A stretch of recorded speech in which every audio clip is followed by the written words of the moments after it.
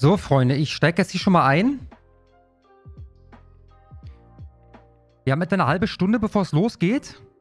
Wie der Titel hoffentlich verrät, gucken wir uns mit Schlomo zusammen das Duell zwischen Herrn Vogt und Herrn Höcke an.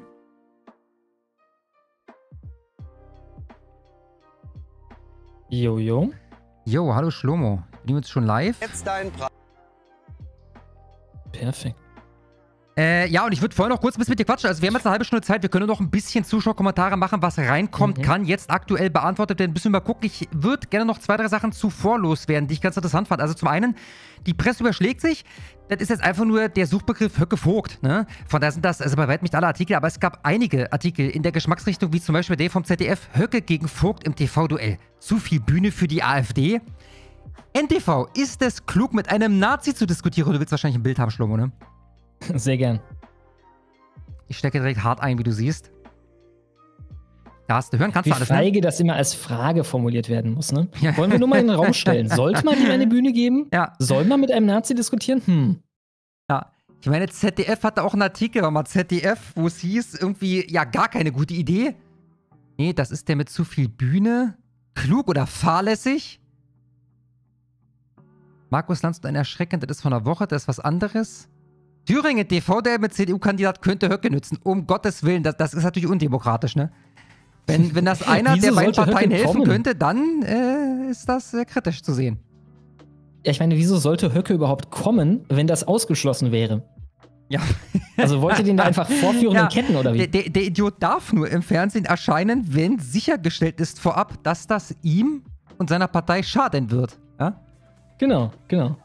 Gut, ich habe hier noch zwei Sachen für dich. Zum einen ein Video von Mio, hat heute hochgeladen, würde ich gerne kurz mit dir zusammen gucken. Du kennst das wahrscheinlich noch nicht, Mhm. ne? Nee. Alles klar, los geht's. Ich habe gerade aus Berlin gehört, dass die AfD gerade einen Fackelzug zum Reichstag plant. Es gibt die ersten Demonstrationen auf der Straße. Dann sage ich, ich könnte brechen.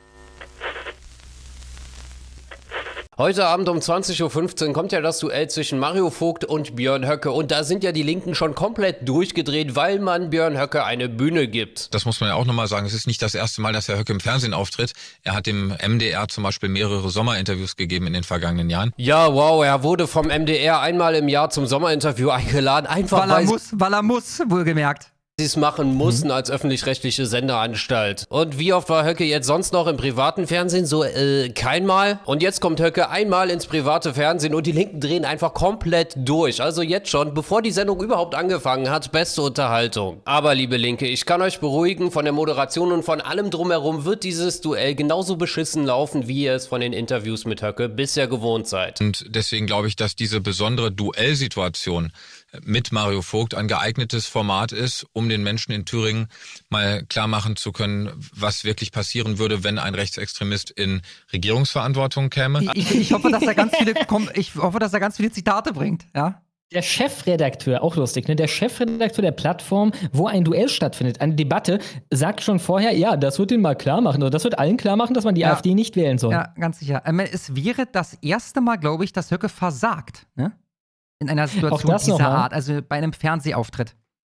Kleines Nachtreten zu gestern. Das will ich auch mal sehen, dass das im Vorfeld gesagt wird, wenn Wagenknecht oder Amira Mohamed Ali irgendwo auftritt, äh, dass der Chefredakteur der Plattform schon sagt, ja, ich bin mir aber sicher, das wird den Prozente kosten.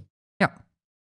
Also damit nicht noch irgendein Zuschauer auf die dumme Idee kommt, sich ein eigenes Bild davon zu machen, wird das alles schön eingeordnet von den Moderatoren und dann auch noch während der Sendung sogar Fakten geprüft. Ja, es wird einen Faktencheck geben während der Sendung schon, weil wir natürlich in der Live-Situation nicht immer in der Lage sind, alles sofort zu überprüfen, ob das richtig ist oder nicht. Und manches wird sich vielleicht nicht sofort klären lassen. Deswegen wollen wir diesen besonderen Service anbieten, spätestens bis zum nächsten Tag einen Faktencheck anbieten zu können, sofern das nötig ist. Äh, ja, logisch braucht ihr den Faktencheck, denn ansonsten kommen die Zuschauer, wie gesagt, noch auf die dumme Idee, ohne irgendwelche Faktenchecks die Dinge selbst einzuordnen. Und weil man sich zufällig den Jahrestag der Befreiung Buchenwalds ausgesucht hat für dieses Duell, wird natürlich auch noch auf die Ja, Aussage zum Mahnmal der Leier, ey. Schande eingegangen. Also uns war natürlich die historische Bedeutung dieses Tages bewusst. Wir haben ihn nicht gezielt danach ausgesucht für das Duell, aber uns war das bewusst bei der Terminfindung und wir haben gesagt, es ist genau der richtige Tag eigentlich, um jemanden zu einer Diskussion einzuladen, zu der sich selbst verabredet hat,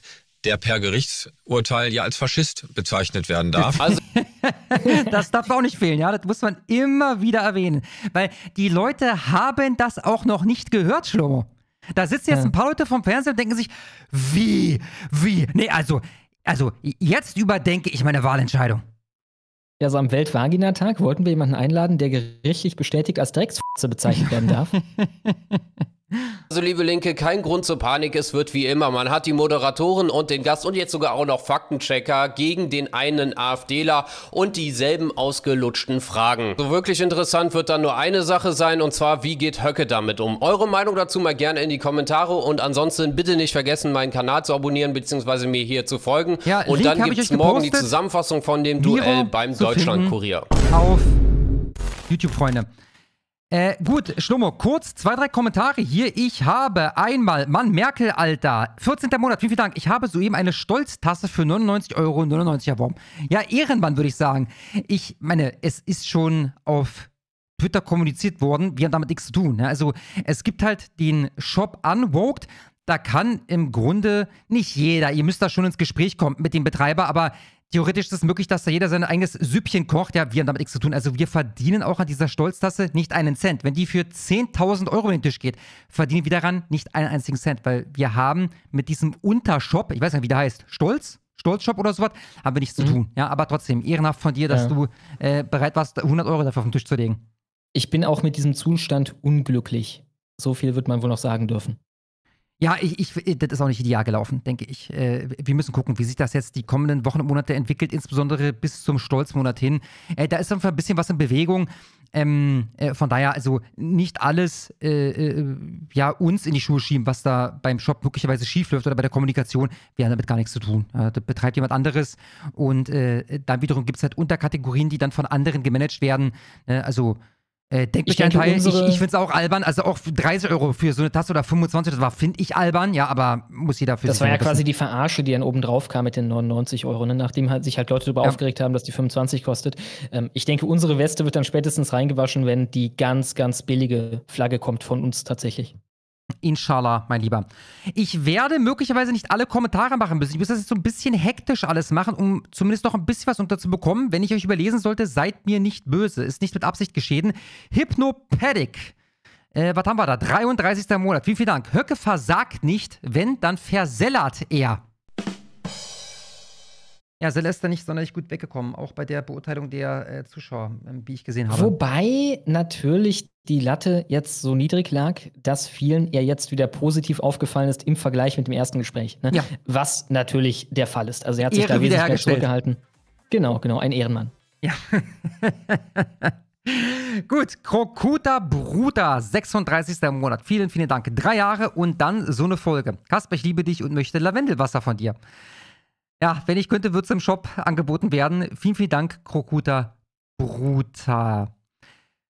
Tunguska-Event. Zum ersten Mal sage ich den Namen richtig. 13. Monat. Vielen, vielen Dank, Metal-Leute und einen schönen Donnerstagabend. Ich danke dir ebenfalls. Viel Spaß heute.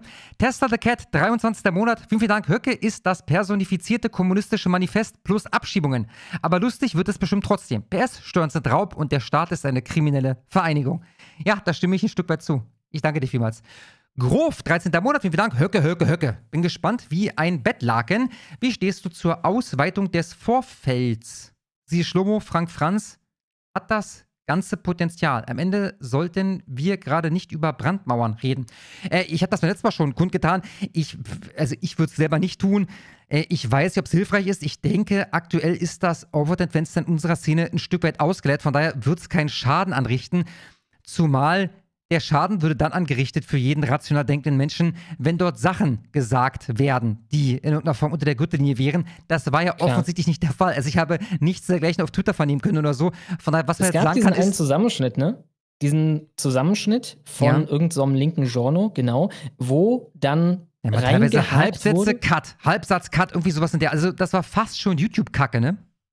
Ja, genau, genau. Wo ich dann ein Weder noch aufgemacht hatte und dann gesagt habe, irgendwie noch, ich habe kein äh, sonderlich emotionales Verhältnis zur deutschen Geschichte. Und das noch klingt dann in dem Zusammenhang so, als wenn ich gesagt hätte, es ist noch nicht Zeit, dass wir mit den Nazi-Sachen kommen. Es ist noch nicht Zeit, dass wir mit irgendeiner NS-Symbolik kommen oder so. Ne? Mhm, Und nicht mhm. wie ein Weder noch. Ja, ich meine, also das, das heißt, unterm Strich, wenn man wirklich das nimmt, was du da gesagt hast, dann kann man dir höchstens denselben Vorwurf machen, den man Seller machen könnte. Ne, Der war ja auch bei äh, Frank Franz im Talk. Hast du das mitbekommen? ja. War da komischerweise sehr viel entspannter als mit mir. Daraus könnte man ihm Strick drehen. Ja? Warum kannst du mit ihm ein gewesen. weitestgehend normales Gespräch führen, mit mir aber nicht? Ich hatte drüber nachgedacht, ob ich einen Joke mache, irgendwie im Sinne von, ja, eigentlich wollte Silla noch Frank Franz dabei haben oder ja, hast du schon deinen Mitgliedsantrag ausgefüllt, aber ich dachte mir, es wäre etwas asozial gewesen, weil das Gespräch auch ein bisschen seriöser war. Wär's, aber witzig wär's gewesen, ja. Greedy RL, achter Monat. Vielen, vielen Dank. Hey, ihr beiden. Sehr coole Debatte mit dem Agitator und Silla. Mir ist der Agitator allgemein sehr sympathisch und ich denke, insgeheim herrschte dort eine homo, hohe Homoerotik zwischen euch. Äh, mir auch. Ist mir ohne Ist jeden er, ja. Zweifel sympathisch, ist ein korrekter Typ, labert keinen Schwachsinn, ja, bei den Sachen, bei denen ich nicht durchsteige. Zum Beispiel Mindestlohn, also den ich jetzt mich nicht wirklich großartig beschäftigt habe. Ich glaube, es gibt dort gute Gegenargumente. Die Krautzone hat zum Beispiel unter dem Video kommentiert und meinte, dass das völliger Blödsinn ist. Ich würde ihn gerne zum Talk einladen, also derjenige, der den Krautzone-Kanal betreibt, weil ich mir gerne mal die Gegenseite anhören würde. Ich würde ganz gerne wissen, was würde geschehen, wenn ein Seller mit einem, äh, Quatsch, einem Agitator mit Markus Krall zum Beispiel debattiert. Ne? Fände ich super interessant, aber im Großen und Ganzen, ähm, da wo ich im Thema drin bin, ja, und das ist natürlich dann immer wieder Migration, äh, vertritt er keine schwachsinnigen Ansichten. Also von daher äh, ist mir super sympathisch. Wenn, wenn Außer halt, wie man politisch darauf hinwirkt, dass die Migration sich ändert. Ne? Ja, das, das stimmt schon, aber zumindest hat er anerkannt, dass das nicht zielführend ist, in keiner Form zielführend ist. Ne? Also wenn das das BSW wäre, äh, dann äh, wären mir das äh, gern gesehene Juniorpartner für, für eine... Das Ding ist, der, der Kernpunkt der Debatte wurde ja eigentlich fast beigelegt, indem er dann sagte, ja, wenn ähm, da irgendein FDP-Typ zum Chef gemacht worden wäre, der gesagt hätte, ich will den Sozialstaat komplett zurückbauen, dann wäre das kompletter Wahnsinn. Und dann im Anschluss, ja, ähm, das liegt, also meine Bewertung der Partei liegt sicherlich auch daran, dass mir Migration nicht so wichtig ist wie Wirtschaft. Und Ja. damit sind wir ja quasi auf einem Nenner. Ne? Dann haben wir kein wirkliches Meinungsversch äh, keine wirkliche Meinungsverschiedenheit mehr. Ja, ja. Dann habe ich noch Derbion für 25 Euro. Vielen, vielen, vielen Dank. Wir haben hier ein Hassverbrechen.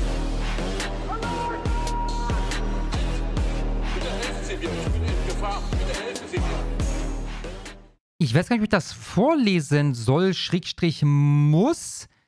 Äh, denn das kam offensichtlich gestern Abend rein und antworten kann ich dir auf jeden Fall, aber ich mach's mal trotzdem. Ich habe eine Nachricht über Patreon gesendet mit einem Video von dem Bürgergespräch mit Maximilian Krah. Ich war dort vor Ort und fragte ihn über die Honigwabe. Gern auch schreiben über Discord. Und dann ein Name, den werde ich jetzt hier mal nicht wiederholen. Äh, wir sind da bereits über Bande im Gespräch. Also wie es aussieht, wird er möglicherweise am 19. Mai in der Honigwabe sein. Sofern Schlummo äh, da nichts gegen einzuwenden hat. Klar.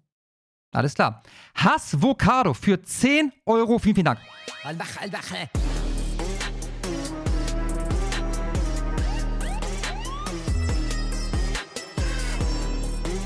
Rassismus gegen Ausländer. Bei der CDU muss doch der Stift 3 cm in der Hose malen. Die wissen bestimmt, wie krass Höcke in Interviews zerficken kann. Mal schauen, wie viel nach der Debatte vom Kack-Servitive übrig bleibt. Ey Leute, ich bin gespannt wie ein Flitzebogen. Ja, wirklich, ich bin extremst gespannt, was wir heute zu sehen bekommen.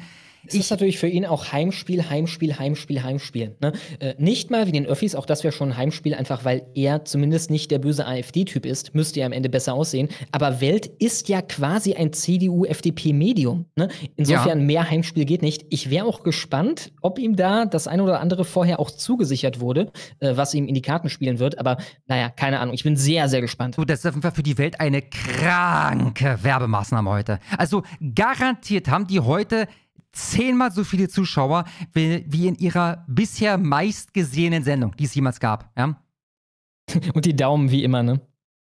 271 ja zu ich wollte dir direkt das 559. nächste Ding, das ist übrigens noch nicht die, die Ankündigung zum, zum kommenden Livestream. Das ist ein Video, was die vor zwei Stunden, also vor einer Stunde hochgeladen haben.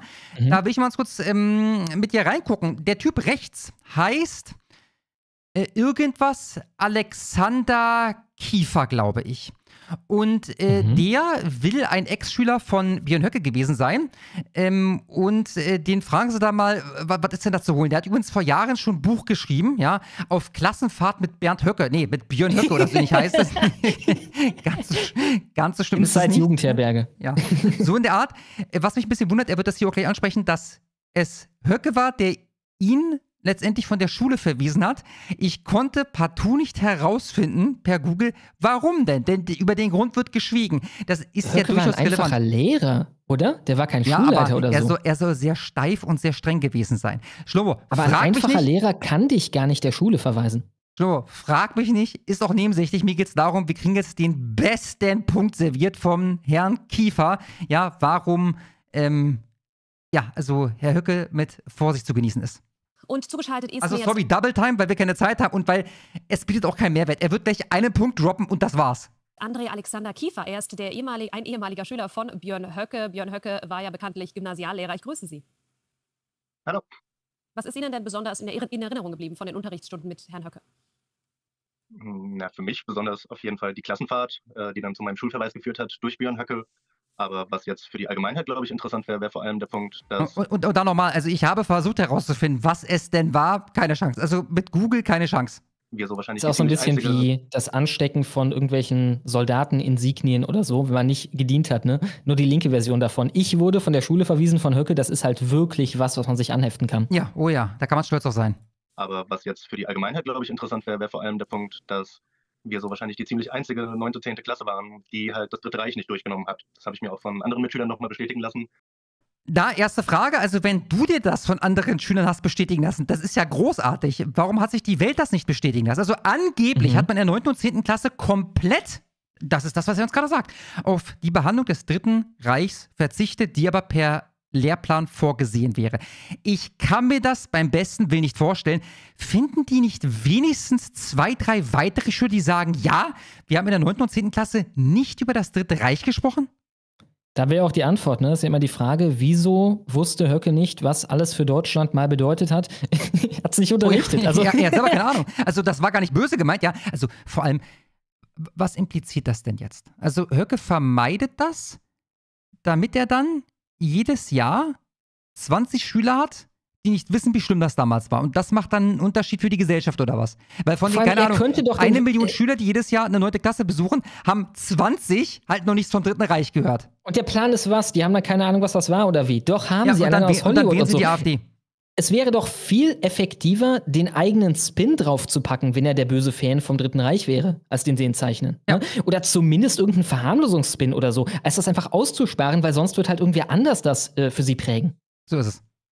Und das ist halt auf jeden Fall sehr auffällig, wenn man in der 9. und 10. Klasse das nicht durchnimmt, weil es eigentlich standardmäßig äh, im Lehrplan drin ist. Richtig, also ich, ich finde, das ist so auffällig, dass bei diesem Vorwurf kann ich mir am besten Willen nicht vorstellen, dass die Medien nicht graben würden, bis sie dafür einen Beweis hätten. Also ich finde das tatsächlich, wenn das im Lehrplan steht, und das ist ein großes Thema, gefühlt haben wir von der siebten bis zur zehnten Klasse im Geschichtsunterricht über fast nichts anderes gesprochen. Ja, es wäre doch zumindest sehr interessant. Und da gräbt keiner mal tiefer und kann das irgendwie belegen. Wir haben also einen Schüler, der ein Buch geschrieben hat über seine Erfahrung mit Höcke, Mhm. der das behauptet, und wir haben ansonsten niemanden. Ich finde es sehr merkwürdig. Auch noch mal eine Frage. Hat ja schon mal irgendwer ein Gespräch mit einem tatsächlichen Neonazi geführt? Ich habe solche Gespräche schon geführt. Und was auffällt ist, die reden über nichts anderes als das Dritte Reich.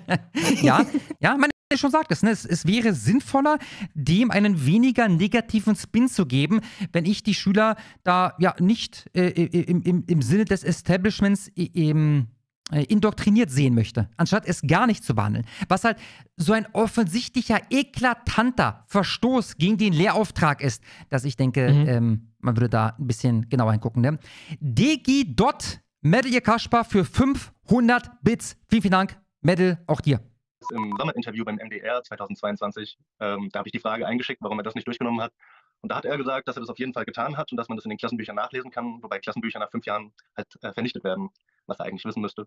Oh, schade. Auch da, ja, auch da. Also, wie lange ist seine Schulzeit jetzt her, als er das gesagt hat? Da gab es nicht mal von der Folgeklasse oder der Klasse danach oder der Klasse danach noch ein Klassenbuch, wo wir da reingucken können? Und wenn man das dann gefunden hätte, dann, dann war es dann, war's genau diese eine Klasse, in der André Alexander Kiefer saß, wo er das nicht durchgenommen hat. Und ich habe mich vorhin versucht, äh, mal ein bisschen schlau zu machen, was das Vernichten von Materialien dieser Art in der Schule betrifft. Und ja, es scheint so zu sein, dass die Frist fünf Jahre ist, aber nach fünf Jahren darf ein Klassenbuch vernichtet werden. Also auch da hat man sich oft mhm. nicht mehr die Mühe gemacht. Vielleicht wurden die ja nicht vernichtet. Vielleicht ist ja die Schule eine, die sagt, na, wir gucken in unser Archiv alle 15 Jahre mal rein ja, und schmeißen alles weg, was weggeschmissen werden kann. Man hat es halt offensichtlich nicht mehr versucht. Er sagt einfach, ja, nach fünf Jahren werden die vernichtet. Das weiß auch Herr Höcke. Ja, wurden sie denn vernichtet? Weil sie müssen nicht vernichtet werden. Nach fünf Jahren dürfen sie vernichtet werden. Also auch da ein Ansatz, für die Presse mal ein bisschen tiefer zu graben, aber irgendwie gut, das tut es keiner. Ja, ich finde es halt nicht sonderlich glaubwürdig das war wahrscheinlich der, der erinnerungswürdigste Punkt, dass wir er das im Geschichtsunterricht nicht durchgenommen haben. Ja, mhm. und um das Ding jetzt hier an der Stelle zu beenden, was dann noch kommt, ist, dass er sagt, dass Höcke wohl sehr steif und streng gewesen wäre und kein besonders beliebter Lehrer. Ja, mir kommen die Tränen, aber das sind die Geschütze, die man bei Zeit Online schon auffahren muss, zwei Stunden bevor die Debatte losgeht. Oh, hier ist er schon wieder. Hier ist er sogar live nochmal zu hören. Charisma ausstrahlen? hm, also man, man muss ihm ja zugestehen, dass er, dass, dass er reden kann und dass er sich gut verkaufen kann, halt auch auf einer psychologischen Ebene. Und dass er die Leute blenden kann. Also in Wirklichkeit will er was ganz anderes als das, was er mal sagt. Und Herr Alexander Kiefer hat ihn durchschaut. Gut, Schlummer, ich muss noch zwei, drei Beiträge machen. Mhm. Das alles in Doppeltime, weil gleich geht es nämlich los und dann können wir gar nichts mehr machen. Ich gucke hier mal schnell rein bei Streamlabs. Da gibt es doch, da gibt es sogar was. Uh, Cologne-Stahl für 50 Euro. Vielen, vielen Dank.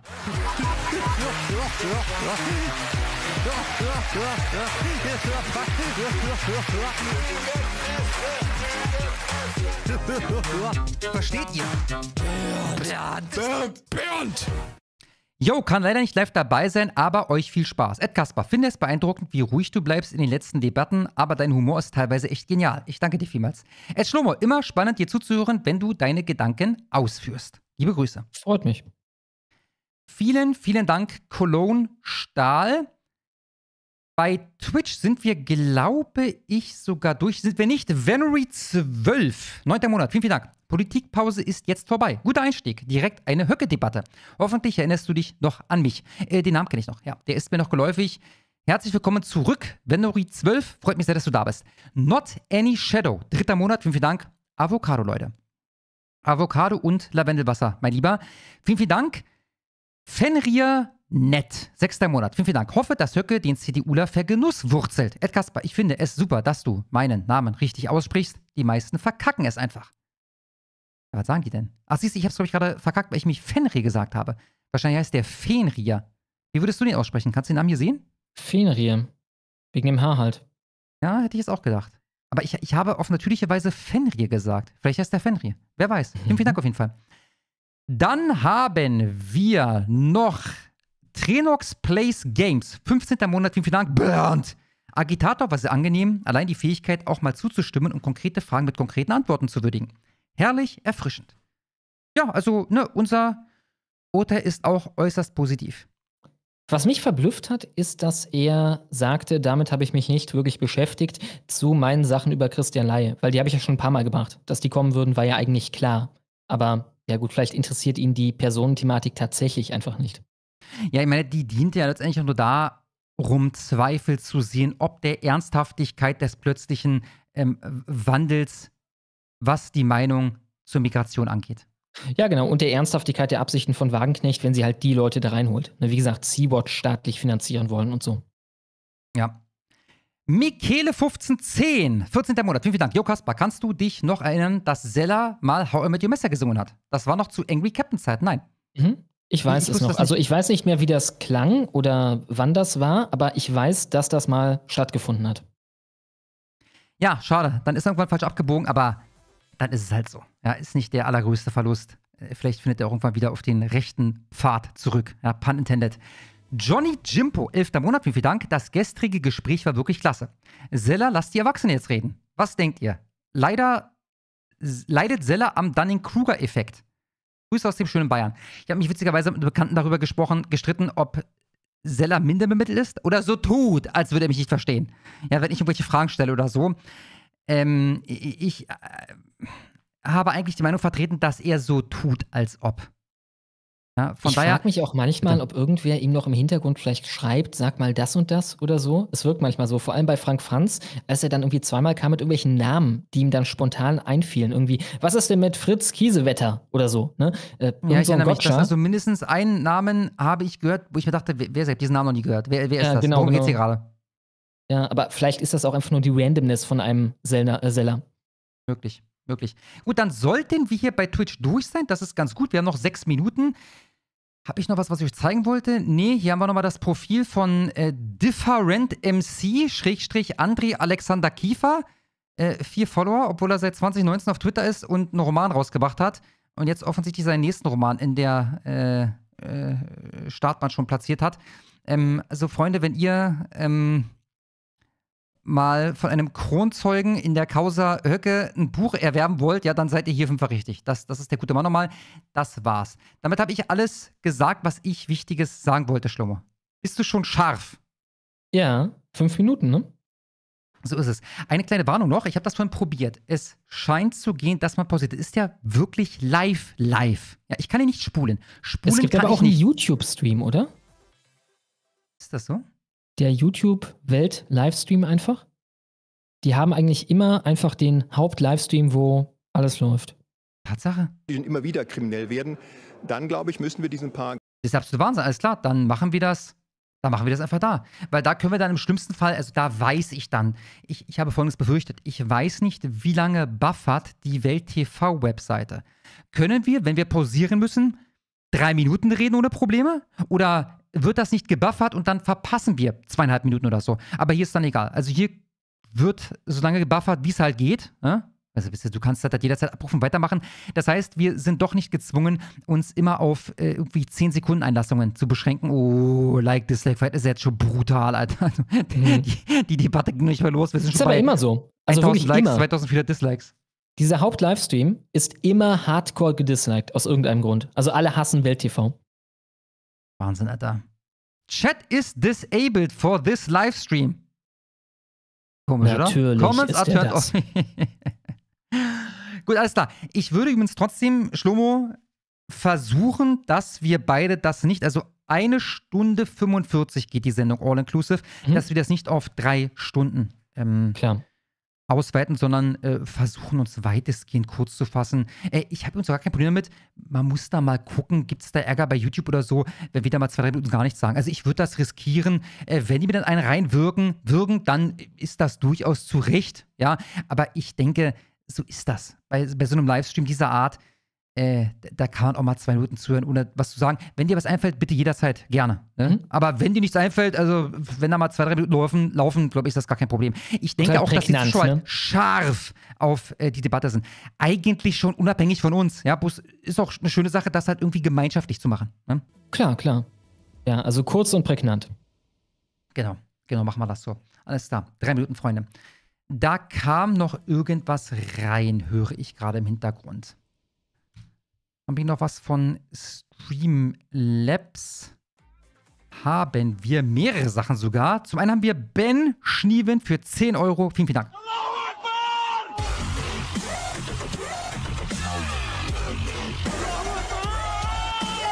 Heute ist ein wichtiger Tag für die AfD und somit für Deutschland. Ein großes Kompliment für die letzten betreuten Kackens und das Sellergespräch. White Bill zum Schluss. Immer mehr heiße Frauen werden rechts und sind voll Team Remigration und Antitrans. Antitrans, Schnummo, du weißt, was diese Woche morgen, um genau zu sein, passiert? Mhm, mhm, Selbstbestimmungsgesetz. Genau. Endlich, nach irgendwie zweieinhalb Jahren oder so. Nachdem sie uns zweieinhalb Jahre damit gefoltert haben, ja, psychischen Terror ausgeübt haben, um uns klarzumachen, das wird dann demnächst kommen, ja, ist dann morgen tatsächlich die Abstimmung. Wird die CDU kacken? Wird sie zustimmen? Ich habe keine Ahnung, ehrlich gesagt. ich, sag, äh, ich, ich sage, genug werden zustimmen. Ja, also ich habe auch diese Woche gelesen, dass die Prognose wohl besagt, da werden genug zustimmen. Ja. Gut, wir haben noch zwei Minuten, Schlomo. Bitte ab jetzt dann am besten zurückhalten. Also macht, was ihr wollt, ja, macht gerne Abos, haut ein paar Bits raus. Wir werden sie möglicherweise gar nicht vorlesen können. Also klar, am Ende, je nachdem wie spät es dann ist, kann ich natürlich nochmal fünf, zehn Minuten oder sowas hier ein bisschen was lesen, aber ich kann heute nicht nochmal irgendwie eine Stunde ranhängen oder so. Äh, ich bin heute schon im Arsch. Ich schlafe quasi ein beim Reden. Ja.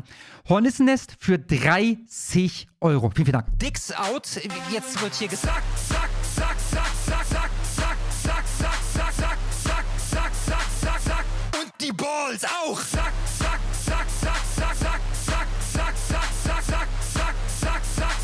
dann bekomme ich eine lange Latte.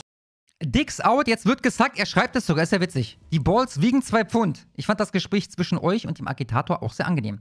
Hatte ehrlich gesagt die Befürchtung, dass es so läuft wie beim Zellercast.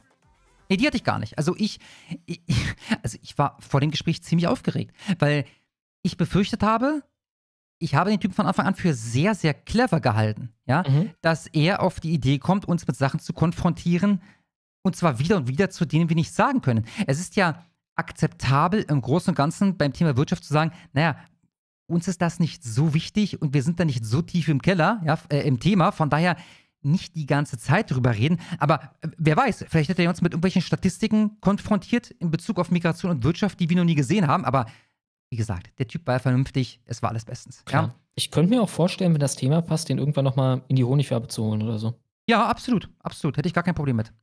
Der Freistarter für 6,40 Euro. Vielen, vielen Dank. Ich möchte nochmal Werbung für youtube.com slash das vulgäre Archiv und youtube.com slash Honigclips machen. Liebe Grüße, Stati. Ich würde den Link gerne noch einbinden, aber ich übernehme einfach kurz deine, schon. deine Botschaft. Es geht nämlich los, Freunde. den Landesverband als erwiesen rechtsextremistisch. Na, die Einleitung muss Die Einleitung, Unterstellen. Hammer, Hammer. sehr, dass ich heute hier sein darf. Schönen guten Abend, liebe Zuschauer. Trotzdem oder gerade deswegen möchte der Vorsitzende und Spitzenkandidat der Thüringer CDU, Mario Vogt, mit Björn Höcke diskutieren. Im Vorfeld dieses Duells hat Herr Vogt gesagt, ich glaube, man muss Höcke ins Licht ziehen, um die AfD Man muss ihn inhaltlich zu entzaubern, stellen. Denn Freunde. 30% Umfrageergebnisse für die AfD lassen sich nicht länger ignorieren. Auch Ihnen herzlich willkommen.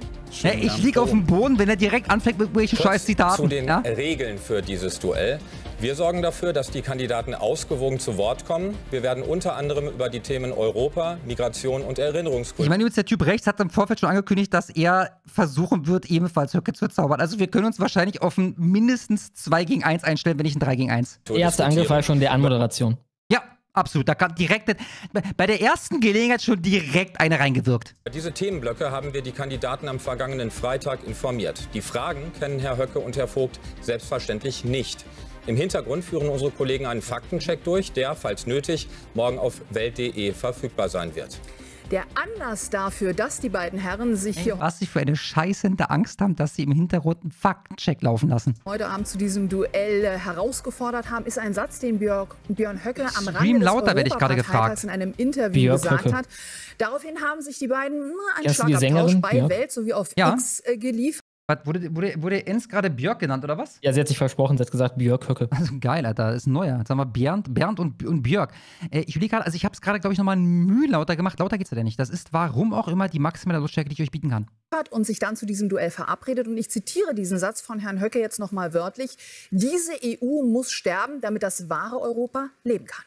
Um an diesen Satz anzuknüpfen, geht die erste Frage an Sie beide. Ist die Europäische Union für Deutschlands Wirtschaft und Wohlstand verzichtbar? Herr Höcke, beginnen Sie bitte. Ja, wie lief das denn im, im Vereinigten die Königreich? Europäische Union ist äh, vor allen Dingen als Globalisierungsagentur einzuschätzen. Sie ist das Europa der Lobbyisten, der Bürokraten und der Großkonzerne. Das ist nicht das Europa, das die AfD will. Die AfD will einen neuen Bund europäischer Staaten mit einem robusten Grenzschutz, mit einem freien Markt, mit dem Schutz unserer Identität und mit einer strategischen Entwicklung hin zu einer militärischen Autonomie, die Europa als neuen Pol in einer entstehenden multipolaren Weltordnung stark macht.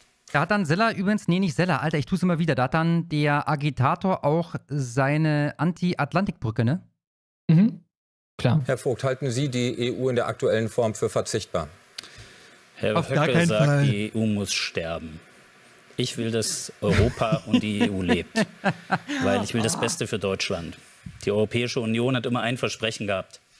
Das war Wohlstand, das war Frieden, das war Freiheit, Das war Sicherheit. Und das hat die Europäische ja, Was davon hat das Vereinigte Königreich jetzt nicht mehr, wo sie ja ausgetreten sind? Union. Man merkt auch direkt, das fliegt nämlich jetzt zu. Ne? Also er hat das einstudiert. Er wusste, dass so eine Frage kommt. Ja, so wirkt es. Ja. Löst dieses Versprechen. Über 70 Jahre haben wir Stabilität in Deutschland und in Europa. Und das, was wir erleben, ist, die Europäische Union ist nicht perfekt.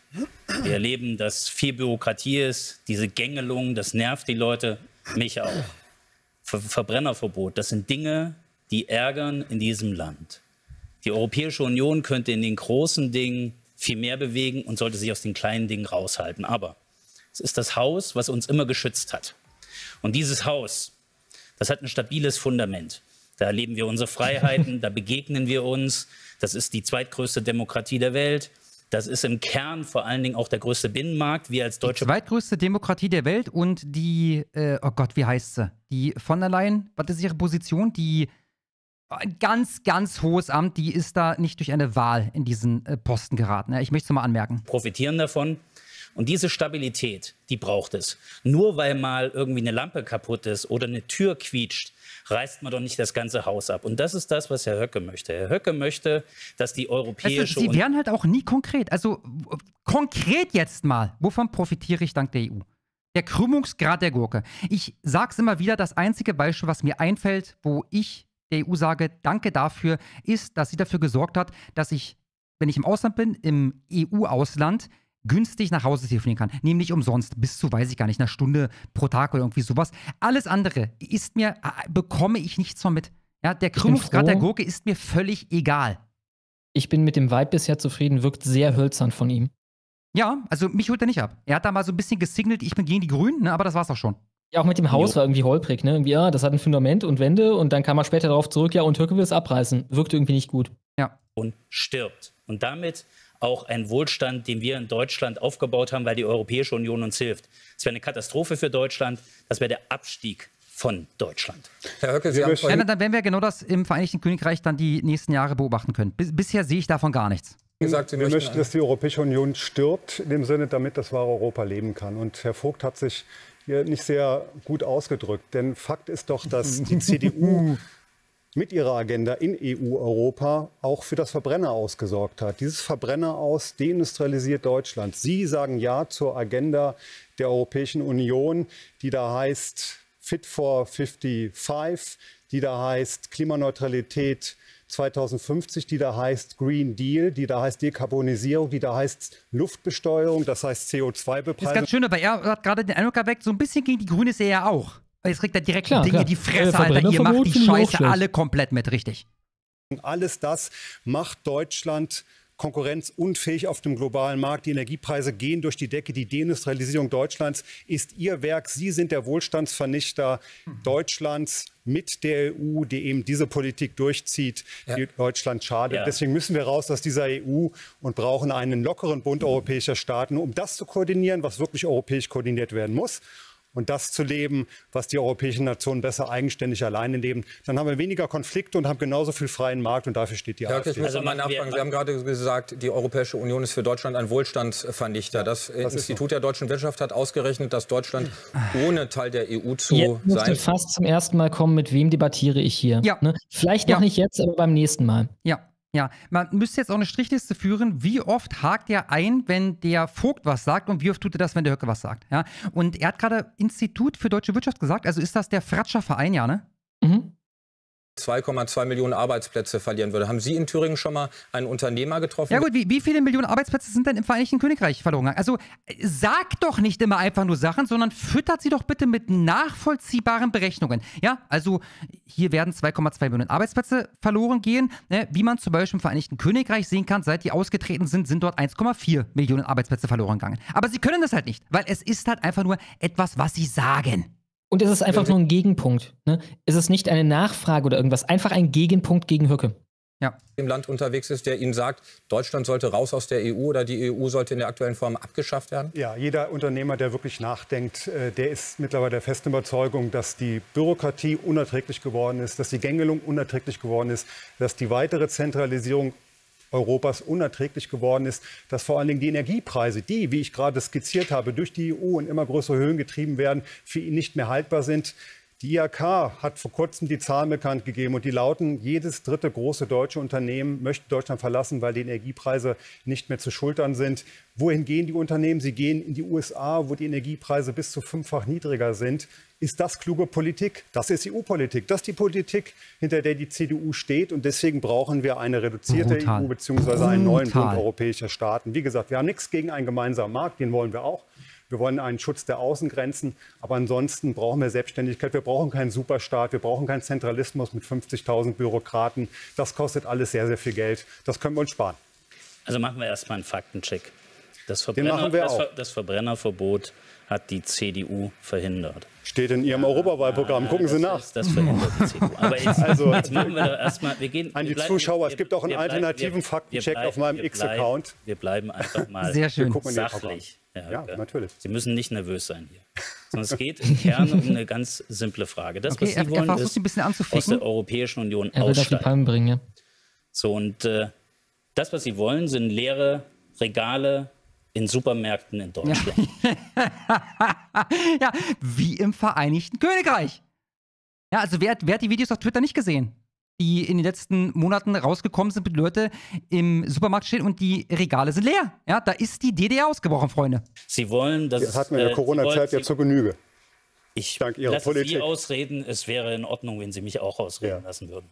Und äh, wenn wir uns angucken, leere Regale im Supermarkt, Arbeitslosigkeit und vor allen Dingen ein Wohlstandsvernichter. Sie legen quasi die Axt und brechen das Rückgrat der stärksten Exportnation, die es innerhalb Europas gibt.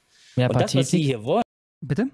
Mehr Pathetik, also überhaupt kein Inhalt, einfach nur, oh ja, absolut. das Rückgrat Ah, wird gebrochen. Kom oh. komplett inhaltslos. Komplett inhaltslos. Also nichts, was er in irgendeiner Form für mich jetzt nachvollziehbar belegen könnte. Dann mach doch bitte ein konkretes Beispiel. Ja? Wofür hat der Austritt des Vereinigten Königreichs im Vereinigten Königreich geführt? Ihr habt Ich würde übrigens weiter unterbrechen. Also ich würde drauf scheißen. Einfach weiter unterbrechen, das bringt den, glaube ich, ein wenig aus dem Konzept. Ja. wollen. Das gibt es am Leben. Ein Beispiel. Gucken Sie sich das doch an. Der Brexit, den wir gerade Oh, erlebt okay, haben. okay. Der Brexit führt dazu, dass in Großbritannien mittlerweile Leute ärmer dran sind, als bevor sie mit der Europäischen Union gemeinsam waren. Und das ist etwas. Aber sagt der jetzt einfach so? Warum nicht nachvollziehbar für mich? Also, Freunde, ich bin da nicht mehr tief im Thema. Überzeuge mich, du hast mich am Haken, Herr Vogt, zieh mich an Land. Was genau ist da jetzt los? Er sagt es halt einfach. Mein Instinkt wäre die Frage wieder reingeworfen gewesen, ähm, da sind die Supermärkte leer in Großbritannien? Ja. Einfach an Ja. dem Punkt. Ne? Ja. Das können Sie nicht wegdiskutieren. Ich war diese Woche bei einem Thüringer Unternehmen. Die haben 70 Prozent Exportquote in den europäischen Markt. Super, die können es auch weiterhin haben. Als ich dort am Band mit der, in der Pa- Parkiermaschine mit äh, der Mitarbeiterin geredet habe, die war stolz. Die hat ein Produkt gemacht, das war am nächsten Tag in Frankreich. Da war die stolz drauf. Die arbeitet 25 Jahre in dem Ich bin mir sicher, die, die ist dann Tränen ausgebrochen. Ja, wenn ich mir vorstelle, Herr Vogt, dass ich hier gerade dieses Produkt fertige und morgen ist das dann schon in Frankreich im Regal. Ah, das macht mich so stolz. Das Ding ist auch, der Austritt von Großbritannien hat eine EU übrig gelassen, die in der Lage war, Großbritannien dafür zu bestrafen quasi. Ne? Maßnahmen gegen die zu ergreifen. Wenn Deutschland auftritt, äh, austritt, war es das mit der EU an Ja. sich. Ja. Die sagt, es ist doch gut, dass wir unsere tollen Thüringer Produkte entwickeln können. Und das, was Sie Wa warum kannst du die ohne EU nicht entwickeln? Warum kannst du die ohne EU nicht nach Frankreich schicken? wollen, ist nichts anderes. Sie wollen Zollschranken. Und Sie hier auch wieder, wie Trump sagen würde, typical politician. Ne? Er kommt mit äh, der Story von der Frau, die ganz stolz war auf ihr Produkt und so Ja. weiter. Was für eine Politikerscheiße. Ja. Euro abschaffen und damit Wechselkursinstabilitäten produzieren. Sie wollen im Prinzip etwas, was uns erfolgreich gemacht hat. Wir sind das erfolgreichste Land. Jedes zweite Produkt, was Deutschland exportiert, geht in die Europäische Union.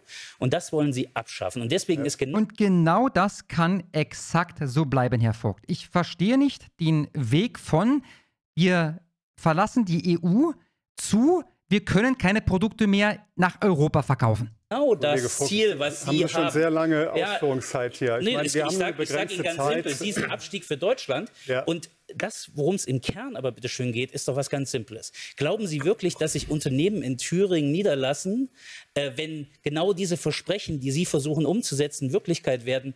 Das bedeutet doch nichts anderes. Vogt, da wird also kein Sie können Thüringer jetzt ja und keine Monologe halten. Also wir haben eine begrenzte Sendezeit Zeit von 45 Minuten. Sie scheinen sehr Ja. nervös zu sein, Ja, wenn es um die Argumente nervös. geht, Herr Höcke. Äh, es geht nur darum, dass Sie jetzt ganz Lassen viele Sachen Einfach Einfach unterbrechen. Ich würde es nicht so machen. Einfach unterbrechen, einfach mit den Punkten unterbrechen, drauf schützen. Nee, ich, ich weiß nicht, ich, ich glaube, ich finde das recht elegant. Also, weil irgendwann hat er dann die Schnauze voll. Ja, aber ich meine, der Typ hat ja, selbst der Normie vom Fernseher, der müsste jetzt eigentlich feststellen, ja, der Herr Vogt hat tatsächlich ziemlich lange geredet gerade. Ja, ja, aber ich weiß auch nicht. Einfach die Trump-Masche reinjumpen gefällt mir irgendwie besser. Ja, klar, Krawall finde ich auch geil. Ne? Bloß, wenn du den, den, den, den, den Normie abholen willst, ich denke, ich denke, das war ein, ein, ein äh, sachliches, nachvollziehbares Reinquatschen, weil irgendwann war dann halt genug.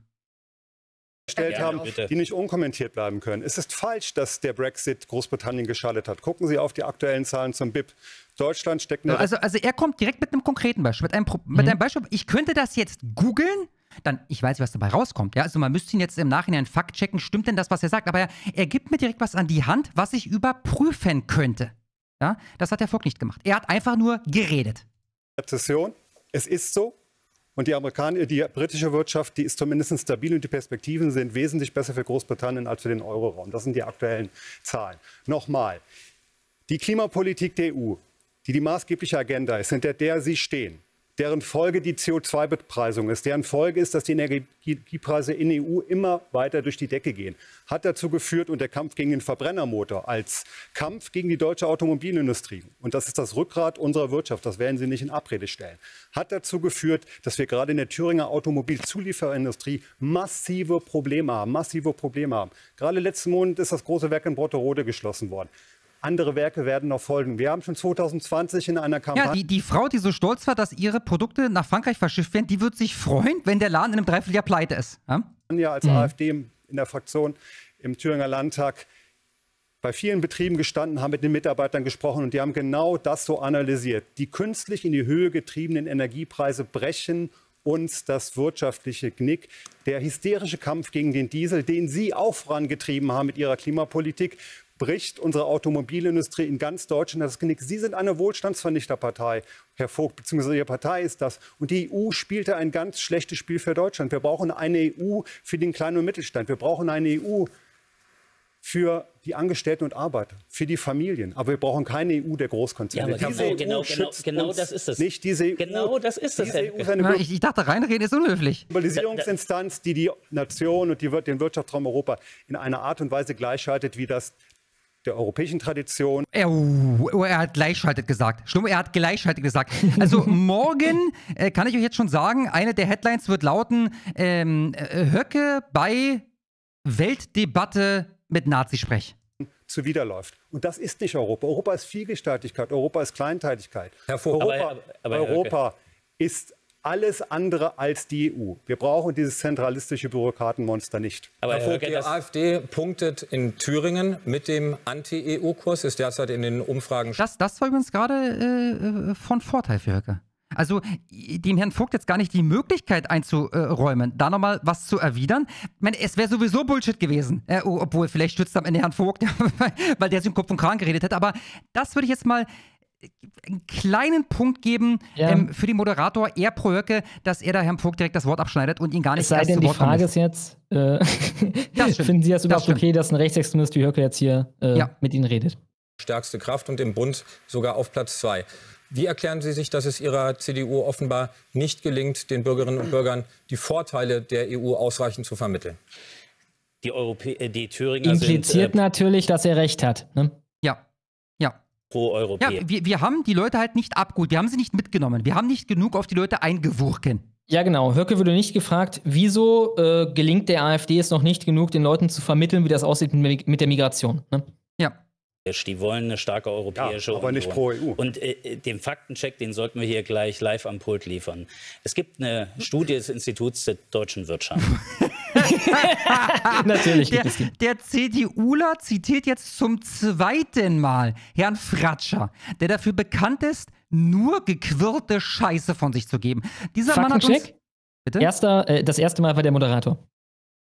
Oh, okay, alles klar. Ich, ich danke dir vielmals, äh, Schlummo.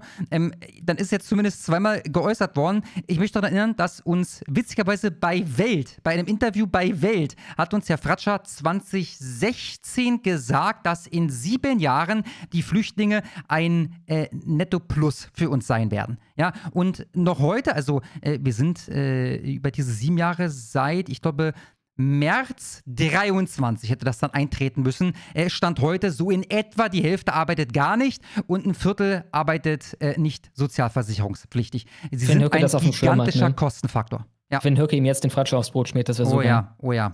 Die haben genau analysiert, was ihr Plan bedeuten würde. Ich hab's für ja aber was. Ah, die, diese Scheiße, Alter. Du kennst das Ding? Nee. Das ist eine Untersuchung von, das ist tatsächlich witzigerweise von Herrn Fratscher, der damit dann auch wieder durch die Talkshows getingelt ist und so. Da kam raus, dass die AfD in Wirklichkeit den Leuten, die sie wählen, schaden wird. Ach so, ja, die Überschrift habe ich gelesen, ja. Äh, gefragt gerade, Ja, Herr Vogt. Warum gerne. gelingt es der CDU nicht, die ich, ich will, Vorteile ich will, zu Ich will auf diesen Punkt hinweisen, weil es wichtig ist für die Wähler, weil die ändern heute Abend auch ihre Meinung in Thüringen über diese Frage. Das was, er, das, was Herr Höcke möchte, bedeutet nichts anderes, dass die Thüringer Ich lese gerade im Live-Chat, dass auf Höckes Account wohl schon der erste Faktencheck Check, äh, veröffentlicht wurde. Das sind, ah, scheiße, ich bin hier nicht eingeloggt. Müssen wir vielleicht nachher machen, noch gar nicht. die Arbeitnehmer 1000 Euro weniger im Portemonnaie haben pro Jahr. Das ist die Studie des Instituts der deutschen Wirtschaft. Wenn wir aus der EU Ja, be be betone es noch mehr, dass du dort einen Wahnsinnigen zitierst. Aussteigen, wenn wir diese Chancen nicht nutzen, dann führt das am Ende Der, der, dazu. der Mann hat uns erzählt, ich glaube 2021, dass eine, eine Inflation, wie sie von einigen befürchtet wird, die wird nicht kommen. Dann hat er uns 2022 äh, prophezeit, diese äh, Inflation, die einige da kommen sehen und die jetzt auch tatsächlich kommt, die wird sehr gering ausfallen, 3, 4 Prozent oder sowas.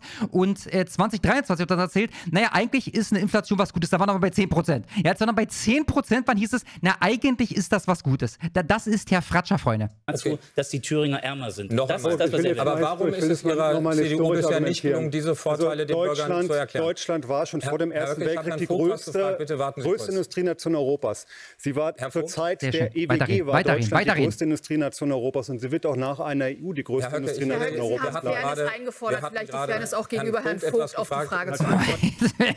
Jetzt wird aber auch sie ziemlich aggressiv, ne? Die Frage jetzt schon zum dritten Mal gestellt, hätte jetzt gerne eine Antwort. Klar. Wir als CDU sind mittlerweile zweitstärkste Kraft und wir kämpfen darum, Erste zu werden. Und deswegen haben wir dieses Duell heute Abend. Und ich finde, wir müssen die Unterschiede deutlich machen, weil das, was Herr Höcke vertritt, das ist ein Risiko, das ist schädlich für Deutschland, das ist eine Katastrophe. Und genau aus diesem Grund diskutieren wir über die harten sachlichen Fakten. Es ist einfach, ihn einen Faschisten zu nennen. Das hat, muss ich nicht machen. Das hat ein Gericht schon gemacht. Sondern es geht um eine andere Frage. Es geht um die Sache. Jetzt kommt das Sachen der Form Okay, rein. Auch noch auf diese, auf diese fucking weibische, das muss ich gar nicht sagen, das wurde schon gesagt. Alter, du kleine Sch***e. Ja, und Faktencheck, ein Gericht hat ihn nicht einen Faschisten gesagt. Ein Gericht hat gesagt, wenn jemand Höcke einen Faschisten nennt, dann ist das von der Meinungsfreiheit gedeckt. Das ist die Kurzfassung. Ja, das Gericht hat nicht gesagt, der ist übrigens ein Faschist. Auseinandersetzung, was seine Politik an Schaden für Deutschland produziert. Und das werden wir als CDU deutlich machen im Wahlkampf.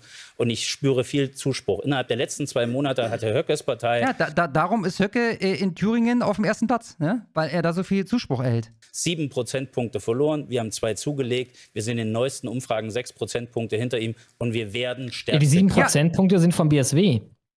Die sind vom BSW und wahrscheinlich mindestens zu einem kleinen Teil zu erklären durch eine äh, linke Medienkampagne, die sicherlich nicht zum Ziel hat, die CDU zu stärken.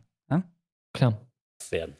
Herr Vogt, Herr Höcke, wir würden ganz gerne mit dem Themenbereich Wirtschaft weitermachen. Eigentlich sind wir schon so ein bisschen drin äh, durch das EU-Thema und würden da noch ein bisschen genauer drauf schauen. Herr Höcke, ähm, im Sofortprogramm Ihrer äh, Partei steht, und ich zitiere wörtlich, äh, Bürger und Unternehmen sollen entlastet werden. Wie sollen sie entlastet werden? Indem die Strom- und die Energiesteuer auf ein Minimum gesenkt sowie die Luftverkehr- und Grundsteuer, CO2-Abgabe und der Soli ersatzlos gestrichen werden. Dadurch würden aber Das, das, das wäre, also ich kenne die genauen Zahlen nicht, aber das wäre eine brutale Senkung des Energiepreises. Also egal ob jetzt Strom, Gas oder sonst was, äh, das würde, äh, also nur mal so, kleiner Fun Fact, wenn ihr Benzin tankt, dann sind da so 76 Prozent oder sowas. Davon sind Steuern und äh, Abgaben irgendeiner Art, ja. Also, wenn ihr einen Euro fürs Tanken zahlt, dann zahlt ihr für das Benzin eigentlich 14 Cent oder sowas. Meinetwegen 20, ja. Ich bin gespannt, ob jetzt irgendeine Pathetik mit dem Klima kommt, von wegen die Welt geht unter. Denn bisher war das Overton-Fenster hier so verschoben gegenüber dem Rest vom Mainstream, äh, dass beide sich freisprechen wollten von diesen Klimaschutzsachen. Ja. Bei dem deutschen Staat Einnahmen in Höhe von knapp 50 Milliarden Euro entgehen. Das sagt ähm, unter Ja, 50, anderem. das, das deckt sich ja original mit den Kosten für Migration, die wir haben. Witzigerweise, die der Bund für Migration hat offiziell. Da sind Polizeieinsätze aufgrund von durchdrehenden Asylbewerbern oder sowas nicht berücksichtigt. Da geht es wirklich nur um Unterkünfte und um das, was sie brauchen, um davon äh, Lebensmittel des täglichen Bedarfs zu kaufen. Das sind offizielle Zahlen, witzigerweise auch von, von der Welt, ja, 50 Milliarden. Boom, Problem gelöst. Ja, plus minus null. Unser Strom wird hier abartig billig und äh, die Migration kostet uns dann gar nichts mehr. das Leibniz-Zentrum für europäische Wirtschaftsforschung. Wie würden Sie eine solche Lücke im Haushalt denn stopfen? Von wo nehmen, wenn ich es hier entlaste? Schieben. Ja, das ist eine berechtigte Frage. Wir haben natürlich Einsparpotenzial ausgemacht. Ähm, denken Sie bitte an den großen Posten Entwicklungshilfe. Über die gesamten Mhm. Einzelpläne des Bundeshaushalts Mhm. haben wir da eine Summe von etwa 60 Milliarden Euro aufgeklärt. Die werden ausgegeben für Genderprojekte in Afrika. Die werden ausgegeben für Wärmedämmung in Ulaanbaatar. Die werden ausgegeben für Entwicklungshilfe in China und für China und Indien, unsere, unsere großen Konkurrenten auf dem Weltmarkt, für Radwege in Peru. Da kann man massiv zusammenstreichen. Sehr, sehr schön. Sehr schön. Das, das Einzige, was mir nicht gefallen hat, war äh, Genderprojekte. Er hätte sagen müssen für feministische Literaturkurse in Uganda oder so ein Scheiß. Also, damit auch wirklich der Letzte versteht, was dort tatsächlich finanziert wird. Und da kann Mhm. man massiv sparen. Da haben wir schon viele 10 Milliarden Euro gespart. Bei der Migrationspolitik, es war ja Ihr Haus, Ihr Blatt, die Yes. Welt, die auch mal vor kurzem Gott sei Dank die Zahlen transportiert hat. Die illegale Einwanderung, die leider ja auch von der CDU maßgeblich initiiert worden ist, hat uns oder kostet uns pro Jahr 50 Ja, Milliarden das, ist schon, das ist ein Blutbad bisher. Ja, ja. Euro. Jetzt nehmen Sie die Entwicklungshilfeposten und nehmen Sie die 50 Milliarden, da sind Sie schon bei 60, also insgesamt bei 110, aber wir wollen die Entwicklungshilfe nicht ganz zusammenstreichen, aber wir sind auf jeden Fall bei 70, 80 Milli- Milliarden Euro im Jahr. Das Geld ist da, es wird nur nicht im deutschen Interesse ausgegeben und das muss wieder das Primat der deutschen Politik sein. Das Geld, das vom deutschen Steuer hart erarbeitet wird und erwirtschaftet wird, für Zwecke für das eigene Land auszugeben. Weil jetzt gerade Das war richtig gut. Das war richtig, richtig gut. Ein richtig guter Das Schnipsel auch für Twitter nachher. Unfassbar gut. Wirklich, ja. Also, ich würde sagen 9,8 von 10 Punkten. Das ist das einzige wirklich kleine Kritik, äh, diese Genderprojekte. Da hätte ich mir noch, noch, noch was Dümmeres gewünscht als, als Beispiel. Viele Zahlen hier durchs Studio fliegen. Nochmal der Hinweis ans Publikum. Wir checken diese Zahlen. Morgen auf Welt.de Ja. gibt es den Faktencheck. Herr Vogt, aber auch an Sie die Frage. Sie fordern ebenso Steuersenkungen. Wie würden Sie die im Staatshaushalt gegenfinanzieren? Ja, das, was wir im Bundeshaushalt machen wollen, ist natürlich, äh, uns auf das zu konzentrieren, was wesentlich ist. Und ich sage es Ihnen relativ simpel. Die zwei Dinge, die ich momentan erlebe, äh, wenn ich äh, im Land unterwegs bin, in Thüringen, es regt die Leute wahnsinnig auf, dass wir die Ungerechtigkeit haben am Arbeitsmarkt. Eine Kassiererin, die arbeitet Aber 39 sorry, es geht darum, wie er, wie er das Geld wieder reinholen will. Ja? 30 Stunden, die strengt sich richtig an und die hat wirklich ein Gefühl, dass es ungerecht zugeht in diesem Land. Bald kann ich ihr Produkt nicht mal mehr äh, ins Ausland verkaufen. Ja. Menschen, die arbeiten könnten, nicht arbeiten. Stichwort Bürgergeld. Und genau aus Okay, diesem Grund klar. würden wir auch hier klipp und klar sagen, es muss eine Konzentration gehen und der Maßstab, jeder, der arbeiten kann, der muss auch tatsächlich arbeiten und derjenige, der arbeitet, der muss mehr haben als derjenige, der nicht arbeitet. Und es bedeutet unter anderem auch, das Bürgergeld für diejenigen einzuschränken, die auch aus anderen Staaten kommen, weil das ist eine Ungerechtigkeit, die Leute nicht verstehen. Der zweite Punkt ist, wir wollen natürlich auch, dass äh, wieder Fleiß sich lohnt. Leistung muss sich lohnen in diesem Land. Der Fleißige darf nicht der Dumme sein. Ich war kürzlich in einem Nein. Thüringer Unternehmen Horsch, die stellen Landmaschinen her und dort sagt mir die Belegschaft, Herr Vogt, wir würden gerne mehr arbeiten, aber es bleibt in unserem Portemonnaie nichts hängen. Von jedem Euro, den Sie dazu verdienen, bleiben 41 Cent bei Ihnen, der Rest geht an den Staat. Und das wegen Jetzt kommt er gerade, also jetzt glaube ich, kommt er wirklich vom Thema ab. Denn es geht darum, wie er die Milliarden sparen will. Also wo will er sich die Kohle dann herholen? Ja, wenn die Leute weniger Steuern zahlen, darauf läuft das hier offensichtlich hinaus, dann hat er nicht mehr Geld in der Kasse, sondern weniger. haben wir als CDU gesagt, okay, wir wollen die Überstunden steuerfrei stellen, weil wir wollen, dass die Menschen wieder mehr im Portemonnaie haben. Und darum geht's. Leistung muss sich in diesem Land wieder lohnen. Und das jetzt eben auch voraus, wenn wir das tun, dann haben wir mehr Steuereinnahmekraft und durch dieses Wachstum äh, wird das genau aufgenommen, was wir auch tatsächlich wollen. Wa- Warum schüttelt, warum guckt ihr den an und schüttelt den Kopf? Also gut, vielleicht wollte sie damit nur anmerken, dass er aufhören soll zu reden. Äh, ich halte kurz fest, also die äh, feministischen ähm, Literaturkurse in Uganda, die wird es auch unter einer äh, CDU-Herrschaft weiterhin geben. Herr Herr Höcke, ich Kollege Vogt, darf ich, schmunzeln ja, ich muss, deshalb muss, direkt darauf Ja. antworten. Es, es brennt jetzt einfach auf meiner Zunge, in Anführungszeichen. Kollege Vogt, das war wieder dieser typische Konrad-Adenauer-Stiftungssound. Dieses Aneinanderreihen von Worthülsen und von Phrasen. Sie, sehr geehrter Kollege Vogt, Ihre Partei, die CDU, ist mit Abstand die längste Regierungspartei im Bund und auch in Thüringen. Warum haben wir denn diese fast weltweit einzige Abgaben- und Steuerbelastung? Weil Sie in den Brutal. letzten Jahrzehnten versagt haben. Und vor jeder Wahl versprechen Sie den Wählern das Blaue vom Himmel. Das glaubt Ihnen doch keiner mehr. Das nimmt Ihnen doch keiner mehr ab. Und ich glaube, die Art und Weise, wie Sie gerade hier vorgetragen haben, ist eine Ursache für die Politikverdrossenheit im Land. Die Leute wollen sich nicht länger an der Nase herumführen lassen. Sie wollen nochmal, dass das Geld, das hier erwirtschaftet wird, auch im Land bleibt. Vor allen Dingen die Rentner, an die müssen wir denken. Wir haben Millionen Rentner, die in schwi- schwierigen Verhältnissen sind, die in bitterster Armut stellenweise leben. Ich bin zu zig Bürgerdialogen unterwegs gewesen in den letzten Jahren in Thüringen, wo hunderte Bürger ähm, mich Du kennst dieses Meme, ich glaube, von den Simpsons? er soll aufhören, er soll aufhören, er ist doch schon tot. Klar. Besuchen und die kommen danach und haben Tränen in den Augen. Sie weinen, diese Menschen weinen von mir und sagen, Höcke, wir wissen nicht mehr, wie es weitergeht. Das Geld reicht nicht mehr zum Leben. Menschen, die ein Leben lang gearbeitet haben, 45 Jahre, manche sogar 50 Jahre, gehen mit 900, 950 Euro netto Rente nach Hause. Das geht nicht, das muss sofort aufhören. Wie gesagt, das Geld ist da, an die Rente müssen wir ran, die Rente muss reformiert werden, damit für unsere Leute das Geld zum Leben auch im Alter reicht. Aber wenn, wenn, wir schon den, wenn ihr schon den Anwurf macht, dann will ich es auch klipp und klar sagen. Der Bürokratieindex können Ihre Faktenchecker sich mal angucken. Ich weiß, dass mit Faktenchecking haben Sie es ja nicht so. Sie sind ja bei den. Doch, auf bei mein- den, bei, auf meinem X-Account Der hat auch einen Faktenchecker gefrühstückt heute, ne? Der kam schon Ja. fünfmal von wegen, oh, wir müssen hier Ja. direkt live Fakten checken. Ja, vor allem jetzt kommt der, der Was-Index? Ihr habt davon nicht mal gehört. Also, da, dann mach ihm jetzt bitte schmackhaft. Erklär mir bitte, was dieser Index genau aussagt und leite es so her, dass ich es verstehe. sind Sie ja genauso wie Trump. Das führt uns So, jetzt und, und, und wenn, wenn, wenn, wir den. Bürokratieindex uns 2021 angucken, Den, sorry, den Bürokratie-Index, okay. dann werden wir feststellen, dass der am niedrigsten war, weil die CDU Bürokratie abgebaut hat. Das ist noch mehr. Aber Ach da- so, da- also also- ist schon alles Tutti.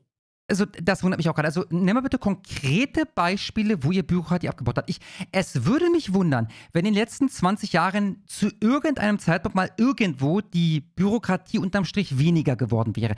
Ist jetzt nicht das für mich wichtigste Thema. Klar, ich bin äh, gegen überbordende Bürokratie. Aber was genau habt ihr gemacht? Wo, wo ist die Demokratie jetzt weniger geworden? In meiner Wahrnehmung nicht. Gilt. Auf europäischer Ebene werden wir für jede neue Regelung zwei streichen, dass wir das in Deutschland tun. Das ist etwas, was wir als Union wollen. Aber im Kern geht es um was anderes. Im Kern geht es doch wieder darum, dass die fleißigen Leute in diesem Land tatsächlich auch was davon im Portemonnaie haben. Und dafür haben sie nichts in der Tasche. Das Gegenteil ist der Fall. Das, was sie wollen mit ihrem Austritt Deutschlands aus der Europäischen Union, Deutsche Produkte werden teuer im Ausland, dadurch werden sie nicht mehr abgenommen. Und das führt dazu, dass wir Mittelständler, kleine Unternehmen und dann die Handwerker, die die unterstützen, alle hängen lassen. Das ist ihre Politik. Und das Kollege führt zu. Wirtschaftsvernichtung in diesem Land. Die EU ist der Hauptproduzent von Bürokratie. Die Liefer Verdammt, Lieferkettenrichtlinie ist im Bundestag von Ihrer Fraktion durchgewunken worden, sogar noch in verschärfter Form. Die Lieferkettenrichtlinie ist die, abgelehnt Richt- worden. die Liefer das Lieferkettengesetz. Ja, das ist äh, eine andere Baustelle. Das ist in ist- Deutschland. Ja, die Vorgabe, Entschuldigung, die Vorgabe doch kam doch auch Machen aus Europa. einen- Nein, Da, da war übrigens ein, ein klassischer äh, Sally, ne? Du hast ein falsches Wort gesagt. Ich, ich weiß exakt, was du meinst. Du meinst nicht, ich hab's schon vergessen. Die Lieferketten. Äh, Lieferkettengesetz, das war durchgewunken. Äh, genau. Genau, anstatt was er gesagt hat, keine Ahnung, Lieferketten. Äh, Regelung, keine ja, Ahnung. irgendwie so. äh, Also, fucking irrelevant. Jeder, der weiß, worum es da geht, der weiß, was gemeint ist, aber man muss darauf hinweisen, Sie haben da gerade ein falsches Wort verwendet, Herr Höcke. Stopp, ich Nein, muss nein, dieses Beispiel hier einfach ein- ausführen. Das Lieferkettengesetz bedeutet, dass ein Eisenacher Fleischermeister, der nach Opel liefern will, seine gehacktes Brötchen, seine Mettbrötchen, um mal was Handfestes jetzt als Beispiel anzuführen, dass der In Thüringen ein heißt Anti- gehacktes, wenn Sie sich in der Ich habe gerade gesagt, halt gehacktes dein Maul. Nee, Brötchen. Sie haben gesagt. Es ist auch völlig egal, im Eichsfeld sagen wir gehacktes. Ich Ja, hab, das hat er jetzt zum. ah, Ist das. Habe ich das da gerade richtig wahrgenommen? Was er jetzt zum zweiten Mal in Folge ist, ist sein, sein, ja, weiß ich nicht, Gegenpunkt der, Sie haben da ein falsches Wort genutzt? Ja, und jetzt will dieser EU-Globalist einen auf Lokalpatriot machen. Oh, Schlummer, ey, das, das endet mit einem Toten, Alter. Ich habe dann auch nochmal übersetzt, Met, weil nicht jeder Gehacktes versteht. Das wollen Sie mir Wir doch zugestehen, Herr Kollege. Stelle auch Er muss einen ein- harten Schnitt Moment, kommen- dieser kommen Metzger zum- muss einen Wir kommen Antikorruptions zum nächsten Thema, Herr Höcke. vorhalten, wenn Wir haben er eine Reihe gehacktes von Brötchen Das ist doch ein Witz jetzt. Also Zeit dafür zu klären, ob das Met oder Gehacktes heißt. Die Ja, gab's. ja, aber nicht ja, Zeit ja. dafür für, für den Punkt, den er machen wollte. Alter. Ja. Zum Thema Wirtschaft. Das ist Ergebnis der Politik Und wir der machen-. Wir würden Aber ey, Alter, ey, ey, also, ey, Höcke ist brutal, Alter. Der ist brutal, dieser Mann. Ja, er redet halt einfach weiter und macht seinen Punkt. Es ist der absolute Wahnsinn. Es ist der absolute Wahnsinn. Er hat fünf Minuten gebraucht, um reinzukommen, aber danach wurde es brutal. Wir machen jetzt weiter mit dem Sie haben, glaube ich, beide Ihre Punkte in Sachen Wirtschaft Ja, gemacht. gut. Sie haben es eingangs schon gesagt, wir haben nicht leider unendlich Zeit und wir haben Ja. so viel noch zu besprechen. Ja, da, da diskutiert doch ein bisschen über die Begriffe Met und Gehacktes. Lassen Sie uns mit dem Thema weitermachen. Gehackte Brötchen sind auch ein deutsches Thema oder Gehack auf Brötchen, aber ich glaube, Migration ist das große Thema. Ich kenne niemanden hier im Land, den es im Moment nicht bewegt. Und es ist natürlich auch in Ihren Wahlkämpfen, in Ihren Parteien ein Thema, was hochgehandelt wird, worauf Also, wenn, wenn das jetzt gerade schon so brutal war, jetzt kommen wir zum Thema Migration. Mhm. man schaut und wo man natürlich auch nach Lösungen guckt. Das tun die Deutschen vor allen Dingen. Deshalb die Frage an Sie beide. Welche schnell, schnell umsetzbaren Maßnahmen, weil wenn wir in die Kommunen schauen, dann sehen wir, das muss auch schnell gehen, hätten Sie denn parat, um bei der Migration wirklich an Stellschrauben zu drehen, unter anderem auch bei der illegalen? Ich finde das interessant, dass wir offensichtlich einen Konsens erreicht haben, zumindest bei der Welt, dass wir jetzt die Frage stellen, wie leiten wir schnell Maßnahmen? Es geht nicht mehr darum, sind die nicht eigentlich ein Zugewinn für uns, brauchen wir nicht eigentlich Fachkräfte oder ähnliches? Nein. Also wir sind uns offensichtlich zumindest bei der Welt einig, dass wir hier ein Scheißproblem haben, was gelöst werden muss. Das Zumindest ist schon mal jetzt. Ne? ein gutes also Zeichen jetzt geht es ja auch darum, dem potenziellen Höcke-Wähler einzureden, dass er den Höcke gar nicht wählen muss, sondern der andere Typ macht das auch okay. Das stimmt wiederum. Herr Vogt vielleicht Ja, zuerst. klar. Die Migration ist und die illegale Migration ist ein Riesenproblem. Das ist ein Zustand, den kann man nicht weiter akzeptieren. Ich habe bei mir im Wahlkreis Kindergärten, da können Deutsche keine Plätze erhalten, weil sie für Ausländer reserviert sind. Das ist der falsche Weg. Und deswegen müssen wir bei dem Thema illegale Migration eine ganz klare Strategie fahren. Null illegale Migration in Deutschland. Das setzt voraus harte Rechtsstaat. Er soll bitte mal illegal definieren. Also wenn ich Ja. über die Grenze trete und sage Asyl, dann ist das per se nicht illegal. Also die Frage Ja, ist natürlich, klar. die müsste ich eigentlich zurückgeführt werden. Das ist ja ausgesetzt. Also was genau meint er damit? Aber erstmal, alles klar, ich bin bei ihm. Alles Das gut. würde, das würde dann illegal an dem Punkt, wo der Prozess durch ist, nach zwei Jahren und du dich dann weigerst zu gehen oder versteckst. Ja. staatliche Unterstützung für unsere Polizei, für unsere Justizbehörden. Zweitens konsequentes Rückführen und Abschieben. Und das dritte absolute Begrenzung durch Außengrenzenschutz bei der äh, illegalen Migration. Und jetzt sage ich Ihnen eins, wir haben ein klares Prinzip als CDU in Thüringen. Wer arbeitet, wer sich an Recht und Gesetz hält, wer zu Recht hier ist und wer sich an unsere Leitkultur hält, der bleibt. Derjenige, der Recht Ach ja, verletzt, vor allem der letzte Punkt. Wie willst du denn das filtern? Wel- Welche Maßnahme hast du im Kopf, um Leute, die sich nicht an die Leitkultur halten, hier rauszuschmeißen? Mhm, mhm, mhm. Der geht. Und wir haben das konkret in Thüringen umgesetzt. Und ich will Ihnen zwei Beispiele dafür nennen.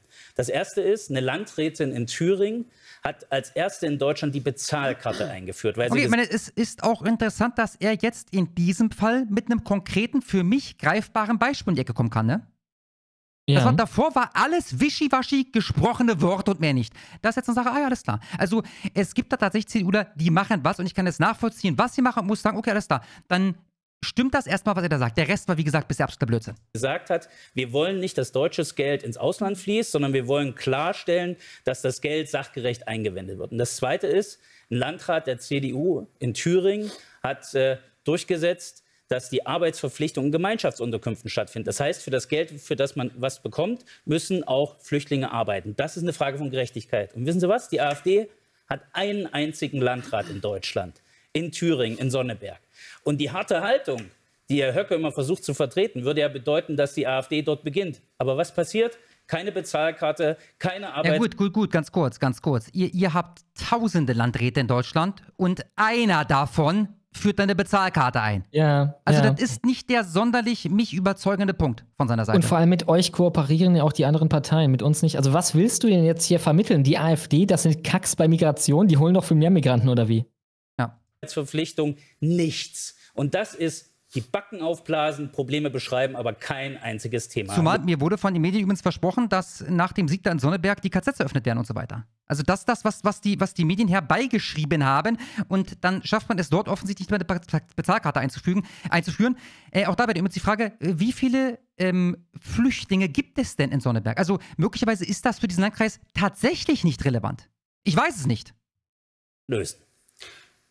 Herr Höcke, nur zu. Ich, ich meine, er wollte zwei Beispiele nennen. Fängt er mit einer Frau an und, und dann war es das, aber gut.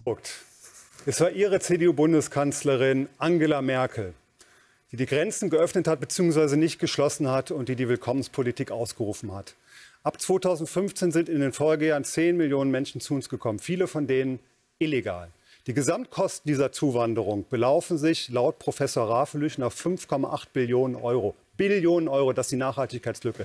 Diesen Schaden haben Sie Und da wird es übrigens einen Faktencheck geben, denn die Aussage ist so nicht ganz korrekt. Äh, Die Prognose lautet, diese 5 Billionen sind dann fällig bis, ich glaube, 2050 oder sowas. Aber normal, wir reden hier von Billionen. Das ist eine unfassbar große Zahl. Also die Scheiße kostet uns eine ganze Menge Geld, aber diese Billionen, die müssten im Kontext zum, zum Zeitpunkt gesetzt werden. verursacht. Die Gewaltkriminalität explodiert durch die illegale Einwanderung. Diesen Schaden haben Sie verursacht. Unsere, sozialen, so, absoluter unsere Unsinn. Sozialsysteme Das ist stehen kurz vor dem Unsinn. Kollaps. Mittlerweile haben wir in NRW mehr als 50 AfD-Parteitag Prozent, mehr als aber doch 50 bitte Prozent. Bürgergeldempfänger, die Er muss genauso sind. asozial werden. Er muss anfangen mit wirklich gehässigen Unterbrechungen. Wenn er das macht und das nicht unterbunden wird, muss er das auch bringen.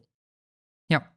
Ich, ich wundere mich erneut, ne? Weil er war, glaube ich, der Erste, der sich darüber beschwert hat, dass er unterbrochen wurde oder so. Sie haben das Land mit Ich mache nochmal kurz fünf Sekunden zurück, ja? Aber doch bitte nicht. Bürgergeldempfänger, die Also, Zuwanderer Herr sind. Höcke. Sie haben das Land mit Ihrer Migrationspolitik an den Rande des Kollaps geführt. Und jetzt, nachdem Sie das Kind in den Brunnen geworfen haben, beginnen Sie das Wasser abzuschöpfen und Symptompolitik zu machen. Das glaubt Ihnen doch kein Mensch mehr. Ich glaube, das, was wir als erstes angehen müssen, das ist eine deutliche Botschaft in die Welt zu senden. Eine deutliche Botschaft in die Welt, die da lautet, das Weltsozialamt Deutschland ist geschlossen.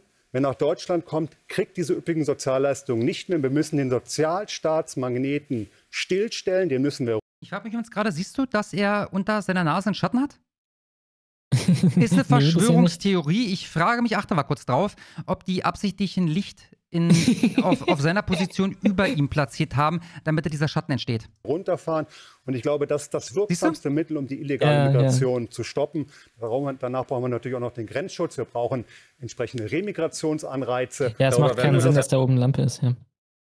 Das ist, das ist, ein, das ist ein, äh, ein Programm, das dauert sicherlich auch Jahre. Der Schaden ist immens. Er ist über Jahre angerichtet worden. Wir werden viele Jahre brauchen, den Schaden wieder zu reduzieren. Aber da müssen wir ran. Nur die CDU, wie gesagt, wenn die sich jetzt hier als, als Gärtner anbietet, muss man sagen, sie ist der Bock, der das Ganze verbockt hat. Jetzt haben wir gerade vor allen Dingen über illegale Migration gesprochen.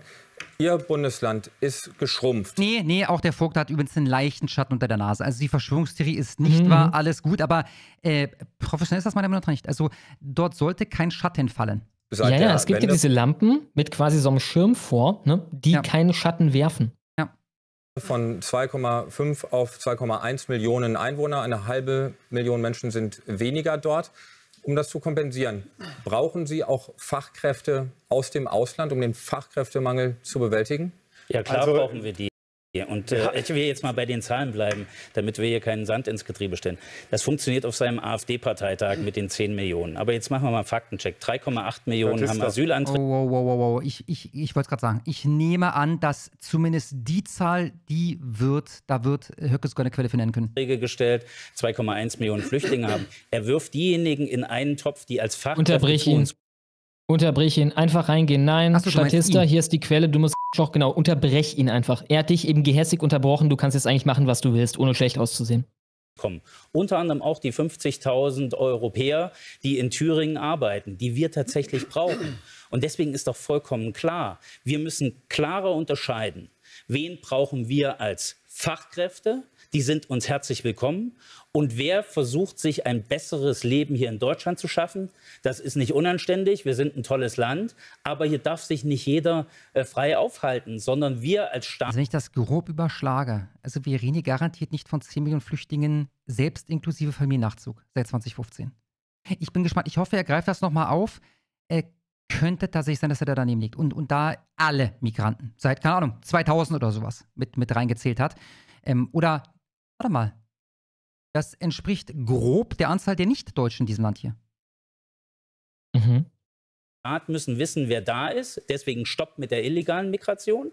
Und das Zweite ist ganz klar Fachkräftegewinnung für diejenigen, die wir brauchen. Und tatsächlich ist das so. Herr Höcke, braucht Thüringen Fachkräfte aus dem Ausland, ja oder nein? Ich verstehe es nicht, Herr Vogt.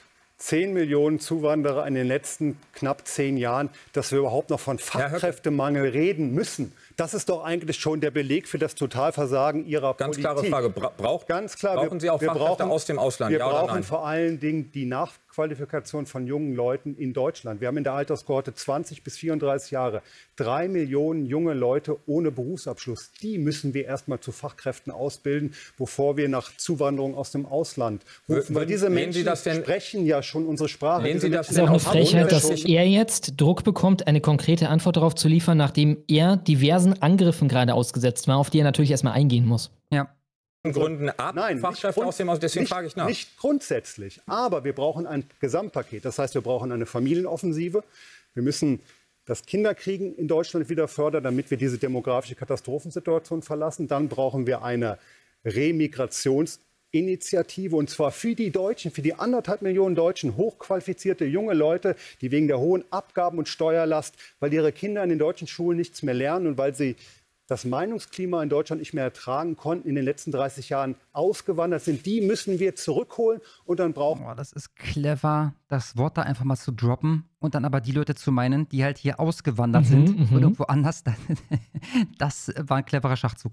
brauchen wir ähm, drittens ähm, auf jeden Fall ähm, natürlich auch die, die ähm, Überlegung, wie wir Thüringen attraktiv machen, damit die Fachkräfte, die bei uns dann ausgebildet werden, auch bei uns bleiben. Das große Problem Thürings ist, dass die Altparteien Thüringen zu einem Niedriglohnland gemacht haben.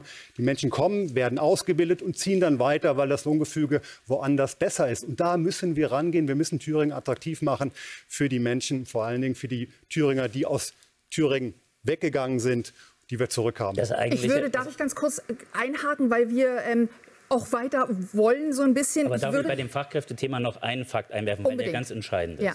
Wir haben in Thüringen mittlerweile eine Situation am Arbeitsmarkt, wo wir händeringend Fachkräfte suchen. Mhm. Tatsächlich ist es so, dass äh, 10 Prozent der Jugendlichen Ja, die dann war Schulung das wohl eine kacke Idee, den Frauen zu sagen, hey, Karriere ist wichtiger als Kinder, oder nicht? Ja, da war das eine kacke Idee vor 30 Jahren, jetzt haben wir den Salat, müssen wir ausbaden und für die nächsten Generationen verbessern. Und ich hätte da ganz gerne mal erneut ein konkretes Beispiel. Also, wo braucht denn Thüringen Fachkräfte? Bei, bei Pizzalieferdiensten oder in der Fabrik? In welcher Fabrik? Also ein bisschen konkreter, ne? Weil was der Agitator gestern war, ja noch angemerkt hat, ist, dass, und übrigens, da gibt es auch Dokus von den Öffentlich-Rechtlichen, das ist jetzt keine neue Geschichte, dass wir hier eigentlich keinen Fachkräftemangel haben. Wir haben genug Leute da.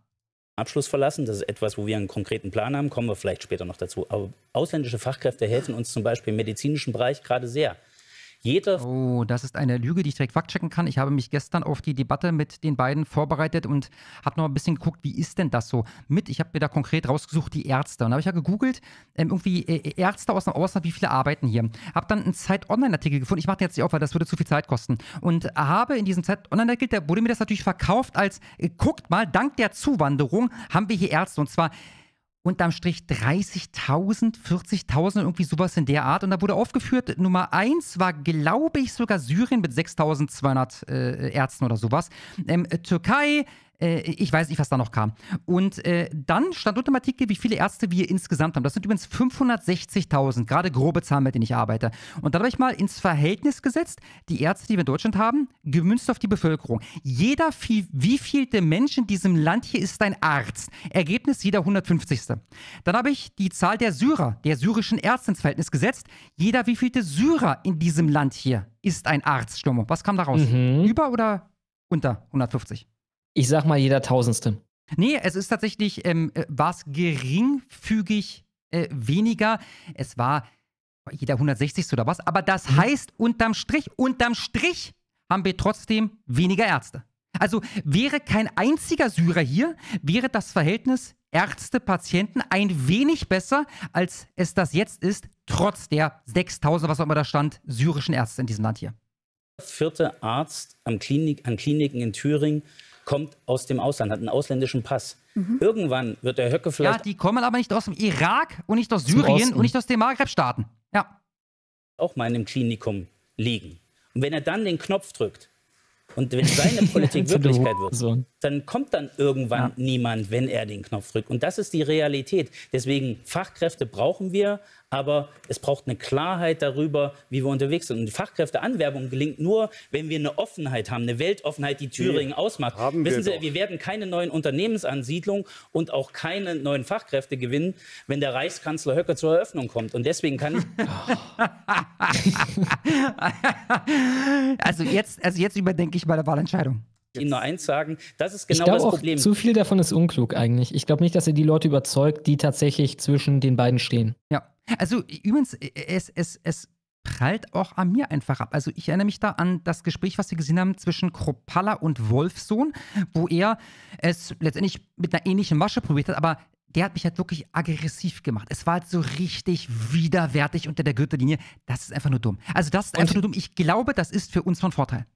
Ich denke, gesamtgesellschaftlich entfaltet das durchaus eine Wirkung, wenn es halt so ein dauerhaftes Geprassel von allen möglichen Medienoutlets ist. Ne? Das ist, wo das mächtig ist, aber nicht in so einer Debatte. Weil, toll, er wurde 50 Mal, 50 Millionen Mal ein Faschist genannt, jetzt nochmal von ihm. Sie sind Gift für das Land, was meine Heimat ist. Und genau jetzt, deswegen jetzt stehen wir Sie heute aber, hier. Jetzt werden Sie aber radikal populistisch. Ich habe gar nichts gegen ausländische Ärzte, aber ich habe etwas gegen die Problemlage, dass wir in Deutschland eigentlich genug Mediziner ausbilden an deutschen Universitäten auf Steuerzahlerkosten und dass diese dann in Deutschland ausgebildeten Mediziner lieber in die Schweiz gehen, lieber nach England gehen, lieber nach Norwegen gehen. Wo ist das Problem? Das Problem ist, dass Deutschland für wirkliche Fachkräfte so unattraktiv geworden ist, auch für internationale Fachkräfte, dass die einen großen Bogen um Deutschland machen. Die wollen gar nicht nach Mehr Deutschland, weil die Leute, Steuern die ich kenne aus der Schulzeit, die studiert haben, sind ins Ausland. Also ich kenne ein, zwei wenige, aber auch, auch diese Fälle kenne ich, ja. und Abgabenlast so hoch ist, weil der Bürokratiewahnsinn hier über alle Grenzen aufgewuchert ist, weil dieses Land ein Land ist, in dem man nicht mehr richtig atmen kann, weil die Meinungsfreiheit eingegrenzt Reden ist. Sie das Land auch nicht schlecht. Deutschland ist ein die großartiges Situation. Ja, Sie brauchen jetzt hier keine, keine Luftblasen zu produzieren. Sie sind der Zustand, Sie sind ja zuständig bzw. Verantwortlich für den miserablen Zustand dieses Landes. Nee, Gehen Sie machen raus jetzt- und fragen. Sie, und fragen Sie Wir mal die Leute, ob der Zustand dieses Landes einem- Wieso wählen die Leute dann mich, Kumpel? Wenn hier alles so tutti ist, wenn hier alles so, so super ist unter eurem Regiment, wieso wählen die Leute dann Wieso mich ist und die wieso sind sie gezwungen, hier überhaupt zu stehen? Höcke vorhin schon mehrfach aufgeworfen hat, der in den vergangenen Wochen auch für bundesweite Diskussionen und teilweise auch für Proteste bundesweit gesorgt hat, nämlich Remigration. Die Frage geht an Sie beide. Was verbinden Sie konkret mit dem Begriff Remigration? Äh, Ich glaube, jetzt wird der CDUler kacken. Jetzt wird er wieder die Nazi-Keule rausholen und sie wird halt jede Wirkung verfehlen. Und das ist eigentlich eher schlecht für ihn, weil er Ja. sich so auch wieder als den ja, wachsweicheren Kandidaten, was Migration angeht, positioniert. Ja. Also ich kann mit dem Begriff nichts schön, anfangen anfangen. Äh, Ich habe mir nicht. Herrn Höckes äh, Rede am 12. Dezember 2023 in Gera angeguckt. Da spricht er davon, dass äh, 20 bis Nazi-Keule incoming. Ist das die Rede, wo er sagte, alles für Sachsen-Anhalt, alles für unsere Heimat, alles für Deutschland? 30 Prozent, äh, auf die Deutschland verzichten kann. Damit meint er übrigens nicht nur Ausländer, nicht nur Asylsuchende, sondern nicht angepasste Deutsche. Das heißt, Deutsche, Herr Vogt. Herr Vogt ist der Erste, der im Abschiebeflieger sitzt. einen Pass haben, die sollen Deutschland verlassen. Das ist Ja, Remigration. Islam LM. Punkt. Okay, wirst du bittere Tränen weinen, wenn wir Islam LM. Punkt hier Anreize schaffen, damit er das Land verlässt? Ein Deutscher, der an einer Gruppenvergewaltigung beteiligt war und vor Gericht einen Dolmetscher braucht, einen arabisch-Dolmetscher? Ja. Ihn. So, und jetzt 25 Prozent, ich übersetze es mal, das ist so ungefähr ein Viertel unserer Bevölkerung. Das heißt doch nichts anderes.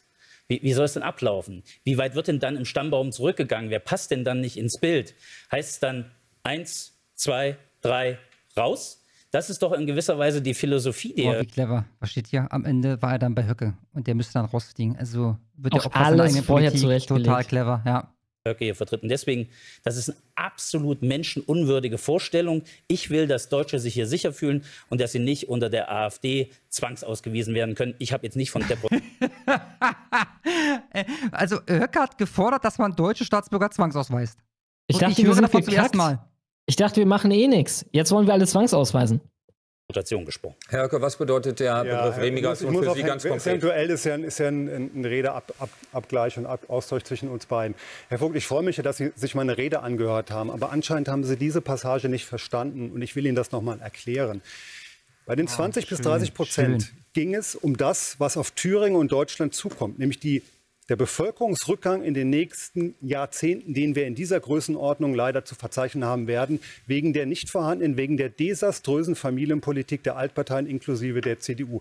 Deswegen sagen wir als AfD Thüringen auch, wir brauchen eine Familienoffensive. Das Kinderkriegen in Thüringen wird unter einer AfD-Regierung nicht mehr am Geld scheitern. Darauf bezogen sich die 20, 20 bis 30 Prozent. Da haben wir ein großes Defizit, da haben wir ein großes Versagen der Altparteien und da müssen wir ran. Und wie gesagt, Remigration ist ein Alltagsbefund. Jeden Tag remigrieren, remigrare, lateinisch zurückwandern, migrieren Menschen zurück in ihre Heimat. Das ist ein normaler Vorgang. Aber mir geht es vor allen Dingen um die Die tun das aber hochqualifizierten... meistens freiwillig, Herr Höcke. Ja, mir geht es aber vor allen Dingen um die deutschen Staatsangehörigen, die im Ausland leben, weil sie Das ist aus eine ganz neue Definition. Die haben wir von Ihnen bisher noch gar nicht gehört. So. Das ist eigentlich Ja, eine nee, alte auch die von, also ja, Er er bringt das jetzt rein in diesem Umframing, aber auch die Definition von Martin, der den Begriff erfunden hat oder auf jeden Fall geprägt hat in seinem Buch, äh, ist auf Freiwilligkeit basierend, was deutsche Staatsbürger angeht. Es geht um Anreize. Ja. Es geht darum, dass man denen Geld hinterher schickt.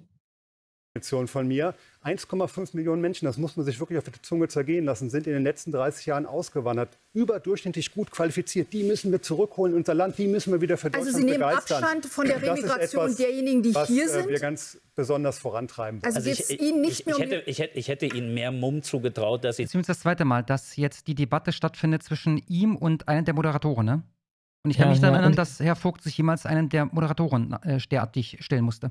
Und die wird doch unterbrochen. Es wäre geil, wenn nach irgendeinem Redebeitrag von Höcke alle drei gleichzeitig versuchen, was zu sagen.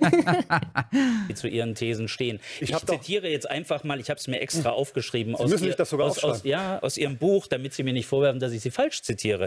Seite Lavendelwasser. 207. Brandige Glieder. Kann man nicht mit Lavendelwasser heilen. Oh nein. 50 aus Ihrem Buch. Auch wenn wir leider ein paar Volksteile verlieren werden, die zu schwach sind. Da geht es nicht um den demografischen Faktor. Da geht es um die Deutschen, die anderes. Ihnen nicht ins Nein, Bild nein, passen. das haben Sie auch Und nicht jetzt sage ich Ihnen was ganz Simples. Es gibt viele Unterschiede. Die christliche Ich hatte gerade Demokraten- schon Angst. Ne? Ich dachte gerade schon, jetzt kommt er halt mit dem Remigrationskonzept von Martin Sellner, das natürlich nicht äh, sich äh, im Fokus bezieht auf Deutsche, die ins Ausland gegangen sind und dann zurückkommen, sondern eben darauf, dass wir hier teilweise auch deutsche Staatsbürger haben, die kein Wort Deutsch sprechen, sich selber nicht als Deutscher bezeichnen und denen Anreize zu geben, nach Hause zu gehen. Wenn er da käme, mit dem haben sie doch den Mumm, dazu zu stehen, wäre das gar kein so schlechter Punkt. Ne? Aber zum Glück Ja. greift er wieder ins Leere und versucht irgendwas ganz anderes. Von Ihnen als AfD-Mann unterscheiden. Aber das ist der Kernbestandteil. Der Kernbestandteil steht, besteht darin, dass ich jeden Mensch wertschätze, dass ich ihn nicht auf ein einziges Merkmal reduziere, sei es seine Hautfarbe, sei es seine Religion, sondern ich glaube daran, dass jeder etwas kann. Das ist die Würde des Menschen unantastbar. Hier, im Grundgesetz steht das drin. Das Oh, cringe, cringe as fuck, Alter. Nee, Mann. Scheiße, Mann, was hat der für Ratgeber? Weißt du noch, als die Bullen dich festgenommen haben, wenn du damit rumstandst draußen? Oh, oh. Das, was Sie wollen, ist, diejenigen, die anders sind, die nicht in den Kram passen, das ist Ihre völkische These. Die wollen Sie alle raushaben. Irgendwann sind es die Brillenträger. Und genau deswegen, Herr Höcke, dieser völkische Müll, der darf mein Heimatland Thüringen nicht führen. Oh, wie er Deswegen- mit diesem patriotischen Bullshit kommt. Es ist unglaublich. Ich kaufe es nicht ab, Herr Vogt. Master Gregor für Aus 500 Rechten. Bits. Vielen, vielen Dank. Sagt mal, hat Herr Seller die Rede für Vogt geschrieben oder was ist hier los? Es kommt mir so vor, als wäre das eine Verschwörungstheorie wert. Vielen, vielen Dank, keine gute Master Figur. Gregor. Nee, er- ausrechtet quasi. Ne? Er kommt immer mit, "Äh, du bist überhaupt nicht so gekackt wie ich und das ist ganz böse, du magst keine Menschen und ich bin ein Patriot, ich bin besser. Ne? Er versucht das noch, noch immer irgendwie rechts zu framen. Schöner, schöner Freeze-Frame, ja. Also er scheint unbeeindruckt zu sein von dem, was da abgeht. kämpfe ich. Lieber Herr Vogt, ähm, das ist ja schön, dass Sie meinen Halbsatz aus meinem Buch zitieren. Den hätten Sie aber nicht aufschreiben. Den hätten Sie aber nicht aufschreiben müssen. Den hätten Sie eigentlich aus dem Kopf zitieren müssen. Diese Passage ist ja eingebettet in einen Kontext. Vielleicht lesen Sie sich zumindest die Seite nochmal durch, wenn Sie auch nicht das ganze Buch lesen, das ich Ihnen aber wirklich zur Lektüre empfehle, weil das sicherlich auch einiges noch an Hintergrundinformationen bietet. Diese Passage mit den Volksteilen, die wir verlieren, bezieht sich ja vor allen Dingen auf diejenigen, die laut schreiend durch Deutschland laufen, Plakate vor sich hertragen, wo drauf steht, Deutschland, du mieses Stück Scheiße. Deutschland, verrecke. Bomber Harris, do it again. Oder die die Deutschen als Köterrasse bezeichnen. Ich glaube, die haben wir um schon. Deutsche. Die Es haben um wir. Ich glaube, die haben um wir schon. Mit Pass, ich glaube, mit Pass. Ich glaube, die haben wir schon. Es geht darum, was ich in diesem Buch, an dieser Passage, in dieser Passage ausgedrückt habe. Lesen Sie es Aber dann machen wir es noch mal ganz Das kann man noch mal ganz deutlich so, so sagen. Das ist ein Buch, das natürlich einen gewissen philosophischen Tiefgang hat, das keinen aktuellen Themenbezug zur Remigration Aber doch, nicht zu. Alter, okay, also Ja, ich nicht versuche diese mal Stelle. mitzuzählen, ja? Dr dritte Mal, dass jetzt die Diskussion zwischen ihm und den Moderatoren stattfindet. Was sagst du, Schlummo? Aber nicht diese Stelle. Diese Stelle hat keinen Bezug dazu. Diese Bestell äh, Stelle äh, spricht nicht von Einwanderung oder Abschiebung oder so. Die sagt, die haben wir schon verloren. Die irgendwie trans, äh, transifizierten, äh, kastrierten Gestalten, die sind verloren.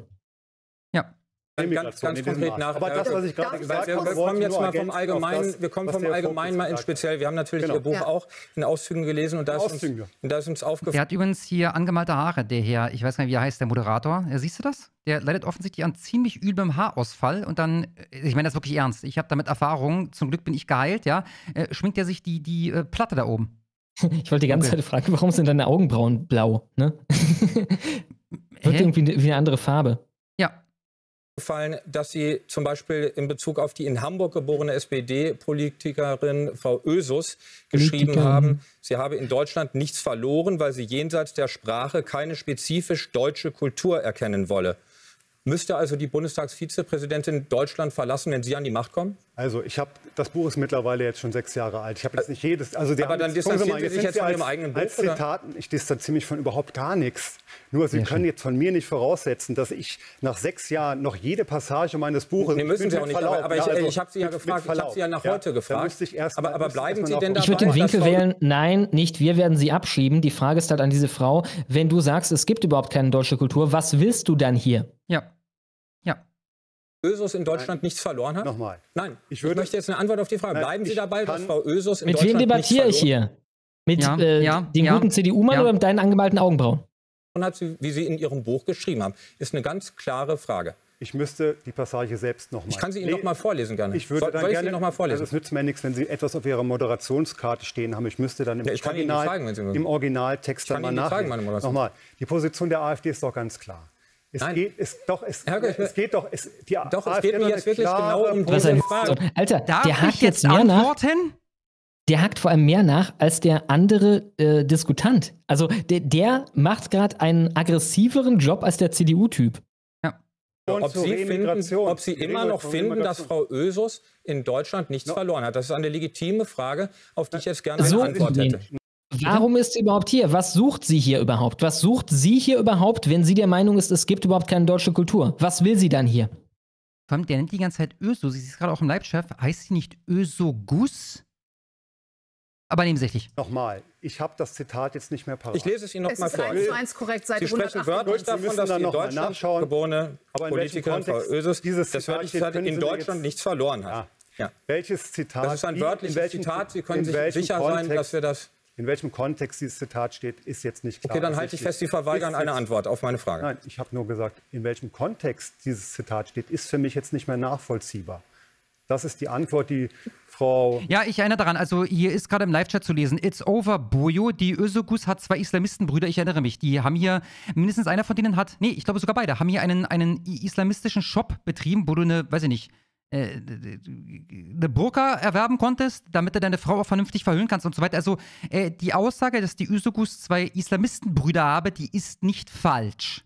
Ja, umdrehen und aggressiv werden, würde ich halt. Ich würde halt sagen, nein, nicht wir werden die gute Frau Ösugus oder wie Sie sagen, Ösus hier äh, abschieben aus Deutschland, sondern meine Frage an Sie ist eben, was sucht sie hier überhaupt, wenn sie der Meinung ist, es gibt überhaupt keine identifizierbare deutsche Kultur?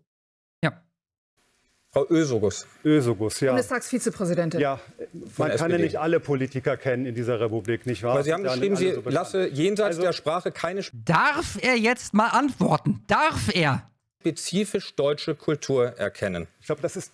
Ich habe die Dame jetzt nicht mehr wirklich auf dem Schirm, aber Hat ich glaube, nicht sie hat sie das gesagt? Sie ich hat glaube, das gerade gesagt. einen Sie hat Fehler das gemacht, wortwörtlich gesagt. Sie sagte, Zitat, eine deutsche Kultur ist jenseits der Sprache schlichtweg nicht identifizierbar. Jetzt könnte er ihn hart f***en, ne? Also wenn er das jetzt noch so auf dem Schirm hätte, könnte er jetzt sagen, nein, nein, jetzt verwechseln Sie da was. Ich weiß, Sie kennen meine äh, Buchpassage ja sehr gut, aber nicht habe ich das über Sie gesagt, sondern sie hat das gesagt, was mich dann zu der Aussage, über die sie sich auf, äh, aufregen, gebracht hat. Als wohlgemerkt, die war, wenn ich mich recht entsinne, Integrationsbeauftragte der SPD. Die Integrationsbeauftragte der SPD lässt das Volk wissen, dass es eine deutsche Kultur abseits der Sprache gar nicht gäbe. Ist das dann morgen eigentlich im der- Faktencheck der Welt? Na, ich bin gespannt. Fällig über deutsche Kultur geäußert. Kann das sein? War das vielleicht der Das ist- Hintergrund? liegt Ich hab- in Ihrer- hab- das liegt in ich Ihrer Bewertung, nicht wie mehr Sie geäußert haben. Schirm. Herr Höcke, vielleicht drehen wir es drehen wir es andersrum und fragen einfach ganz konkret. Mit den Remigrationsplänen, nicht die neue Variante, die Sie gerade auch genannt haben, nämlich aber Deutsche zurückkommen, die ist durchaus spannend, können wir auch noch drüber sprechen, sondern die, für die die AfD bislang bekannt ist und äh, die Sie ja durchaus auch in diesem Buch ein paar Mal erwähnt haben. Es geht ja letztendlich nur darum, dass es hier um ein medial mittlerweile verteufeltes Wort geht. Ne?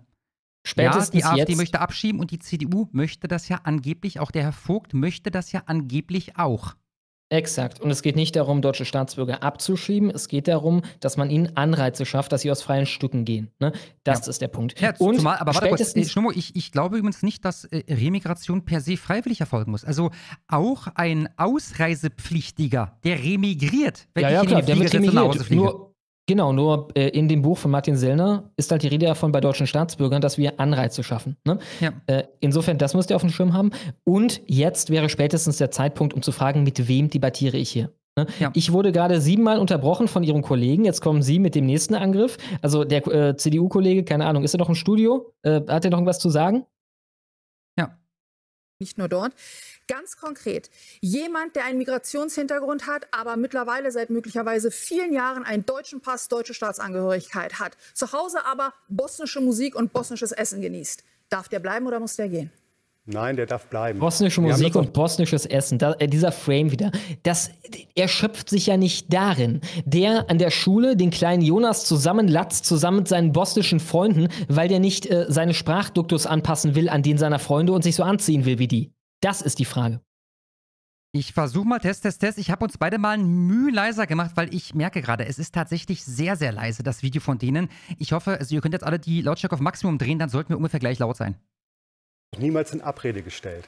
Es geht darum, dass die Illegalen im Lande, dass wir die versuchen, möglichst mit Anreizen, ja, natürlich, mit ist Anreizen, eine mit, Sozial, mit Farce, Sie hier dazu zu bewegen, Deutschland wieder zu verlassen. Sie Aber der, der dem, Sie Rechtsstaat, denken. Das ist doch absurd. Sie der reden auf AfD-Parteitagen Stopp, anders als hier. Ja Natürlich müssen wir auch Abschiebungen forcieren, selbstverständlich. Von Das ist eine Position der von Leuten mit deutschem Pass. Sie verdrehen mir das Wort im Nein, Mund. Das ich- haben wir niemals gesagt. Naja, das haben, Sie, das, haben Sie, gesagt? ja, das haben Sie hat- indirekt gesagt, indem, indem Sie und Ihre Partei, Parteikollegen von millionenfacher Remigration sprechen. Und nach unserem Kenntnisstand liegt die Gesamtzahl der Ausländer ohne jeden Aufenthaltstitel gerade bei 500.000. Also wie kommen Sie auf Ohne jeden Aufenthaltstitel. Und jetzt zu deutschen Staatsbürger. Also der Rest sind deutsche Staatsbürger, oder wie?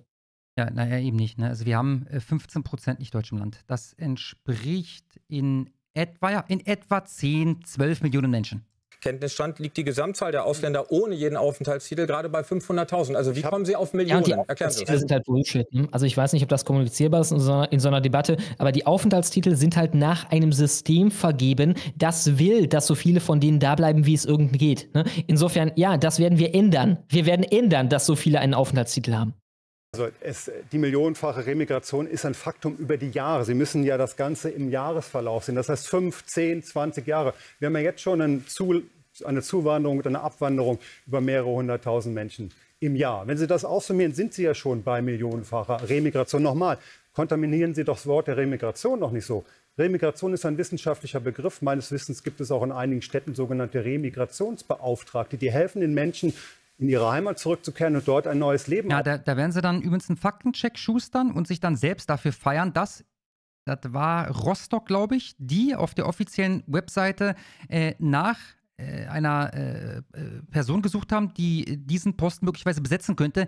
Jetzt hat man den Namen aber geändert. Also da wird jetzt nicht mehr nach einem Remigrationsbeauftragten gesucht, sondern nach einem, keine Ahnung, Abschiebeminister. Und das werden die dann wahrscheinlich auch im Faktencheck runterbeten. Ne? Was Höcke da sagt, stimmt gar nicht. Es stimmte halt bis vor drei Wochen. Ja? Da hat man in Rostock noch diesen Begriff ganz offiziell benutzt von Seiten der Behörde. aufzubauen. Wo ist das Problem? Und natürlich muss ein Staat wenn er ein Rechtsstaat ist, auch die Möglichkeit haben, illegal Lebende abzuschieben. Na, natürlich, aber das und ja das wollen wir. Aber und das das, ja, die, Moment, Nein, die CDU macht das es doch doch nicht. Gucken. Sie doch bitte in Ihre Bundesländer. Da wird doch in minimalen Umfängen nur abgeschoben, Kollege Vogt. Also ich bitte Die- die Sie, wir CD können das ja gerne mal überprüfen, wo Sie Ihren Ministerpräsidenten haben und wie stark dort abgeschoben wird. Also ich, gucken Sie einfach nur zu Ihrem einzigen Landrat, den Sie haben. Der hat bisher Nachdem- noch nichts hingekriegt. nachdem- na ja, und das und ist Ihr Landrat. groß, also Ihre großen Wortspalten äh, und dieses Rumgeeiere, das finde ich bemerkenswert. Ich Herr- hätte wenigstens Herr- erwartet, dass Sie heute den Mumm haben, zu Ihren Thesen zu stehen. Aber doch- dass Sie hier anders reden als auf Ihrem Parteitag, das zeigt mir doch nur eines, dass Sie nicht zu der Konsequenz stehen, die sie eigentlich wollen. Sie wollen Leute, die nicht in ihren Kram passen, die einen deutschen Pass haben. Und ich habe mir Ihre Passage en Detail angehört. 12. Dezember 2023. Da geht es um das Thema doppelte Staatsbürgerschaft. Und Sie sagen, ja, diejenigen, die den Pass haben, die müssen sich entscheiden. Und dann gehen sie halt raus. Und 20 bis 30 Prozent, auf die können wir uns Das die ja, können wir das ist verzichten. ein ganz anderes Thema, der Doppelpass. Nein, nein, nein, nein. Entschuldigen Sie bei der, bitte. Sie haben über Remigration von ist das- 20 bis 30 Prozent von Deutschen geredet. Ich Und das, was Sie auf Aber er hat davon schon klargestellt, dass es da nicht um das ging, oder? Bin ich jetzt blöde? Es wäre eigentlich ganz gut, wenn er das jetzt noch mit einem Schwinger zurück dann beenden könnte. Also wenn quasi der CDU-Kack ihm jetzt die Chance dazu gibt. Denn davor war mir das zu defensiv bei dem Thema. Das muss jetzt noch irgendwie aggressiv zu Ende gebracht werden. Mhm, mhm. Ihrem Nazi-Schloss da in Schnellroda diskutieren mit Ihrem Spiritus. Da, jetzt, also, vorhin habe ich noch Späße gemacht, jetzt bin ich tatsächlich überzeugt. Ja, AfD unwählbar, Freunde. Rektor. Äh, Das ist einfach die große Gefährlichkeit, dass da eben. Sellner und andere ein- und ausgehen, die klipp und klar sagen, dass es um Asylsuchende geht, um Leute, die Deutscher sind, aber eben nicht angepasst und die auch gleichzeitig sagen, äh, dass sie Islam äh. Leute, die hier nicht ihnen in den Kram passen, abgeschoben werden sollen. Und da geht es um Deutsche. Und das finde ich im Kern das Verwerfliche. Herr Sie Vogt, können andere Haltung haben um in Wirtschaftspolitik, Deutsche, Sie können in, Sie können in der Sozialpolitik andere Haltung haben. Aber stehen Sie doch bitte schön zu dem, was Sie auf Ihren Also, Parteitagen Herr Vogt, raushauen. Sie riskieren jetzt hier die große Lippe. Ihre Partei ist hauptverantwortlich dafür, dass wir in eine Migrationskrise hineingegangen sind, wie wir sie in diesem Land Wir haben die niemals Zahlen erlebt haben. 2019, Ohne 2020 so weit runtergebracht. Das EU-Türkei-Abkommen war genau Vogt. der entscheidende Punkt, Ja. dass eben nicht Ey, und, und seitdem kamen weitere Hunderttausende jedes einzelne Jahr, abgesehen von 2020, als Corona eine große Sache war. Es ist unglaublich. Guckt da jemand zu, der so dumm ist und nicht checkt, dass Herr Vogt gerade versucht, dem Zuschauer ins Hirn zu scheißen? mehr die Leute Ich gekommen sage Ihnen eins, Herr Vogt. Die, Sie die Zahlen für lösen Asylsuchende haben sich in den letzten drei Jahren verdreifacht. Das können Sie Muss doch dominanter nach- werden. Darf sich, das ist äh, jetzt alles eine Unterbrechung von ihm. Er lässt sich die gefallen. Er muss dominanter werden und er muss aggressiver, bissiger da reingehen. Schauen. Bitte bleiben Sie doch bei den Fakten. Was war Jörg. 2015, was war 2016, was, was war 2017? Gucken Sie sich bitte die Zahlen an, die lagen damals noch höher als jetzt unter einer CDU-Kanzlerin. Okay. Sie haben den Schaden angerichtet. Sie lösen Deutschland mit dieser Migrationspolitik Nein. auf wie ein Stück Seife und dann Wir- laufen wir- was wir Sie räumen auf, Herr Das Höcke, ist und die Sie Räum- reden Sie nur. räumen auf, Sie verursachen Schaden und bieten sich danach Machen wir auch als- hier einen äh, als, Schnitt, äh, als um in der Zeit zu an. bleiben Ja. und machen gerne mit dem nächsten Thema weiter. Wir diskutieren heute nicht an irgendeinem Tag. Es ist der 11. April, Oh, die Befreiung von Buchenwald. Ich glaube, es ist die nächste Nazi-Keule. der Jahrestag der Befreiung der Konzentrationslager von Buchenwald und Mittelbau Dora. Deswegen die Frage an Sie beide. Welche Bedeutung hat dieser Gedenktag für Sie persönlich, Herr Vogt? Mein Heimatort äh. Zimritz ist ein kleines Dorf in Thüringen, ist ungefähr 30 äh, Kilometer Luftlinie von Buchenwald. In der Ferne kann man den Also Papa hat Glockenturm mitgemacht, oder wie? von Das ist jetzt etwas asozial, aber naja. Da merken wir uns wieder, er hat sich darüber meiner Meinung nach vorher Gedanken gemacht, ja, und er kann das offensichtlich nicht schnell genug abrufen, als dass das hier wie eine flüssige Rede rüberkommt. Ja, ja, absolut, absolut. Ist einstudiert. Übrigens, ich würde eine kleinere Summe darauf wetten, dass der Typ wusste, was für Fragen kommen. Ja, ja, eine kleine würde ich auch setzen, ja. Von Buchenwald sehen. Ich bin dort als Kind mit dem Schulbus jeden Tag vorbeigefahren. Und ich meine, auch wenn es bei dem Thema nicht passt, genau deswegen ist es sehr gut, ihn zu unterbrechen, wenn man merkt, dass er in diese vorgefertigten Dinger geht. Denn dann kommt er durcheinander und dann wirkt das noch unorganischer. Mhm. Ich habe übrigens einen Indiz dafür, dass er sich da vorher schon Gedanken über gemacht hat. Die 30 Kilometer, die wundern mich so ein bisschen. Also, von welchem Ort weiß ich, dass der 20 Kilometer von meiner Heimat entfernt liegt oder so. Ich, kann dir nicht einen einzigen nennen. Ich, ich habe keine Ahnung. Also ich war schon ein paar Mal in Brandenburg, ich war ein paar Mal in Polen. Ich kann dir bei nichts eine Kilometerangabe dieser Art machen. Also ich nehme an, da hat sich jemand vorher Gedanken gemacht. Ja? Eine kleine Wette würde ich auch eingehen. Jeden Tag. Ich bin jetzt am Sonntag auch bei der Gedenkfeier wieder anwesend. Bei einer Gedenkfeier, wo Herr Höcke nicht eingeladen ist und äh, quasi Hausverbot hat. Holen sich eigentlich die Leute ernsthaft immer noch so sehr einen darauf runter? Also sitzen da jetzt Massen vorm Fernseher und sind ganz angerührt? Also, keine Ahnung. Irgendwie habe ich das Gefühl, die Leute können diese Scheiße auch langsam einfach nicht mehr hören. Ja, und dass Höcke da jetzt Hausverbot hat, das ist kein gutes Argument. Es sei denn, er hat Hausverbot, weil er dort randaliert hat oder so. Wenn er das hätte, dann hätte ich es aber hier vernommen. Also offensichtlich hat da Herr Höcke aus politischen Gründen Hausverbot. Jemand, der im KZ Buchenwald Hausverbot hat, der darf nicht Thüringer Ministerpräsident werden. Und deswegen ist auch der richtige. Ja, alles da, alles Machen da. wir doch einfach die Verantwortlichen vom KZ Buchenwald zu, äh, zu, zu die, den Alleinherrschern die über krönt Deutschland. zukünftig den Minister in Thüringen. Ja, und, Genau. und die, die, die äh, Managerin vom, vom nächsten KZ, die macht das dann für den, für den nächsten, ähm, äh, fürs nächste Bundesland und so weiter. Wa- Was ist das für ein. Es ist halt nur aufgeladen mit quasi religiöser Bedeutung. Ne? Das sind die, ähm, äh, das sind die Leute, die entscheiden können über die große Schuld. Und da ist mir scheißegal, was die sagen. Es ist mir vollkommen rotzscheißegal, was deren Meinung zur Politik ist. Tag heute darüber zu diskutieren. Herr Höcke, auch an Sie die Frage, welche Also Stiftung Bedeutung Buchenwald entscheidet darüber, wer in Thüringen Ministerpräsident Boom, Alter. Perfekt. Sehr schön. Absolut perfekt. Punktlandung. Dankeschön. wird. Sie haben ein Demokratieverständnis. Nee, Kollege Wähler Vogt, das entscheidet- der immer noch der Thüringer Souverän. Warten wir mal ab, was der erste Neunte bringt. Dann Dann kommen wir zurück bitte auf die Frage, die ich Ihnen beide- Wirkt ja beide- fast so, in Ihre nachdenkliche Antwort, wirkt ja fast so, als hätten Sie die Herr Frage Höcke, im Vorfeld gehabt. Gut, passen Herr Sie Höcke, auf. ganz, ganz Oh kurz ja. die Frage, die ich Oh Ihnen ja. beide Zweite gestellt habe. Was bedeutet dieser Nochmal, nochmal, diese 30 Kilometer, die machen mich doch sehr, sehr stutzig. Gedenktag heute für Sie persönlich? Das ist meine Frage. Genau. Es ist ein wichtiger Erinnerungstag und ich persönlich würde gerne auch mit meinen Kollegen aus der Landtagsfraktion diesen Gedenktag auch im ehemaligen KZ Buchenwald begehen. Nur, wir haben seit Jahren Hausverbot. Eine demokratisch gewählte Partei, die mit 23,4 Prozent 2019 im Thüringer Landtag gewählt worden ist, wird systematisch vor der Tür gelassen, wird systematisch ausgeschlossen. Und das ist ein unerträglicher Zustand. Und ähm, Vielleicht, ich denke auch ja, nicht, dass aber, das. Herr Höcke, das hat ja, glaube, da möchte ich einmal dazwischen ich, das ist das fünfte oder sechste Mal, dass jetzt der Moderator anfängt, mit ihm zu streiten. fragen. Das hat ja Gründe, warum Sie da nicht eingeladen sind. Sie haben ja unter anderem Ich bin gespannt.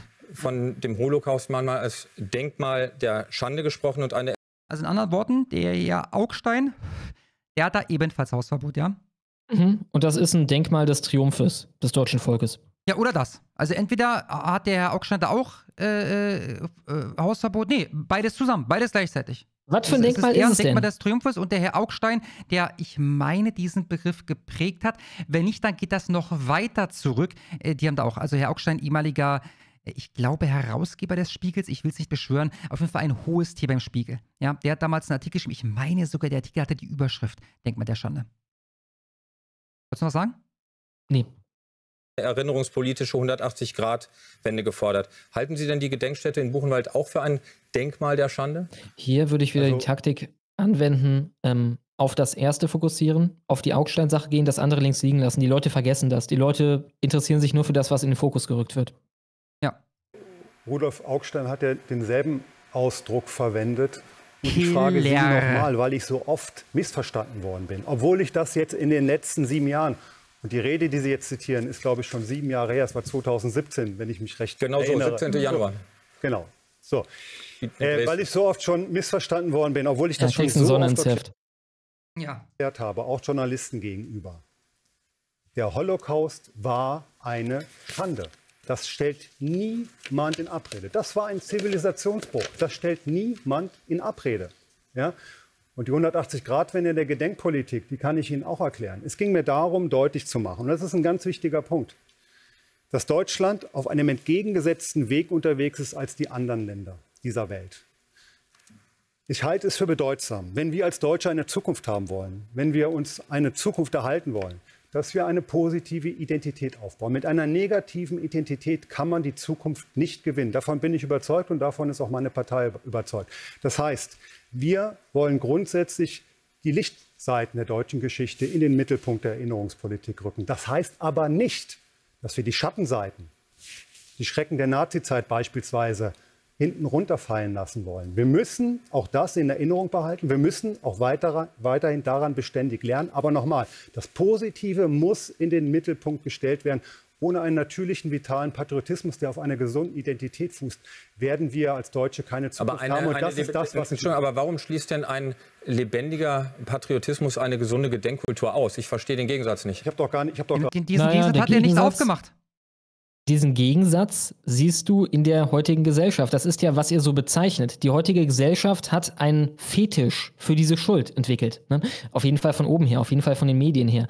Weswegen Erdagard seine pathetische Ansprache halten konnte darüber, dass das KZ Buchenwald bzw. die heutigen äh, äh, äh, Verantwortlichen da darüber entscheiden sollten, wer der Ministerpräsident wird. Mhm. Mhm.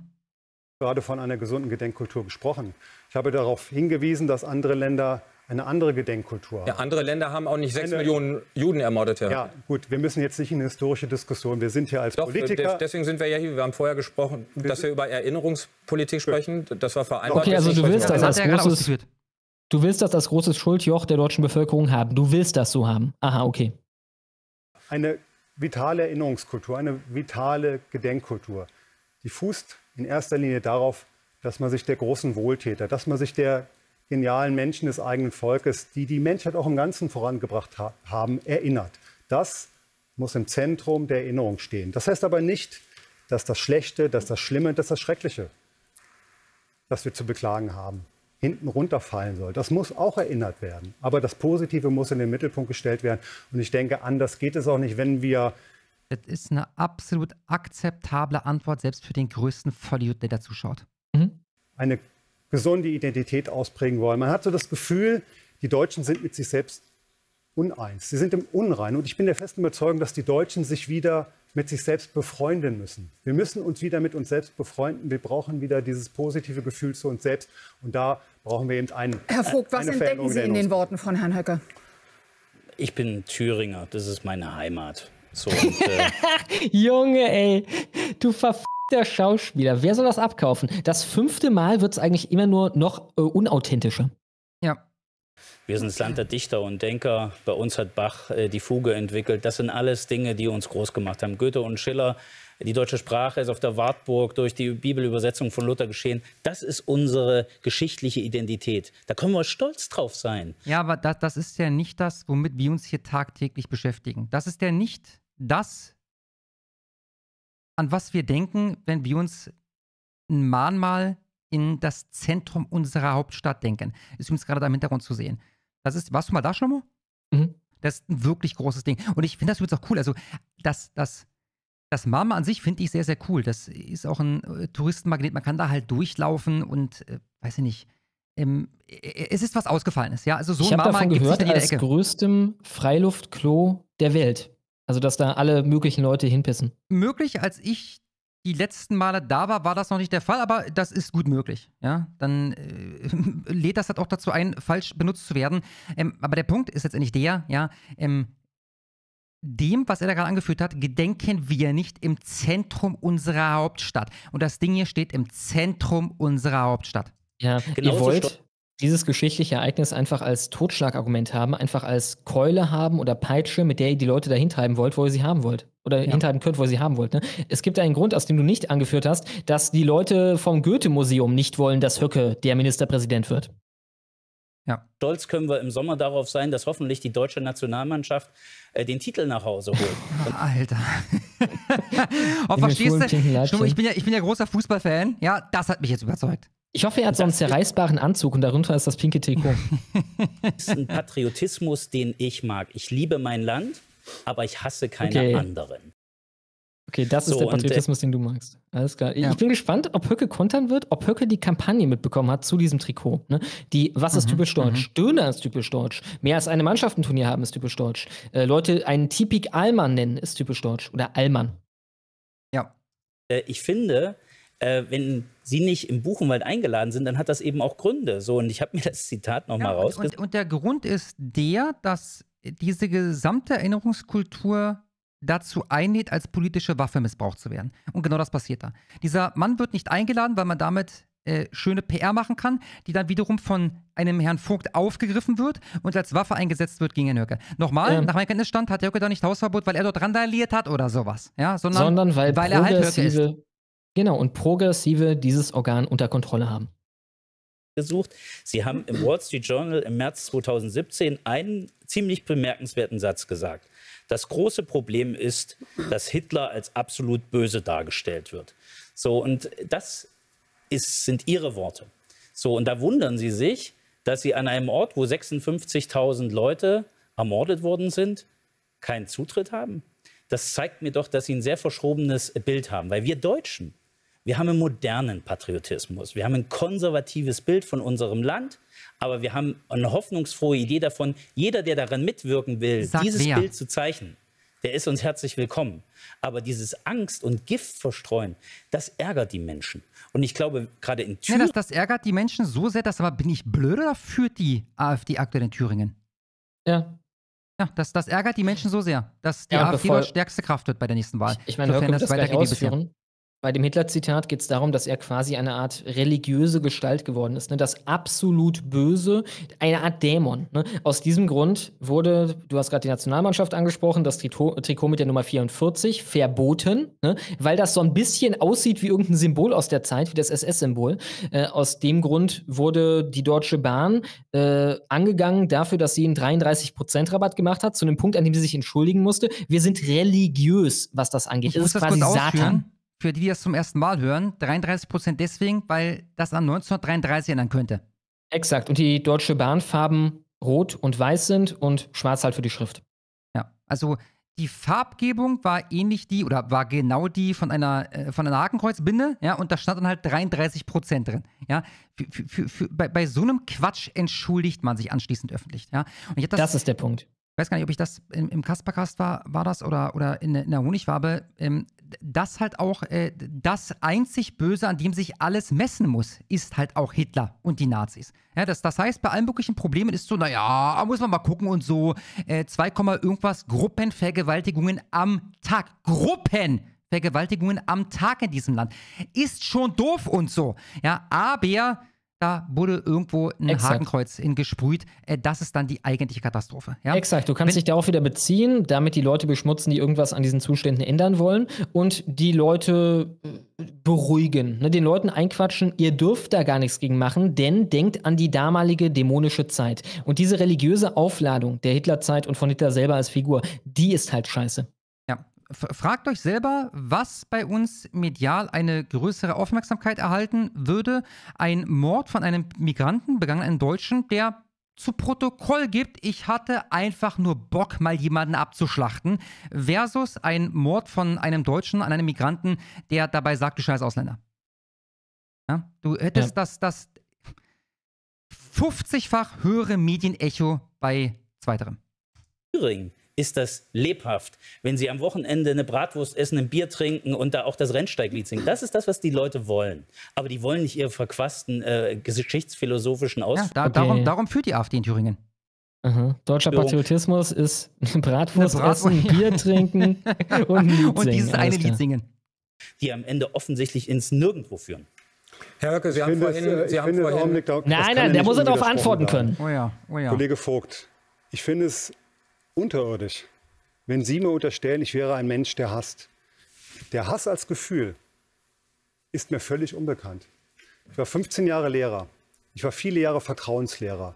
Vertrauenslehrer werden Sie nur, wenn Sie ein großes Herz haben, wenn Sie eine große Empathiefähigkeit haben. Ich habe vier Kinder mit Liebe erzogen, sind prächtige Menschen geworden. Hass liegt mir völlig Dann fern. wundert- dann ist Ihre unfassbar- These Es ist unfassbar, was Sie glauben, was ich bin. Es ist Herr unfassbar. Höcke, Empathiefähigkeit ist ein gutes Stichwort, denn Sie haben ja vorhin das Holocaust. Ja, äh, hätte das Holo- Hitler-Ding Ja, aufgreifen müssen. denke ich auch. Also da, das, das war äh, äh, bisher der möglicherweise, nee, nicht der einzige.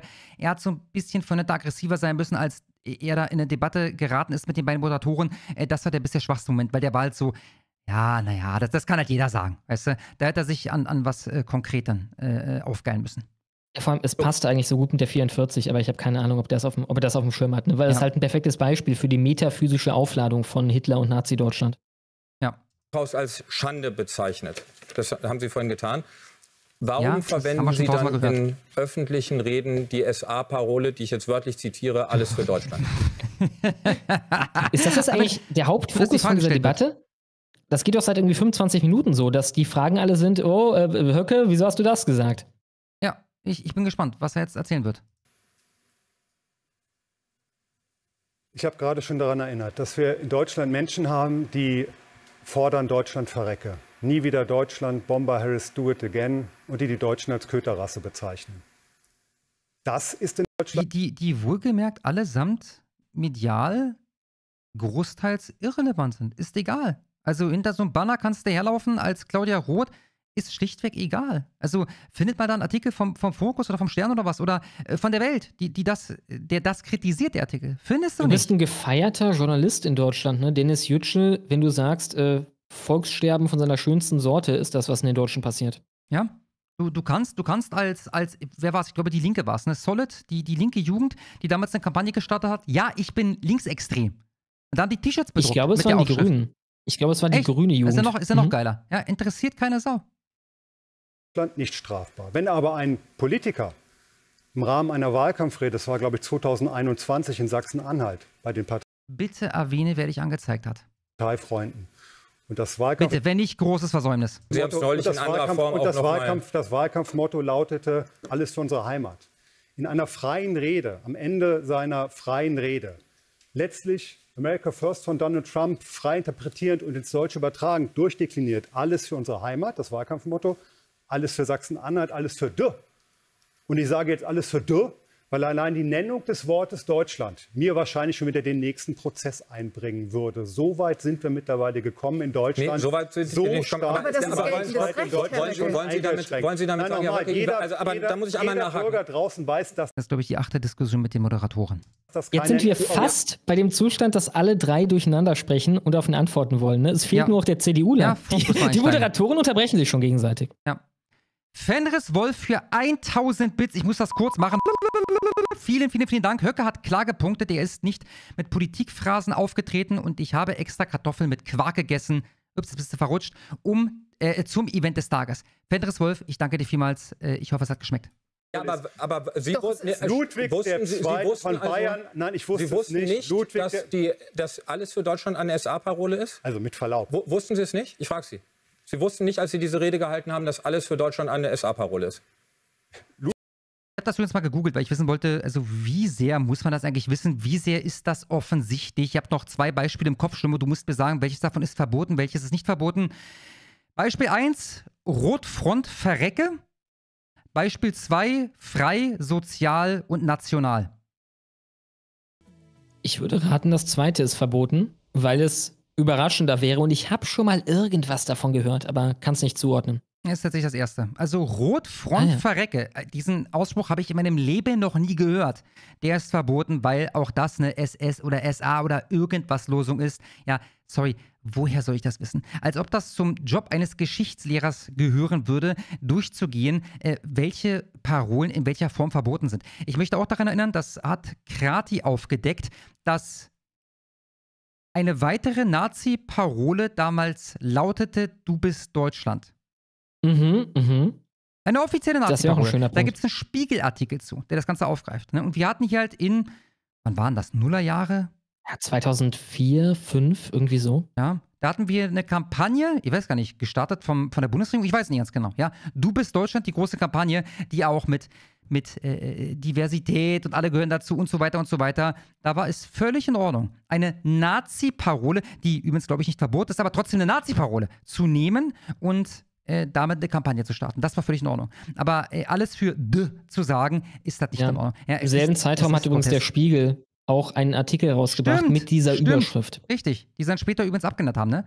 Also, wenn ihr googelt, findet ihr noch einen Artikel vom, ich glaube, Anti-Spiegel. Da ist ein Screenshot von diesem Artikel, wie er damals erschienen ist beim Spiegel. Also, damals heißt übrigens Ende letzten Jahres oder Anfang diesen, ich glaube Ende letzten Jahres war das, im September, wenn ich mich nicht irre. Ja, und der, Spiegel, der Spiegelartikel trug die Überschrift Alles für Deutschland und äh, Inhalt ist nicht etwa Höck und seine Rede, sondern Inhalt ist, ich meine Olaf Scholz und wie er alles für Deutschland gibt und das hier zu einem besseren Land machen will. Und dann hat man diese Überschrift nachträglich geändert.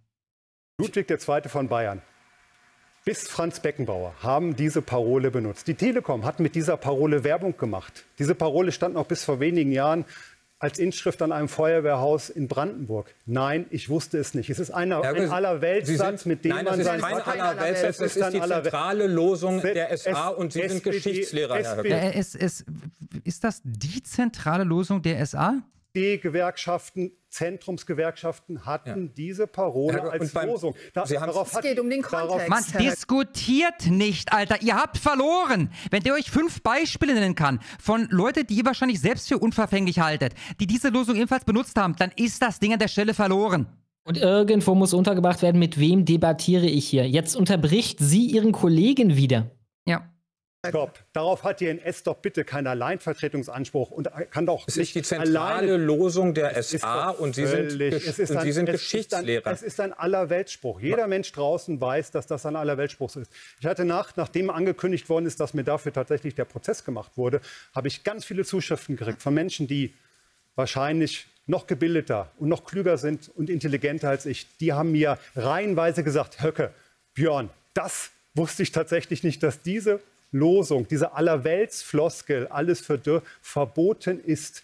Und nochmal, dieser Da müsste man eine repräsentative Umfrage unter Geschichtslehrern machen. Ne? Wenn man ja, das irgendwie nicht jetzt politisch eingefärbt Ja, ja, das hätte man Ja, halt vor gut. fünf Jahren machen Wussten müssen. Sie bis zu Datum X. Ne? Ja, sie werden lügen. Also ne, auch, auch, auch Geschichts- äh, oder, oder Historiker oder so, die werden wahrscheinlich, allein schon, weil sie durch den akademischen Betrieb mussten, um zu werden, wer sie sind, äh, links angehaucht sein. Von daher wirst du bei der Antwort jetzt nicht verarscht. Ja, ich hoffe, er weist noch darauf hin, dass derjenige, der die Anzeige erstattet hat, ähm, Sebastian Striegel von den Grünen ist, der nach wie vor bei den Grünen ist und da übrigens auch ein Amt bekleidet. Das ist nicht irgendein Parteimitglied, der bekleidet irgendein Amt, dieser Mann. Ähm, der hat Anzeige erstattet, ist übrigens verurteilt wegen Fahrerflucht ähm, bei einer Geschichte wo er zu Protokoll gegeben hat am Ende, äh, dass er das wohl nicht mitbekommen hätte. Das ist grotesk, wenn ich mal abläuft, äh, äh, durchlest, wie dieser, dieser Unfall abgelaufen sein soll. Das kann er nicht, nicht mitbekommen haben. Äh, und der Mann hat auf äh, Twitter 2016, glaube ich, oder 2015, ich könnte es jetzt einblenden, ich will nicht zu viel Zeit in Anspruch nehmen, wir haben es schon tausendmal gezeigt, ähm, getweetet, ich zitiere, Zuwanderung bis zum Volkstod. Zitat Ende. Das ist der Mhm. Mann, der Höcke dafür angezeigt hat. Das wäre so ein guter Punish. Ja. Ja Ja, mehrfach gesagt, Herr Höcke. Und es nochmal. ist laut Strafrecht einfach Nein. verboten. Es Nein. ist verboten. Es ist Paragraph Deshalb stehen ja vor 86. Ja, dann, dann, wird er ja zu 100.000 Prozent schuldig gesprochen. Ich bin gespannt. Es ist verboten, es ist verboten. Als wenn das irgendwas bedeuten würde nach Corona. Na, nachdem ihr drauf geschossen habt, was verboten ist im Sinne von Migration hier. Also wen, wen, wen wen interessiert das noch, was in irgendeinem scheiß Schmöker steht? Also ohne Scheiß, wer kann das noch mit diesem Pathos vertreten? Es ist verboten. Ja. Es, es, es ist so verboten? Okay, wenn es verboten ist, dann äh, wie ist denn der aktuelle Stand der Verhandlung gegen den Spiegel? Ja, gegen die Parole als Telekom. Überschrift genutzt haben. Ja. A des Strafgesetzbuches. Herr. nochmal. Und Sie haben es habe einmal es- verwendet und dann in einer Jetzt übernimmt er wieder. Er kann nicht mal antworten auf sie. Er kriegt nicht mal eine Redepause von den beiden, damit er darauf antworten kann. Nein, er übernimmt wieder. Das heißt, es ist de facto an diesem Punkt eine Debatte. Zwei Moderatoren gegen Höcke und der CDUler dreht Däumchen. Ja, ich lese übrigens gerade im Live-Chat, ich erinnere mich, ich habe heute den entsprechenden Artikel oder mehrere Artikel von, ich glaube, Horizont verlinkt gesehen. Vogt wollte Krankenkassenbeiträge für Ungeimpfte erhöhen. Alles klar. Schaltung. Sie können es einspielen, Ja, wenn das Sie wollen. ist, passen auf, Mit das sowas muss dann ganz eigentlich kommen. Deswegen Wir können solche das einspielen. Punches- Sturm, er hat ihm gerade damit gedroht, es einzuspielen. Mhm, mhm. Wir haben doch gehört im exakten Wortlaut, was er gesagt haben soll. Wenn es was zu bemängeln gibt, dann wirklich das mit dem Grünen, der die Anzeige gemacht hat und sowas gegen den Vogt, äh, Voigt. Also mit so einer Scheiße muss man denen da halt kommen. Man muss versuchen, wie gesagt, die unmöglich zu machen. Das muss die Zielsetzung sein. Sollen wir Ich es hab- einspielen? Ich hab, Sie brauchen es nicht einspielen, weil, das ganz, weil der Sachverhalt ja unterkomplex ist. Ich habe es in einer Wahlkampfrede in diesem Dreiklang, alles für unsere Heimat, alles für Sachsen-Anhalt, alles für Deutsch, so ausgesprochen, weil ich es nicht wusste.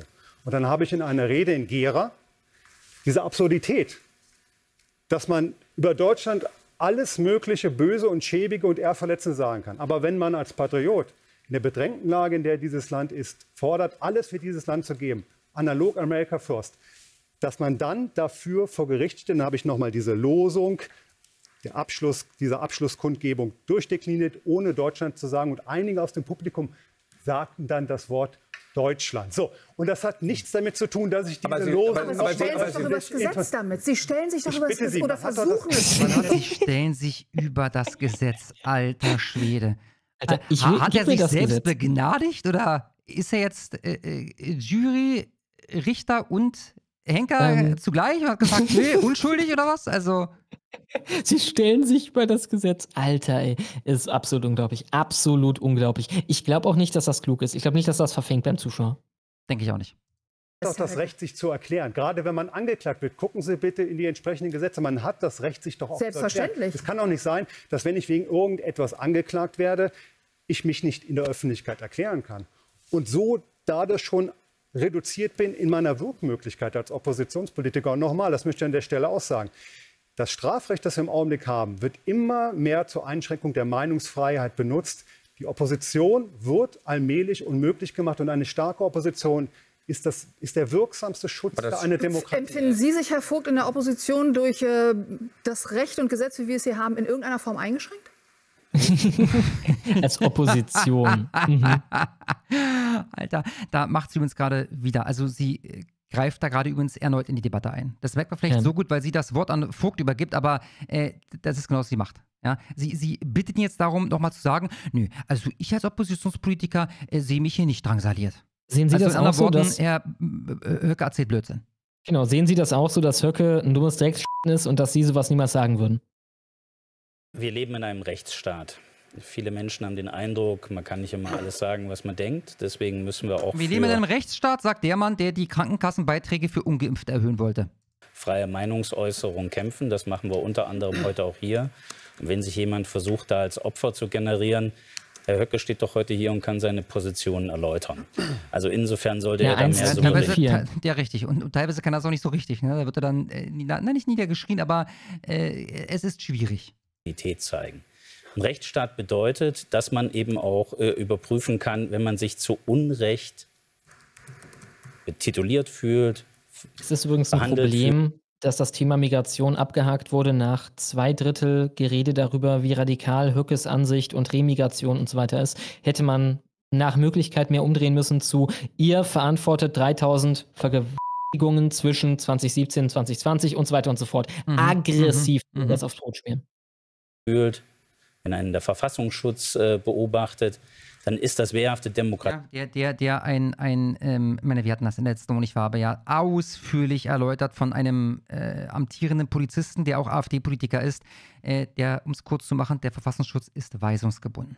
Ja, und wird in Thüringen von einem Linksextremisten geführt. Ich hoffe, auch Ja, diesen Punkt macht ja. Höcke, denn den macht er gerne. Äh, er nennt ihn gerne Linksextremisten, weil er weiß, dass er nicht verklagt wird dafür, weil dann wahrscheinlich auch ein Gericht feststellen würde, dass man den durchaus Linksextremisten nennen kann, den Typ. Ne? Der hätte ja denselben Status. Der liked Antifa-Tweets, also wortwörtlich von irgendwelchen Accounts mit der Antifa-Flagge im Profilbild, Antifa Nordost oder irgendwas, und äh, äh, ist im Vorstandsrat oder im Stiftungsrat besser gesagt der Amadeo Antonio Stiftung von einem Verein, deren Gründerin oder auf jeden Fall Anführerin äh, Kahane gesagt hat, für mich ist das größte Problem, Problem seit der Wende, dass der Osten weiß geblieben ist und das größte Versagen, hat sie gesagt, und äh, deren Schreiberlinge wie ein Robert Wagner Geld sammeln, um Leute zu belohnen, die jemandem wie einem Sellner einen Milkshake in die Fresse werfen. Ne? Solche Sachen müssten jetzt angebracht werden. Und auch das, das letzte nicht irgendwie in, in privaten Chatgruppen, sondern öffentlich auf Twitter. Exakt. Öffentlich denen- Geld sammeln für eine Straftat. Ja, mit denen liegt der Chef vom VS in Thüringen im Bett. Und man kann dagegen rechtlich vorgehen. Herr Höcke ist schon mal unterlegen. Im Namen des deutschen Volkes wurde über ihn geurteilt. Und äh, Schlange, Gänsehaut. diese Titulierung zeigt doch letztlich, äh, wir sind in einem funktionierenden System. Dass das nicht immer jemandem schmeckt, kann ich nachvollziehen. Aber jetzt überlegen wir uns mal eines. Wie viele Länder auf dieser Welt gibt es, unter anderem eben auch Russland, wo sich Leute wie Nawalny oder andere gewünscht hätten, sie hätten ein funktionierendes Rechtssystem. Und deswegen kann ich nur eines sagen.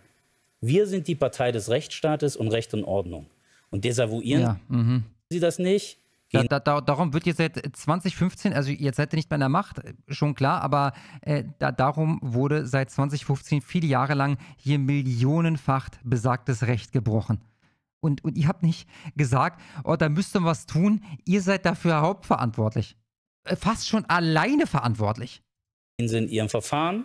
Das wird ein deutsches Gericht behandeln. Und da können Sie Ihre Argumente vortragen. Aber bitte weinen Sie jetzt hier nicht. Julian Assange würde sich sicherlich auch über mehr Rechtsstaatlichkeit freuen. Der Herr Höcke, VS angreifen. Ja. Höcke, VS Ja. angreifen. Sofort VS angreifen. uns ruhig Julian weitermachen. Assange. Uns läuft Aber jetzt in der Tat, ich verstehe, ich verstehe, also dass Sie aufgebracht sind. Durchsetzen. Sagt der netten Frau, die soll die F***e halten. Durchsetzen. Das ist wichtig. Jetzt VS angreifen. Das ist der Punkt, der die Debatte entscheiden könnte. Immer. Dürfen wir 60 kurz- Prozent, 60 Prozent der Deutschen sagen, Oh, die Umfrage von INSA, die im, in der Jungfreiheit aufbereitet wurde, dass 60 Prozent der Deutschen mittlerweile äh, dem Verfassungsschutz misstrauen. Die Mehrheit der Deutschen äh, misstraut dem Verfassungsschutz. Schlummer. Ist auch ein sehr, sehr schöner Punkt. man kann Zeit- in Deutschland seine Meinung nicht mehr Ah, okay, sorry, falscher Punkt, aber der wäre noch besser gewesen. Ja, und VS. Wie gesagt, ihr seid in Thüringen, da ist der Karma-Chef. Der Karma ist ein Linksextremist. Eine SA-Parole ist- äh, hat das nach meiner SA. Auffassung nichts zu Doch, es eine Alles für SA-Parole. Deutschland ist nachweislich eine eine SPD-Parole SA-Parole. und eine Es Zentrumsparole. kommt auf den Auch das- Kontext das- Die beiden haben sich wieder gegenseitig unterbrochen. Ja. Wir sind wieder bei einem Punkt, den wir gerade eben schon bearbeitet haben. 60 Prozent der Deutschen. Ich, ich glaube, wir reden jetzt so an die 10 Minuten über seine Aussage Alles für die, richtig? Ja, vor allem, das wäre jetzt ein wunderbarer Punkt. Was jetzt noch dazu gesagt wird, ist scheißegal, die Leute merken sich das eh nicht. VS angreifen, jetzt hier auf der großen Bühne, den VS lächerlich machen. Mhm. Sagen, dass die Meinungsfreiheit in Deutschland nicht mehr gegeben ist.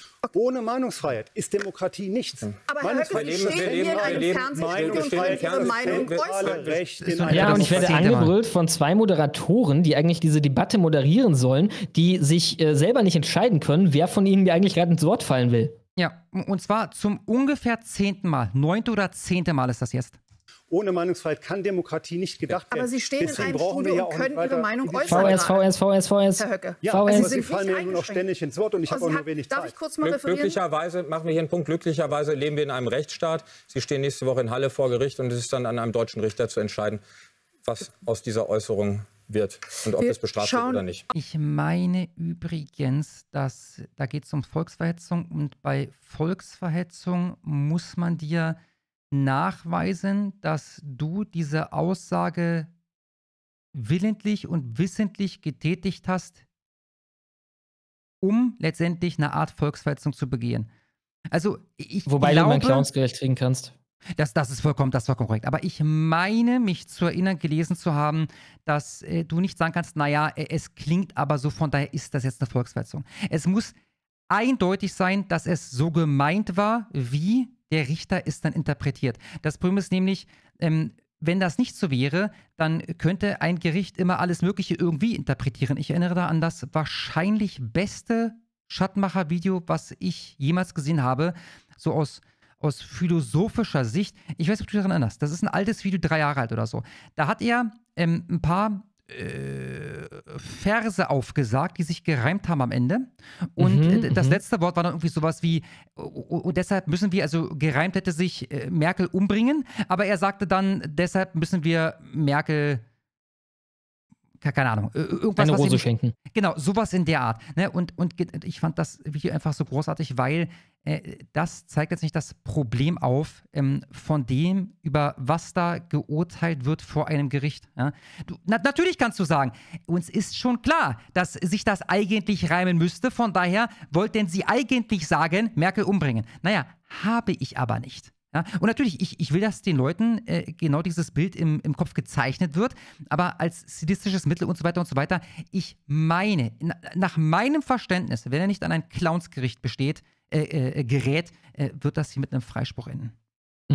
Auf den nächsten äh, Punkt, und da geht es äh, ganz kurz noch, aber wir wollen es einfach auch mal angesprochen haben: Antisemitismus. Seit dem 7.10., das ist dieser furchtbare war, war, richtig, ich wollte es gerade sagen, weil wir das noch gar nicht hatten. Überfall der Terroristen der Hamas auf die Kibbuzim entlang des Gazastreifens gewesen. Nur noch mal als Kontext für die Menschen, die das vielleicht nicht so parat haben: das Datum 7.10. zeigt sich weltweit, aber Weil, das Datum so relevant ist. auch hier Wie viel Uhr, du Doppel uns in Deutschland auf den Straßen ein unfassbarer Antisemitismus. Da sind Dämme buchstäblich gebrochen so ein bisschen. Was müssen wir dem gerade eben auch vor der ja schon häufig jetzt erwähnten deutschen Geschichte entgegensetzen, Herr Vogt? Ja, zuerst einmal müssen diejenigen, äh, die Ja, antisemitisch S- Sol- Soldaten entsenden und da möglichst mitmelden. unterwegs Also ich glaube, jetzt sind, geht's um äh, raus mit die Viechers. Also ich glaube, sie will jetzt beiden die Chance nochmal geben, raus mit die Viechers zu sagen, halt wegen dem Antisemitismus. Den kann ich nicht folgen. Naja, äh, auf deutschen Straßen, Antisemitismus und so Ah, weiter, daraus folgt ja eigentlich ah. raus mit die Viechers. Ja, wäre eine Steilvorlage, um nochmal auf Remigration zu sprechen zu kommen. Ne? Und zu erwähnen, Eigentlich dass schon, ja. äh, die SPD zum Beispiel zehn Jahre rückwirkend gefördert hat, äh, Leuten den Pass zu entziehen und sie abzuschieben. äh, Mhm. und äh, die äh, solche Flaggen zeigen, die äh, äh, Israel soll sterben. Äh, die müssen einfach, wenn sie in, sag mal, hier keinen Bleibestatut oder wenn sie kein Aufenthaltsrecht oder sollten kein Aufenthaltsrecht mehr hier haben. Das ist, glaube ich, Punkt Nummer eins. Also ich finde, Die den deutschen Pass haben, Kumpel? Was dieser machen wir dann? Anti- Mhm, mhm. Die, äh, Antisemitismus, der ist unerträglich. Ich bin selber Gründungsmitglied im Thüringer Landtag des Freundeskreises Israel. Mir ist das ein wichtiges Anliegen. so siehst du auch aus. Meine, vielleicht schließt sich da der Kreis. Vielleicht ist das auch eine, eine Pressure Group oder, oder eine Vorgruppe, die dann wiederum äh, natürlich unter einer Decke steckt mit den Betreibern des KZs Buchenwald. Ne? Und da würde sich dann der Mhm. Kreis schließen, ähm, warum er das eigentlich gegründet hat. Eigentlich hat er diesen Verein gegründet oder ist Vorsitzender oder was auch immer äh, aus Machterwägung und nicht, äh, weil, weil wenn er abends schlafen geht, er Israel im Herzen trägt. liegen. Und genau aus diesem Grund sage ich Ihnen aber auch, dass wir klarstellen müssen, dass äh, das Selbstverteidigungsrecht des Staates Israel auch deutsche Staatsräson ist. Das ist Kernbestandteil dessen, was unsere Ja, das Überzeugung heißt nichts. ist. Das hatten Ich wir bin schon mit Ja. So, und der jüdische Glaube, der christliche Glaube sind eng miteinander verbunden. Und deswegen müssen wir alles tun. Deutschland hat ein waches Auge darauf zu halten. Wir müssen mit der vollen Härte vorgehen. Und äh, deswegen ist mir diese mit der vollen Härte vorgehen, alles dafür tun, das hieße im Zweifelsfall dort Truppen hinzusenden oder was? Nee, ich glaube, es geht um Deutschland. Es geht um deutsche Straßen. es Achso, geht ich um verstehe, die. ich verstehe, genau. ich verstehe, alles klar. das Thema illegale äh, Nee, nee, bloß er war gerade bei dem Verteidigungsrecht Israels. Ach so, ja, stimmt. Staatsräson und so. Ja. Ich meine, will halt nichts Konkretes sagen, ne? Ja, naja, es sind halt wieder viele schöne Worte, die äh, alles und nichts bedeuten, ne? äh, Einwanderung auch so wichtig, dass wir dort eine Null-Toleranz-Strategie fahren. Das ist ein ganz zentrales Problem. Und das Ja, Zweite aber die ist, Leute, die kommen, sind doch alle Antisemiten. Die Leute im Ja. arabischen Raum, also ein Näherungswert an 100% von denen sind Antisemiten, jedenfalls nach jeder Definition, die ihr hier anlegen würdet. das ist natürlich Also auch zumindest würden sie dir weitestgehend zustimmen, dass sie Antizionisten sind. Ja, ja, klar. Also die, Wenn du die möchten fragst, sollte Israel da nicht sein? haben. Richtig. Exakt, exakt. Auch darum geht, Aufklärung darüber zu betreiben, wie geschichtlich wir verwoben sind. Mit dem nötigen äh, äh, Ja, ja, ja, Reflexionsfähigkeit. du musst Ali Schuldgefühle dafür machen, dass dein Opa gemeldet hat. Mhm, Ja. So sieht's aus. Das wird funktionieren. aber immer mit der Offenheit, dass wir als Deutsche auf Israel aufpassen. Herr Höcke, Sie haben jetzt viel genickt. Ihre Replik. Ja, weil ich grundsätzlich ähm, die Position, was den Kampf gegen Antisemitismus teile, durchaus bei Kollegen Vogt bin. Aber auch da müssen wir wieder fragen, wo sind die Ursachen für den Antisemitismus in Deutschland? Ich sehe keinen Antisemitismus ausgeprägten Maßes bei der ursprünglichen deutschen Bevölkerung. Auch wieder ein Problem, das wir uns mit Migration ins Land geholt haben. Die millionenfache Einwanderung aus dem islamischen Kontext, die Islamisierung Deutschlands und Europas. Aber wie, zu- wie meint ihr das? Sie sehen das nicht aber eine kurze Zwischenfrage. ganz- Junge, kurze Zwischenfrage. Der Typ hat gerade irgendwie drei Minuten da referiert und Höcke hat jetzt drei Sätze gesagt. Es ist so unverschämt. keine, Ne- keine deutschen Neonazis in Es Deutschland? gibt auch deutsche Neonazis, es gibt auch deutschen Antisemitismus. Aber Ja, Das war jetzt die oder so. wichtige, das war jetzt die wichtige Zwischenfrage. Gibt es keine Neonazis in Deutschland? Was hat er da für eine Antwort erwartet? Also, aber der ist klein im Verhältnis zu dem, was leider die Menschen nach Deutschland gebracht haben. Und gucken Sie nach Frankreich. Mittlerweile fliehen Juden aus Frankreich, weil der Antisemitismus dort so groß geworden ist. Nicht durch die autochthonen Franzosen, sondern durch Nochmal die eben aufs Brot spielen. zugewanderten Immer wenn Migration kommt, musst du sagen CDU. Migration, CDU. CDU führt zu Migration. mhm, mhm. Menschen islamischen Glaubens, äh, dass sie ihre Heimat verlassen und nach Israel gehen. Das sind schlimme Befunde und da müssen wir mit aller Härte dagegen gehen. Wie genau, Reißt die wie Maus genau? keinen Faden ab, indem wir vor allen Dingen die Einwanderung erstmal aus dem islamischen Kulturkreis beenden. Wir dürfen nicht mehr Menschen muslimischen Glaubens in Deutschland grundsätzlich, es mag Einzelfälle geben, aber grundsätzlich aufnehmen. Ich halte das für eine große Gefahr auch für den Bestand unseres demokratischen Rechtsstaates. Und verstehen Sie mich Sie bitte nicht stellen falsch. Millionen Musli Nein, Muslime stopp. unter Generalverdacht. Oh, Alter. Höcke Also wenn ich eine mich nicht geile- verzählt habe, sind wir bei zwölf, bei zwölf Unterbrechungen. Mit, also Ja. Unterbrechung im Sinne von Diskussion mit den Moderatoren. Nächstes Mal muss Höcke eine Geige mitbringen. Ja. Das kommt. Ja, klar. Ja, das- nee, nochmal. Ich kenne, ich bin kein Feind des Islams. Ich bin überhaupt gar kein keinermannsfeind. Der Islam ist eine alte Religion. Der Islam hat einen Kulturraum, wo er sich auch entfalten kann. Und da möchte ich ihm auch nicht reinreden. Aber dieser Kulturraum kann nicht Europa sein. Und ich kenne kein Land in der Welt mit einer islamischen Mehrheitsgesellschaft, wo es demokratische Rechtsstaatlichkeit nach europäischem Standard gibt. Deswegen möchte ich nicht mehr islamische Zuwanderung haben. Und das stellt auch nicht in Abrede, dass es prima Menschen islamischen Glaubens gibt, die voll integriert sind, die voll auf dem Boden des Grundgesetzes stehen. Aber die Masse und einfach die Gefährlichkeit dieser unkontrollierten Anwanderung, der müssen wir entschieden begegnen. Sonst kippt dieses Land und kippt auch unser demokratischer Rechtsstaat. Einmal der Hinweis, Herr Höcke, weil Sie sich vorhin etwas benachteiligt fühlten, was die Redeanteile angeht. Wir haben mal auf die Uhr geguckt. Sie haben deutlich mehr geredet bisher als Herr Vogt. Ja, Das- aber ihr habt ihm auch tausend mehr Fragen gestellt. Dieser ganze Mittelpart war voll mit, äh, Herr Höcke, Sie haben das gesagt, Herr Höcke, Sie haben das gesagt. Da hat der, da hat der andere Typ die Fresse gehalten. Äh, messt doch mal eure Redezeit. Ja, und äh, vor allem wüsste ich ganz gerne, wie wurde da die Uhr gestoppt? Also, wenn Höcke gerade etwas erzählt und die beiden fallen ihm ins Wort und Höcke versucht erneut zu antworten, die beiden fallen ihm ins Wort, ist das Redezeit für Höcke? Oder wurde da wirklich im, im Sekundentakt umgeswitcht zwischen, das ist Höckes Redezeit, jetzt redet er gerade nicht. Das ist Höcke Der Typ- Rede. Bitte. Ja, und selbst wenn, also der Typ hat ja irgendwie zweimal Raucherpause quasi, während die beiden seinen Job übernommen haben. Ja. Und es äh, ist übrigens auch nicht äh, sinnvoll, äh, das Ganze nach Redezeit zu bewerten, wenn die Redezeit, die er hat, genutzt werden muss, sich gegen Angriffe zu verteidigen, die Herr Vogt über sich gar nicht hat ergehen lassen müssen. Ja, und die kommen von den Moderatoren. Ja. Und das Letzte, was mich so ein bisschen wundert, ist, dass er sagte, äh, sie hatten deutlich mehr Redezeit. Warum dann nicht in dem Moment eine Zahl nennen? Denn ich nehme an, die Zahl ist so zwei Sekunden, äh, zwei Minuten 40 oder sowas. Wo man dann sagen muss, naja gut, komm, Alter, also da, dann hättest du den Punkt auch weglassen können. Ja?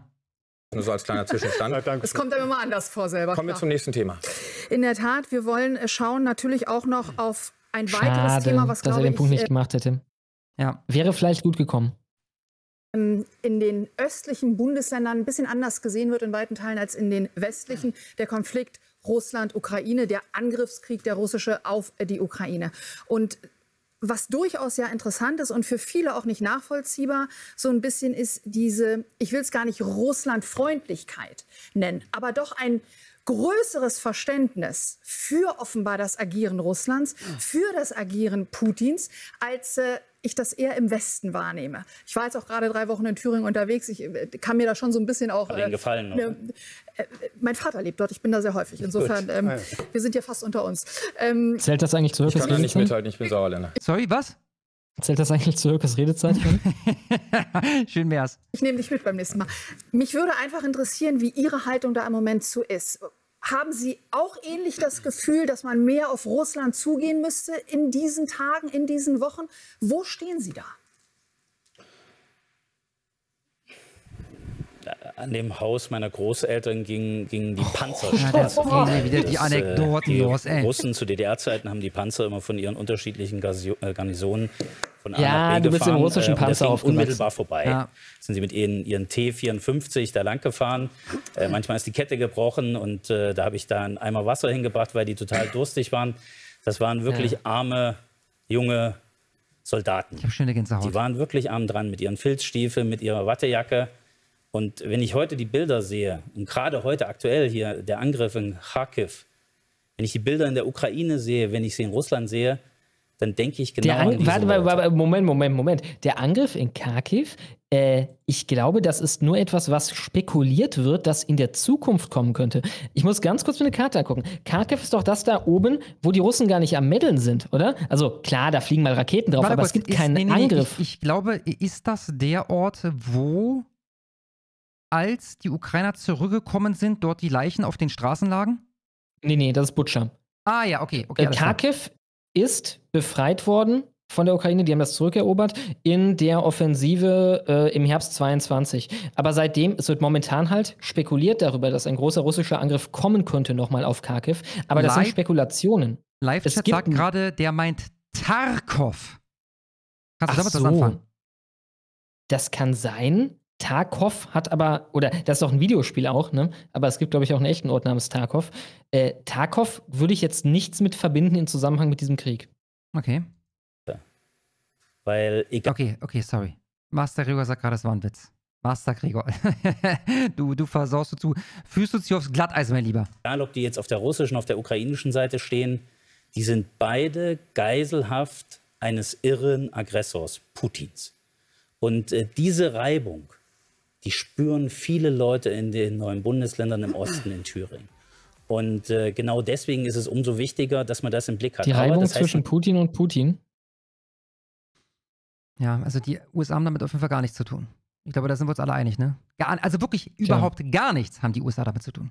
Ich meine, die reden momentan darüber, dass man da mal Truppen reinschicken könnte. Ne, lustig, wie weit wir äh, bereit sind zu gehen, nur für Menschlichkeit und die moralisch richtige Seite. Ne? Wir, haben, wir haben ja keine Interessen in dem Bereich oder so. Ja, aber also vor allem auch bei, bei dem Land Ukraine, äh, dessen, dessen Namen die äh, meisten US-Amerikaner bis vor äh, zwei Jahren noch nicht kannten. Ja, und jetzt pumpen die US-Amerikaner da zwei, über 200 Milliarden US-Dollar rein. Es, es ist schon merkwürdig. natürlich auch. Also es, es wirkt fast so, als ginge es da mindestens auch um US-amerikanische Interessen. Könnte man fast, also weiß ich nicht. Könnte was dran sein, oder? Also, das ist eine Verschwörungstheorie. Äh, ich glaube auch, die Pipeline haben wahrscheinlich die Russen weggesprengt. Aber ähm, ja, wenn man für, für Geschwurbel zugänglich ist, vielleicht. erstmal Farbe bekennt. Farbe bekennen heißt, dass natürlich die Ukraine sich verteidigen muss. Weil das ist das Entscheidende. Sie ist Teil Euro, unseres europäischen Kulturraums. Die Ukraine Spruch- hat den bekackten Krieg verloren. Das Ding ist durch. Was soll denn da noch groß kommen? Es sei denn, ihr eskaliert wirklich mit, Boden, mit Bodentruppen. Es äh, hat ja einen Grund, dass Macron kommt mit Bodentruppen, weil das Ding halt durch ist. Das wird jetzt ganz, ganz bitter. Und dann stehen wir davor, dass die Russen, was sie eh kriegen, selbst wenn jetzt verhandelt werden würde, wesentlich mehr bekommen, als hätte man damals am Anfang vom Krieg Frieden gemacht in Istanbul und äh, dafür noch 100.000 plus Ukrainer durch den Fleischwurf gedreht wurden. Also das war jetzt gut. Ja, ich, ich bin so gespannt, wie wir über diesen Konflikt heute in zehn Jahren denken. Oh ja. Ich, ich meine, ich bin mir ganz sicher, ich war da noch recht jung an Politik, nur so am Rande interessiert. Ich meine, dass zum Beispiel der äh, Krieg im Irak damals von unseren Medien recht neutral begleitet wurde. Und heute sind sich dann alle einig, dass das eine absolute Scheißidee war. Ja? Ähm, äh, stell dir vor, es ist Krieg und keiner geht hin. Der Spruch geht aber noch weiter. Schöne Dann kommt der Krieg Alter. zu dir. Und genau deswegen werbe ich für diplomatischen Druck, um Frieden zu erreichen. Aber ich werbe eben auch dafür, dass wir. Das ist halt irre. Dass wir Das weiter eine- durch den Fleischwurf drehen. Eine irre Propagandaerzählung, um den Boomern Angst zu machen, um den Leuten Angst zu machen, die eigentlich nicht sehen, warum es sie interessieren sollte, was da in der Ukraine passiert. Nein, wenn es darum ginge, die NATO anzugreifen, hätte Putin das direkt gemacht. Was bringt das denn, vorher da die Hälfte seiner Armee in der Ukraine zu verheizen? Konsequenzen sehen. Wenn Putin in der Ukraine gewinnt, dann wird er genau das machen, was er in Russland jetzt eh schon macht. Gräueltaten, Leute umbringen, tausende Tote, Millionen Flüchtlinge. Es gibt äh, Schätzungen, dass ungefähr 10 Was? Tausende Tote und? Gräuelt? Ich weiß gar nicht, ich kann ihm gerade nicht so ganz folgen. Es gab Butcher, das war aber nichts, was von. Nee, nee, nee, nee. Wenn er gewonnen hat, also Dann, dann, bringt wird er das machen. in der Ukraine. Ich meine, äh, Ja, wie gesagt, zumindest in den Tausende besetzten, einfach so oder was? Ich fand's, ich meine, es, es gab das eine Massaker von Butcher, was halt von einer Handvoll Soldaten verübt wurde. Ne? Und das ist halt so ein bisschen, naja, im Krieg passiert so ein Scheiß leider. Ne? Aber das war nichts, was angeordnet wurde. Ja, und zumal, wieso sollte es so weitergehen, wenn der Krieg vorbei ist? Also dann hat er doch bekommen, was er wollte. Ja, ja. 10 Millionen Ukrainer dann fliehen werden. 4 Millionen wahrscheinlich dann auf Deutschland, nach Deutschland. Aber warum? Sag mal, ich, ich meine, dass äh, nicht mal die Idee im Raum steht, dass er die komplette Ukraine annektieren wird. Sondern das, das Ja. wird halt in irgendeiner Form geteilt. Dann existiert doch immer noch ein, ein progressiver Teil der Ukraine. Warum müssen die dann nach Deutschland fliehen? Das ergibt für mich auch gar keinen Sinn. Ja, Die haben momentan mehr Grund, nach Deutschland zu fliegen, als wenn das Ding, äh, oder zu fliehen, als wenn das Ding mal durch ist. Ja. Deutschland. Und deswegen ist es umso wichtiger, dass wir besonnen für dauerhaften Frieden uns Und einsetzen. ich habe keinen Schiss in der Buchse vor von mir aus fünf Millionen Ukrainern. Was die Ukrainer hier gemacht haben, war wesentlich weniger zerstörerisch, als was die Migranten aus dem arabischen Raum gemacht haben. Insofern, klar, auch die Das sind ist vor etwas allem ein krimineller. gigantischer äh, Kostenfaktor. Das sind Genau, sind ein großer Kostenfaktor. Aber wenn ihr weniger Geld habt für feministische Radwege in Peru, bin ich eigentlich glücklich. Insofern gerne. setzen und die Ukraine verteidigungsfähig halten. Sie haben gerade gesagt, die Ukraine muss verteidigungsfähig bleiben. Präsident Zelensky hat vorgestern hier bei Welt TV im Interview mit meinem Kollegen Paul Ronsheimer dem Westen vorgeworfen, die Waffen zu verweigern, die sein Land zum Überleben ganz dringend braucht. Deswegen die Frage an Sie beide nochmal. Sollte Deutschland mehr oder weniger Waffen an die Ukraine liefern? Herr Höcke. Wieso kriegt Bilder, eigentlich Höcke jetzt erst diese Nachfrage, die da an beide mich auch. geht und die erste geht nur an ihn? Reichen vor der Front sind unerträglich. Hunderttausende junge Männer, Russen und Ukrainer, sind in den letzten zwei Jahren dort verblutet. Junge Männer, die keine Familien gründen konnten, die kein Leben weitergeben konnten. Das macht mich sprachlos und fassungslos. Und meine Großeltern haben mir noch erzählt, was Krieg ist. Und deswegen sage ich, dieser Krieg muss so schnell wie möglich beendet werden. Und zwar um jeden Preis. Aber Wir brauchen meine Frage- einen Waffenstillstand an der Ich hatte nur nach Waffenlieferungen. Boah, jetzt, jetzt wäre ich langsam wirklich aggressiv, Alter. Also wir sind jetzt hier, wir kommen jetzt hier demnächst beim, beim Wolfsohn-Niveau an. Ne? Ja, und das sind die Moderatoren. Ne? Wolfsohn war im- immerhin noch ein Diskutant. Das sind die Moderatoren. Die haben ihm gerade eine Frage gestellt, die nachher auch der andere noch bekommt, nachdem sie die erste zum Ukraine-Krieg nur dem anderen gestellt haben und unterbrechen ihn jetzt in den ersten Sätzen. Deutschland der mehr oder weniger Nein, wir Waffen sind an der die festen Ukraine? Überzeugung, dass wir auch mit der Kriegsrhetorik der CDU nicht wirklich weiterkommen. Die Äußerungen von Herrn Kiesewetter sind unerträglich. Wir brauchen keine Eskalation in diesem Krieg, sondern wir brauchen jetzt Deutschland als Friedensmacht. Deutschland muss seine Brückenfunktion zwischen Ost und West ausspielen, muss zu Friedensgesprächen Mit- einladen. mit- das mit heißt Blick- keine Waffen. Wer Waffen, keine liefert, Waffen mehr wer Waffen liefert, der will keinen Frieden, der will den Krieg. Deswegen müssen wir aufhören mit dem Schlachten und müssen jetzt in Gespräche gehen. Und ich bin der festen Überzeugung, dass wir in diese Gespräche gehen könnten, dass diese Gespräche anberaumt werden könnten. Wir hatten ja schon Gespräche kurz nach Ausbruch des, des Krieges in Istanbul. Das ist Ihnen sicherlich bekannt. Die Friedensverhandlungen waren damals schon relativ weit gedient, sind dann abgebrochen worden. Ich will jetzt nicht spekulieren, warum, weshalb und wieso. Leider. Ich meine, die offizielle Lesart ist die, dass, dass ähm, wie heißt er, der Blonde aus... Boris Johnson. Genau, dass Boris Johnson dem Ganzen da Stöcke zwischen die Speine, Speichen geworfen hat. Genau, und zwar auch mit- mit der Drohung. Auf Geheiß der USA, aber das weiß man alles nicht. Exakt. Und mit der Drohung den Ukrainern gegenüber, dass das sehr unvorteilhaft enden würde mit ihren Beziehungen zum Westen, wenn sie den Deal annehmen. sind in der Zwischenzeit schon wieder viele hunderttausend junge Männer gestorben. Das Schlachten muss sofort ein Ende haben. Herr Höcke, Sie haben selber Und- gesagt, Sie waren Vertrauenslehrer. Vertrauen ist also eine wichtige Sache. Absolut. Wo sollen die Ukrainer das Vertrauen hernehmen? Gesetzt den Fall, Zelensky erklärt sich bereit, ich setze mich mit Putin noch mal an einen Tisch, was er nicht machen wird, glaube ich. Aber er setzt sich mit ihnen an einen Tisch. Nach all dem, was passiert ist, nach all dem, was die Russen dem ukrainischen Volk angetan haben, wo soll das Vertrauen von ukrainischer Seite herkommen, zu glauben, dass Putin, selbst wenn er ein Dokument unterschreibt, sich daran hält? Mach eine das, das, das. Schlimmstmögliche passiert doch jetzt schon, dass sie sterben. Die werden geschreddert. Mach eine Umfrage bei den Verbleibenden. Guck dir an, es gibt einen Wahl, das, äh, es gibt einen Grund, aus dem die Wahlen ausgesetzt werden da. Die Zelensky-Partei ist komplett abgekackt in allen Umfragen. Die wollen das nicht mehr. Mach eine Umfrage, ob die Bock haben, weiter zu kämpfen. Die Antwort ist nein. Ich kenne äh, Wladimir Putin nicht persönlich. Ich kann also keine Einschätzung geben. Ist das ein Mann, der. Aber wir erleben ihn ja seit ja, Gott, jetzt haltet euer Maul und lasst den Mann antworten. über 20 also Jahren. Die ein, mit Verlaub, das Schwarz-Weiß-Malen dieses Konfliktes in den deutschen Medien ist auch nicht unbedingt dazu angetan, diesen Mann zu erhellen, für mich jedenfalls zu erhellen. Ich denke aber, dass Wladimir Putin die Kräfteverhältnisse zwischen der Russischen Föderation und der NATO sehr gut einschätzen kann. Russland ist weit unterlegen, sowohl was die Menschen angeht, was die Waffentechnologie angeht, auch was, Militär, was das Militärbudget angeht. Die NATO hat über eine Billion Euro Wehretat. Die Russen sind, glaube ich, bei 85 Milliarden. Das heißt, Putin weiß auch, außerdem hat er den Druck der Chinesen aus dem Osten, er hat den Druck des Islam aus dem Süden. Russland ist auch ein bedrängtes Land und ich glaube, Russland will Frieden. Und ich glaube, dass Putin trotz dem, was man über ihn ausführt, ein, ein rationaler Mann ist, der auch erkennt, wann es genug ist und wann Frieden geschlossen werden muss. Ich glaube, wenn man mit entsprechenden Persönlichkeiten dort aufschlagen würde und Friedensgespräche beginnen würde, dann könnte man was erreichen. Also ich meine, dass wenn Trump die Wahl gewinnt, da können wir eine Wette äh, drauf halten, äh, und der Krieg bis da nicht sowieso vorbei ist, dann ist der 14, Tag, 14 Tage später vorbei. Ja, ja. Man sollte es zumindest versuchen. Wir müssen es versuchen. Und zwar so schnell wie möglich. Herr Vogt. Ja, fand, fand ich sehr elegant. Also, das ist auch, auch äh, total normigerecht, ja? das, das auf die Toten zu beziehen und so weiter. Äh, von Ja. der, fand, fand, ich, fand ich gut. Vielleicht sogar etwas zu positive Worte über Putin für den Normi, für den der halt Satan ist, ne? Aber im Rahmen. Viertel der Bevölkerung in Thüringen seien gegen weitere Waffenlieferungen, haben Sie gesagt. Denn, so wörtlich, ich zitiere Sie da, der Großteil der Leute hat keinen Bock mehr, der verlängerte Arm der Amerikaner zu sein. Geben Sie den Leuten recht, die sowas sagen? Ich will Thüringen. So, sorry, wer hat das gesagt? Also das, äh, Höcke oder so? Also irgendein AfDler hat das gesagt und jetzt wird der Herr Vogt gefragt, wie er das findet oder was?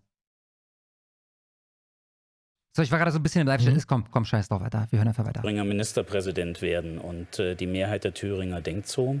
Äh, und das respektiere ich. Das ist wichtig. Ich habe ihm meine Position heute hier geschildert. Ich Nee, kurz, die Mehrheit der Thüringer denkt, dass wir da, was diesen Konflikt betrifft, zum verlängerten Arm der US-Amerikaner gemacht werden. Habe ich das richtig verstanden? Ich glaube ja. Nein, dann sind die Thüringer ziemlich basiert. Ich glaube, dass, es, äh, dass wir in dem Konflikt das Gleiche erleben, was wir 2015 schon erlebt haben. Sie können äh, vieles verantwortlich machen. Die CDU hat auch nicht immer alles richtig gemacht. Es sind auch Fehler gemacht worden. Aber 2015, des, diese Auch Asylsituation, viele. Hat Die auch auch Fehler gemacht. Ja. Ist muss Höcke Es, noch es mal war ran. nicht alles perfekt unter Merkel, sagen wir mal so. durch, Es war nicht, alle, Putin es war nicht alles perfekt. geschaffen worden, weil er an der Seite von Assad äh, Giftwaffen eingesetzt hat. Das ist die Situation. Und das Unsinn, ich auch meine, das. Ich meine richtig, ich meine, dass da einen abschließenden Bericht gab, der kam entweder Ende letzten Jahres oder Anfang diesen Jahres raus, wonach das Blödsinn ist. Für jeden logisch denkenden Mensch stinkt das doch Warum sowieso von Anfang an vom Himmel. Warum, genau, warum sollte er das tun? Nicht nur das, Vor allem, Schlimmer, es gibt warum nichts, sollte er das tun und warum hat er es danach nie wieder getan? Ja, es gibt nichts, was eine Giftwaffe, eine Biowaffe machen kann, was eine konventionelle nicht machen kann, die dann nicht diese Schlagzeilen erzeugt. Dasselbe macht er jetzt auch. Er, äh, warum hat denn Finnland äh, die Grenze zugemacht? Weil er versucht hat, Flüchtlinge dort äh, lang zu schicken. Und dieselbe Situation überrennt uns gerade. Putin hat ver versucht. also ich weiß es nicht, Jetzt kann er sein. fucking 2015 Putin in die Schuhe schieben, oder wie? Nee, nee, nee, nee, ich, ich meine aktuelle Erdogan. Fluchtbewegung oder Fluchtbewegung von einem Jahr oder sowas. Aha, ja gut, über die Weißrussen und so weiter. Ja gut, aber die sind ein sehr kleiner Teil von dem, was hier reingekommen ist. Ne? Mhm. Gerade. Und wir sind doch in einem Systemkonflikt. Autoritäre Regime, China, Russland gegen die demokratische Welt. So, und jetzt, wenn man sich das Europawahlprogramm der AfD anschaut, was wollen die? Die wollen raus aus der NATO, das Sicherheitsbündnis, das uns 70 Jahre mit beschützt hat. Was, was der alles erzählen kann und Offroad gehen kann und dabei nicht unterbrochen wird. Ja. Ja, ich würde so zusammenfassen: gewissermaßen Mikroautoritarismus, jede Kleinigkeit im Leben der Leute kontrollieren zu wollen, aber nicht mit drakonischen Strafen, sondern mit Gepiesacke gegen Makroautoritarismus. Nicht jede Kleinigkeit kontrollieren zu wollen, aber die großen Sachen und ernsthafte Feinde ernsthaft bestrafen. Seite ist da der Vorschlag, wir wollen in so eine Shanghai-Organisation, wer ist denn da drin? China, Russland, der Iran und Pakistan. Also wenn das unsere neuen Verbündeten sind, dann glaube ich, ist die Position von Deutschland viel, viel schwächer. Und genau aus dem Was, Shanghai-Kooperation oder so ähnlich? Das klingt für mich nach Handel. Also ich meine, dass Shanghai das Finanzzentrum äh, Chinas ist. Er würde mich doch sehr wundern, wenn es jetzt nicht um, um, um was anderes als Wirtschaftsbeziehung gehen würde. Ja, ich möchte auch gerne mit Pakistan eine, eine tiefe und ehrliche Freundschaft führen, was den Handel betrifft. Im Grund ist es wichtig, was ich auch gesagt habe, Ukraine in der Verteidigungsfähigkeit stärken, gleichzeitig den Druck erhöhen, weil so wie Sie sagen, Frau Ohm, derjenige, der belogen wird, dem vertraut man nicht mehr. Und es sind so viele nach Moskau gereist. Putin hat ihnen alles Mögliche erzählt. Im Bundestag haben AfD-Abgeordnete geredet, es gibt keinen Krieg. Drei Tage später gab es Krieg. Das ist doch die Situation. Und deswegen braucht es einen gemeinsamen Druck die Türkei, die das Getreideabkommen schon mit der Ukraine verhandelt hat, äh, und Russland, Indien, die äh, wirklich die kommende Ich, Wirtschaft. ich glaube, damit holt er niemand ab. Also da, da muss ich musste jetzt wirklich ganz genau hin, um zu verstehen, was der mir da eigentlich gerade erzählen will. Ich glaube Von nicht, dass das Indien? gerade ähm, vorteilhaft ist. Also Indien, die Leute, die das Öl kaufen aus Russland und uns dann teurer verkaufen, die machen mit dabei, dass wir hier wieder alles ins Lot bringen, oder wie? Ja. Macht in Asien sind, China und natürlich auch USA. Und es braucht eine gemeinsame europäische Anstrengung. Ich würde mir wünschen, dass unsere China und Indien sind nicht auf eurer Seite in diesem Konflikt. Die sehen das bestenfalls neutral. Die haben aber mehr Verständnis für die russische Seite. genau das macht, was Deutschland immer stark gemacht hat. Wir sind eine diplomatische Kraft. Das Minsker Abkommen ist unter anderem deswegen entstanden, weil Deutschland agiert hat. Und das wünsche ich mir. Diesen zu sagen, dass man damit nur die Russen verarschen wollte, war wahrscheinlich nicht der beste Move, aber ja. Die Hat waren- Merkel gemacht. Ja, ich wollte gerade sagen, das, das war Merkel, ja. Mhm. Auch von unserer Bundesregierung jetzt. Und das Minsker Abkommen ist deswegen gescheitert, weil auch Frau Merkel zugegeben hat, dass dieses Abkommen gar nicht ernst gemeint war. Der Wertewesten ist nicht immer so uneigennützig, nützig, wie Sie das gerade darstellen, sehr geehrter Kollege. Es war Egon Bahr, der bekannte SPD-Politiker, einer der letzten SPD-Politiker mit Staatsmann-Qualitäten. Der hat mal vor einer Schulklasse 2013, ich glaube, es war im Hessischen ausgeführt, ich zitiere jetzt nicht, sondern gibt das nur dem Tenor nach wieder. Glauben Sie nichts von dem, was in Ihren Büchern steht und was Ihre Lehrer Ihnen bezüglich, von, bezüglich Kriegen sagen. Kriege werden niemals für Demokratie und Menschenrechte geführt. Kriege werden immer aus Macht- und Geldinteressen geführt. Das hat Egon Bahr gesagt, ist nicht von mir. Ja, aber in diesem, Putin in hat die diesem, Ukraine in diesem. Sinn, Darin sind wir uns doch wenigstens einig, oder? Herr Vogt, dieser Krieg hat drei Ebenen. Natürlich ist die erste Ebene die, die tagtäglich in den Medien auch kommentiert wird, die politische Ebene, die wir alle erkennen können. Das ist der Angriffskrieg der Russischen Föderation gegen die Ukraine. Auf der zweiten Ebene, und Sie haben sich sicherlich auch mit Geostrategie beschäftigt, ist dieser Krieg Also um ein Thüringen Stellvertreter, ist dieser, deswegen stehen Sie heute in Berlin. Herr Höcke, wir müssen da leider. mich diese sorry, drei Ebenen noch Ja, also normal, also Vogt konnte gerade den übelsten Blödsinn erzählen. Äh, Da ich ver, na, ich verstehe es natürlich sehr wohl. Ich mag die Optik. Deswegen stehen sie heute in Berlin und wie er so zur Seite guckt dann. läuft die Zeit in einem Maße weg. Wir sind schon. Und jetzt jumpt sie rein. Er macht gerade ein Drei-Punkte-Ding. Was Ja. für ein Witz ist das? Es ist vollkommen klar, er ist noch nicht fertig. Er ist noch nicht mal bei seinem Punkt angekommen. Ne? Und wird unterbrochen erstmal von ihm und dann jumpt sie noch rein. läuft die Zeit in einem Maße weg. Wir sind schon. Und Herr Ist es Ihre- nicht, Ihre sorry. Aber wir Redeanteile müssen, Ihre Redeanteile sind auch deutlich vor denen von Herrn Vogt. Ja, die nicht Redeanteile sind so. Das nicht war auch geplant. Sehr, sehr schön. Mhm. Dieser Punkt war geplant von Anfang an. Die haben geplant, ihm tausend diffamierende, verleumderische Fragen zu stellen, auf die er eingehen muss, um dann später die ganze Zeit sagen zu können, weil halt der Vogt da sich ausruhen konnte 20 Minuten, sie haben höheren Redeanteil. Ich Ich kann es Ihnen ganz genau sagen. Sie haben, 32 Sie haben Minuten Wir brauchen 32 Frieden mit Russland, wir brauchen Kooperation. Hat er gerade gesagt, ich kann es Ihnen genau sagen, Sie haben zweieinhalb und wurde dann unterbrochen? Das würde meiner Schätzung entsprechen. Also zweieinhalb Minuten hat er mehr geredet nochmal und sich mindestens zweieinhalb Minuten lang, also mindestens gegen irgendwelche Angriffe der beiden Moderatoren verteidigt, was der Herr Vogt zu keinem Zeitpunkt machen musste. Mit Russland und wir brauchen keinen Hass zwischen Deutschen und Russen. So, wir wenn brauchen etwas, vor allen wenn jetzt das nächste Thema, Herr Höcke. des 20. Jahrhunderts, Sorry, dann wir dass müssen Frieden mit Russland weitermachen. für uns Sie wollen doch auch über Thüringen sprechen, ist. oder nicht? Ja, natürlich. Wunderbar, perfekt. Dann sind wir jetzt nämlich auch bei Thüringen angelangt. Sie beide würden gerne Ministerpräsident werden. Mhm. Wenn wir auf die Umfragen schauen im Augenblick, ähm, Regierungsbildung wird wieder ein schweres Los in den Tagen nach der Wahl werden. Wie genau wollen Sie, und damit geht die Frage an Sie beide, die Mehrheiten beschaffen, die Sie brauchen werden? Weil eine absolute wird keiner von Ihnen erreichen, so wie es im Moment aussieht. Herr Vogt, bitte. Wieso darf Herr Vogt am Anfang? Wird uns gleich wieder erzählen, was er für ein großartiger Patriot ist, Schlomo? Er hat weniger Redezeit, Kasper. Also der Mann muss auch mal zu Wort kommen. Ja. Also ich glaube, dass Menschen äh, keine Koalition wählen, sondern sie Sind Sie wählen. sicher? Sie, nein, Menschen wählen Personen, denen sie vertrauen, dass sie die Probleme angehen, die sie wirklich täglich stören. Ich habe das vorhin schon gesagt, dass wir wieder die Frage von Fleiß muss sich lohnen, dass das Leben wieder einfacher wird, nicht so kompliziert, dass es um die Frage von Recht und Ordnung geht. Das ist das, was Menschen in Thüringen wollen. Mit wem will- wollen Sie das umsetzen? Ja, ich will Ministerpräsident aller Thüringer sein. Und äh, wir haben momentan in Thüringen jede Woche eine Parteigründung. Jede Woche. Und Ich kann Ihnen noch nicht sagen, welche davon am Ende im Thüringer Landtag sitzt. Aber was ich Ihnen sicher sagen kann, ist, Von den Parteien, die jetzt gegründet werden? Also die WU wurde gegründet, auch in Thüringen, und die, äh, das BSW. Und der Rest sind offensichtlich irgendwelche Splitterparteien, von denen noch nie irgendjemand gehört hat. Jede Aber Woche wird er eine gegründet. Du, vielleicht übertreibt er einfach gerade ein bisschen, ist er als stilistisches, als stilistisches Mittel in Ordnung. Ich finde es nicht besonders clever. mit diesen völkischen Bildern, mit diesen völkischen Ideen äh, von Herrn Höcke, werde ich nicht zusammenarbeiten. Und das Zweite, es darf auch kein weiter so geben. Zehn Jahre Rot-Rot-Grün hat Thüringen zurückfallen lassen und deswegen muss die linke Wie, wieso kam es denn zu zehn Jahren Rot-Rot-Grün? Also zumindest die letzten vier Jahre Rot-Rot-Grün. Wieso kam es denn dazu überhaupt? Mhm. Ja? Es hätte ja eigentlich ein FDPler Ministerpräsident werden sollen. Hat die Und in CDU dann anderen aber Worten- dafür gesorgt, dass diese Wahl rückgängig gemacht wird. Deine Partei ist also nur ein schwarzes Loch für Stimmen. Also regieren werdet ihr eh nicht. Alles klar. Regierung abgewählt werden. Und dafür setze ich mich ein. Und ich sage Ihnen eins, wir ändern heute Abend das Bild der Wählerinnen und Wähler.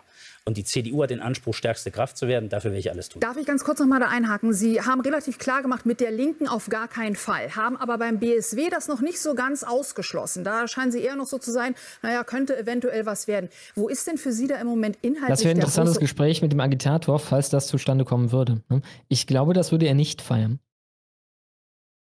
Ja, ja, das denke ich auch. Also zumal die, das BSW ja da Juniorpartner wäre, ne? Ja, klar.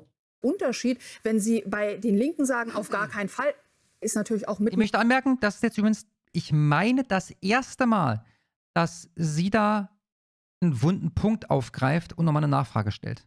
Bei Vogt. Grund, was die CDU das insgesamt sagt, bundesweit. Und beim BSW sagen Sie, na, eventuell, das könnte sein. So- Wermutstropfen.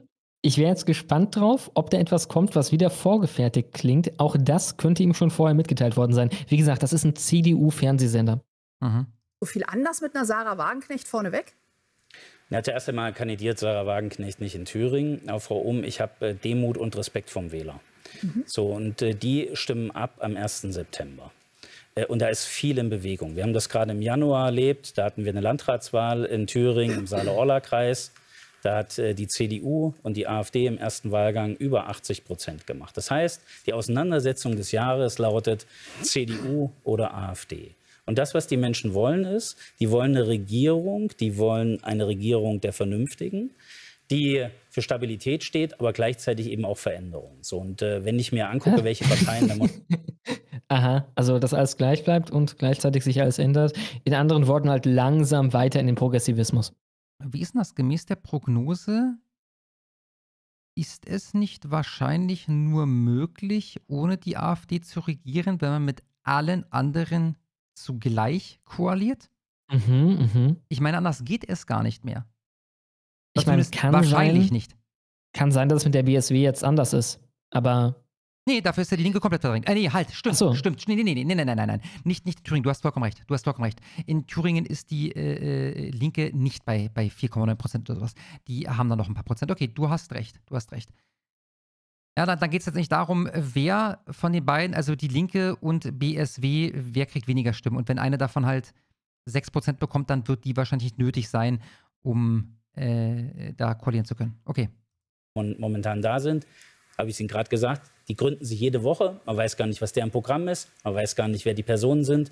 Und mit der Demo trete ich vor den Wähler. Aber ich sage eins, ich will eine starke CDU. Herr Höcke steht vernünftigen Lösungen in Thüringen im Weg. Und deswegen diskutiere ich heute Abend hier. Meine Herren, wir hatten 45 Minuten. Ich darf nichts mehr zur Koalition sagen. Ein, ja, mich gerade auch ein bisschen gewundert. dann, die, die Zeit, jetzt sind wir schon so weit drüber. Also, ich muss, muss Ihnen das einfach noch mitgeben, lieber Vogt. Mich hat vorgestern mein alter Büroleiter angerufen, der viele Jahre für mich gearbeitet hat und der davor elf Jahre lang für Willy Waldböck, für Willy Böck gearbeitet hat, den ersten Thüringer Innenminister. Sie kennen ihn sicherlich. Er ist ja vor einigen Jahren gestorben. Und mein Büro Büroleiter hat mir gesagt, der Willi hat damals eine konservativ-patriotische CDU aufgebaut.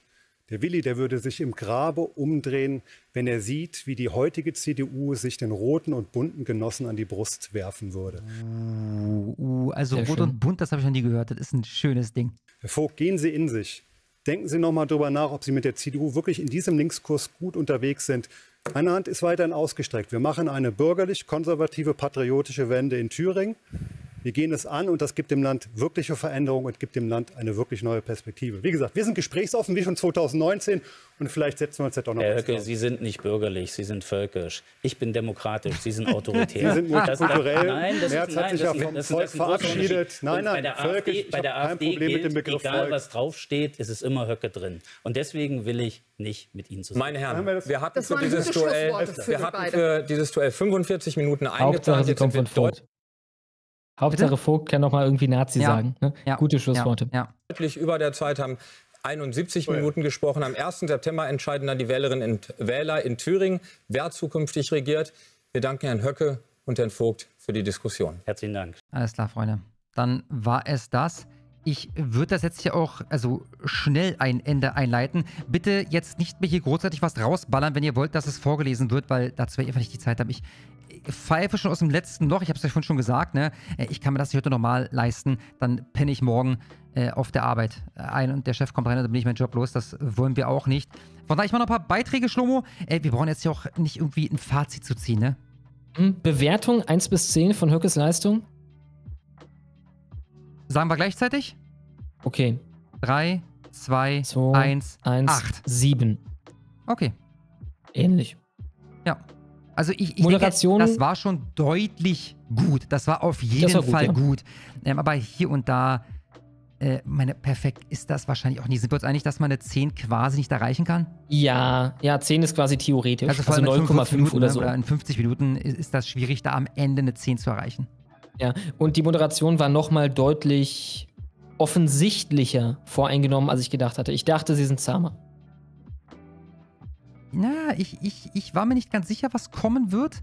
Äh, Ich fand das schon sehr auffällig, aber wenn ich mich nicht irre, hat der Moderator ja wortwörtlich im Interview angekündigt, dass er, ich will jetzt hier nicht Twitter durchgehen und, und dieses Zitat raussuchen, Ja, stimmt, aber ja. dass er da im Grunde genommen antritt, um äh, Herrn Höcker ins Auszuwischen. Ja?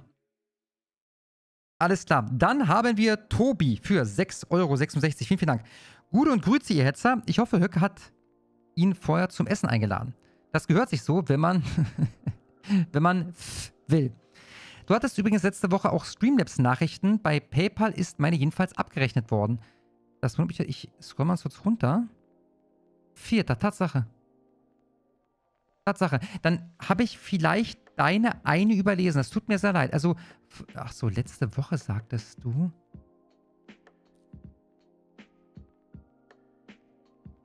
Letzte Woche, ja, alles da. Also ich mache mal kurz hier den Tobi. Ja, da habe ich den wahrscheinlich überlesen. Für 5,55 Euro von letzter Woche. Vielen, vielen Dank. Gut und grüezi, Kaspar. Herr Seller macht tatsächlich den Dekadent. Wenn das Thema unbequem wird, ist auf einmal der Chat böse. Mittlerweile sind ja die Medien wieder auf dem Trip, dass wir in 30 Jahren eine neue Eiszeit bekommen. Echt? Hab ich nicht bekommen. Hast du das mitbekommen? Nee. Doch, doch, doch, doch, doch, da war was, da war was, da war was. Und da ist sogar Kritik geäußert worden und da war die Verteidigung die, ja, nee, äh, warte mal, ich, ich glaube, es wird dann erstmal sehr, sehr warm, bevor es dann sehr, sehr kalt wird. Also, keine Ahnung. Also so wie- Die Welt geht weiterhin unter. Day After Und die Tomorrow, Grünen machen alles richtig. der Golfstrom kippt um. Das war ja früher immer die Erzählung. Ja, ich, ich nehme an, sowas in der Art. Also ja? noch davor war ja, es wird einfach immer kälter. Dann war, es wird wärmer und deswegen kippt der Golfstrom um und dann war, es wird nur noch wärmer. Wir können gespannt sein, was uns als nächstes prophezeit wird. Kaspers Notizzettel für 10 Euro. Vielen, vielen Dank.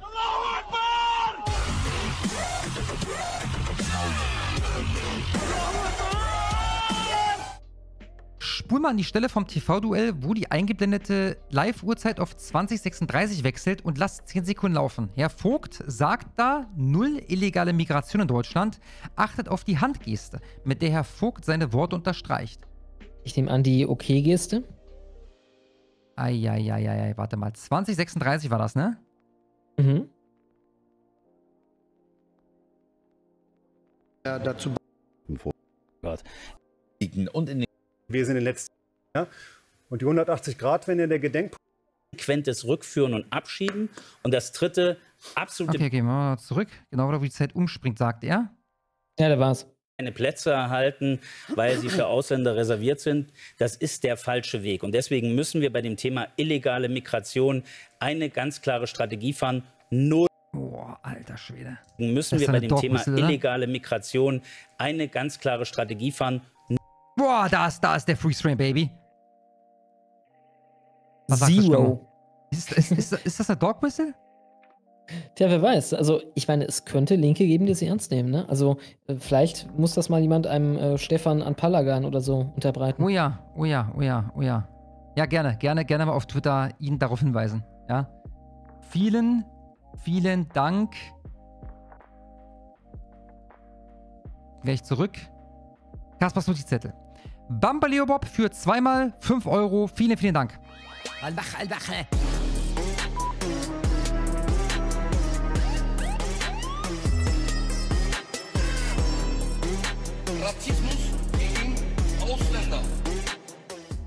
Wie erwartet ein 3 versus 1. Ist hier einer im Chat, der nicht wusste, dass das so ablaufen würde? Eigentlich bräuchte es danach auf Höckes X-Kanal ein Traut euch, kommt zu mir Mario Vogt geben. 1 versus 1 mit Zeit. Schlumme bitte Hühnchenimitation dazu. Bock, bock, bock, bock. Dankeschön. Höcke nicht in jedem Thema gut, aber verdammt nochmal, es muss doch jedem auffallen, dass Herr Vogt nur Politikergeräusche ohne jeden Tiefgang absondert. Wenn bei der nächsten Umfrage 5% weniger bei der Union sind, dann weiß ich warum.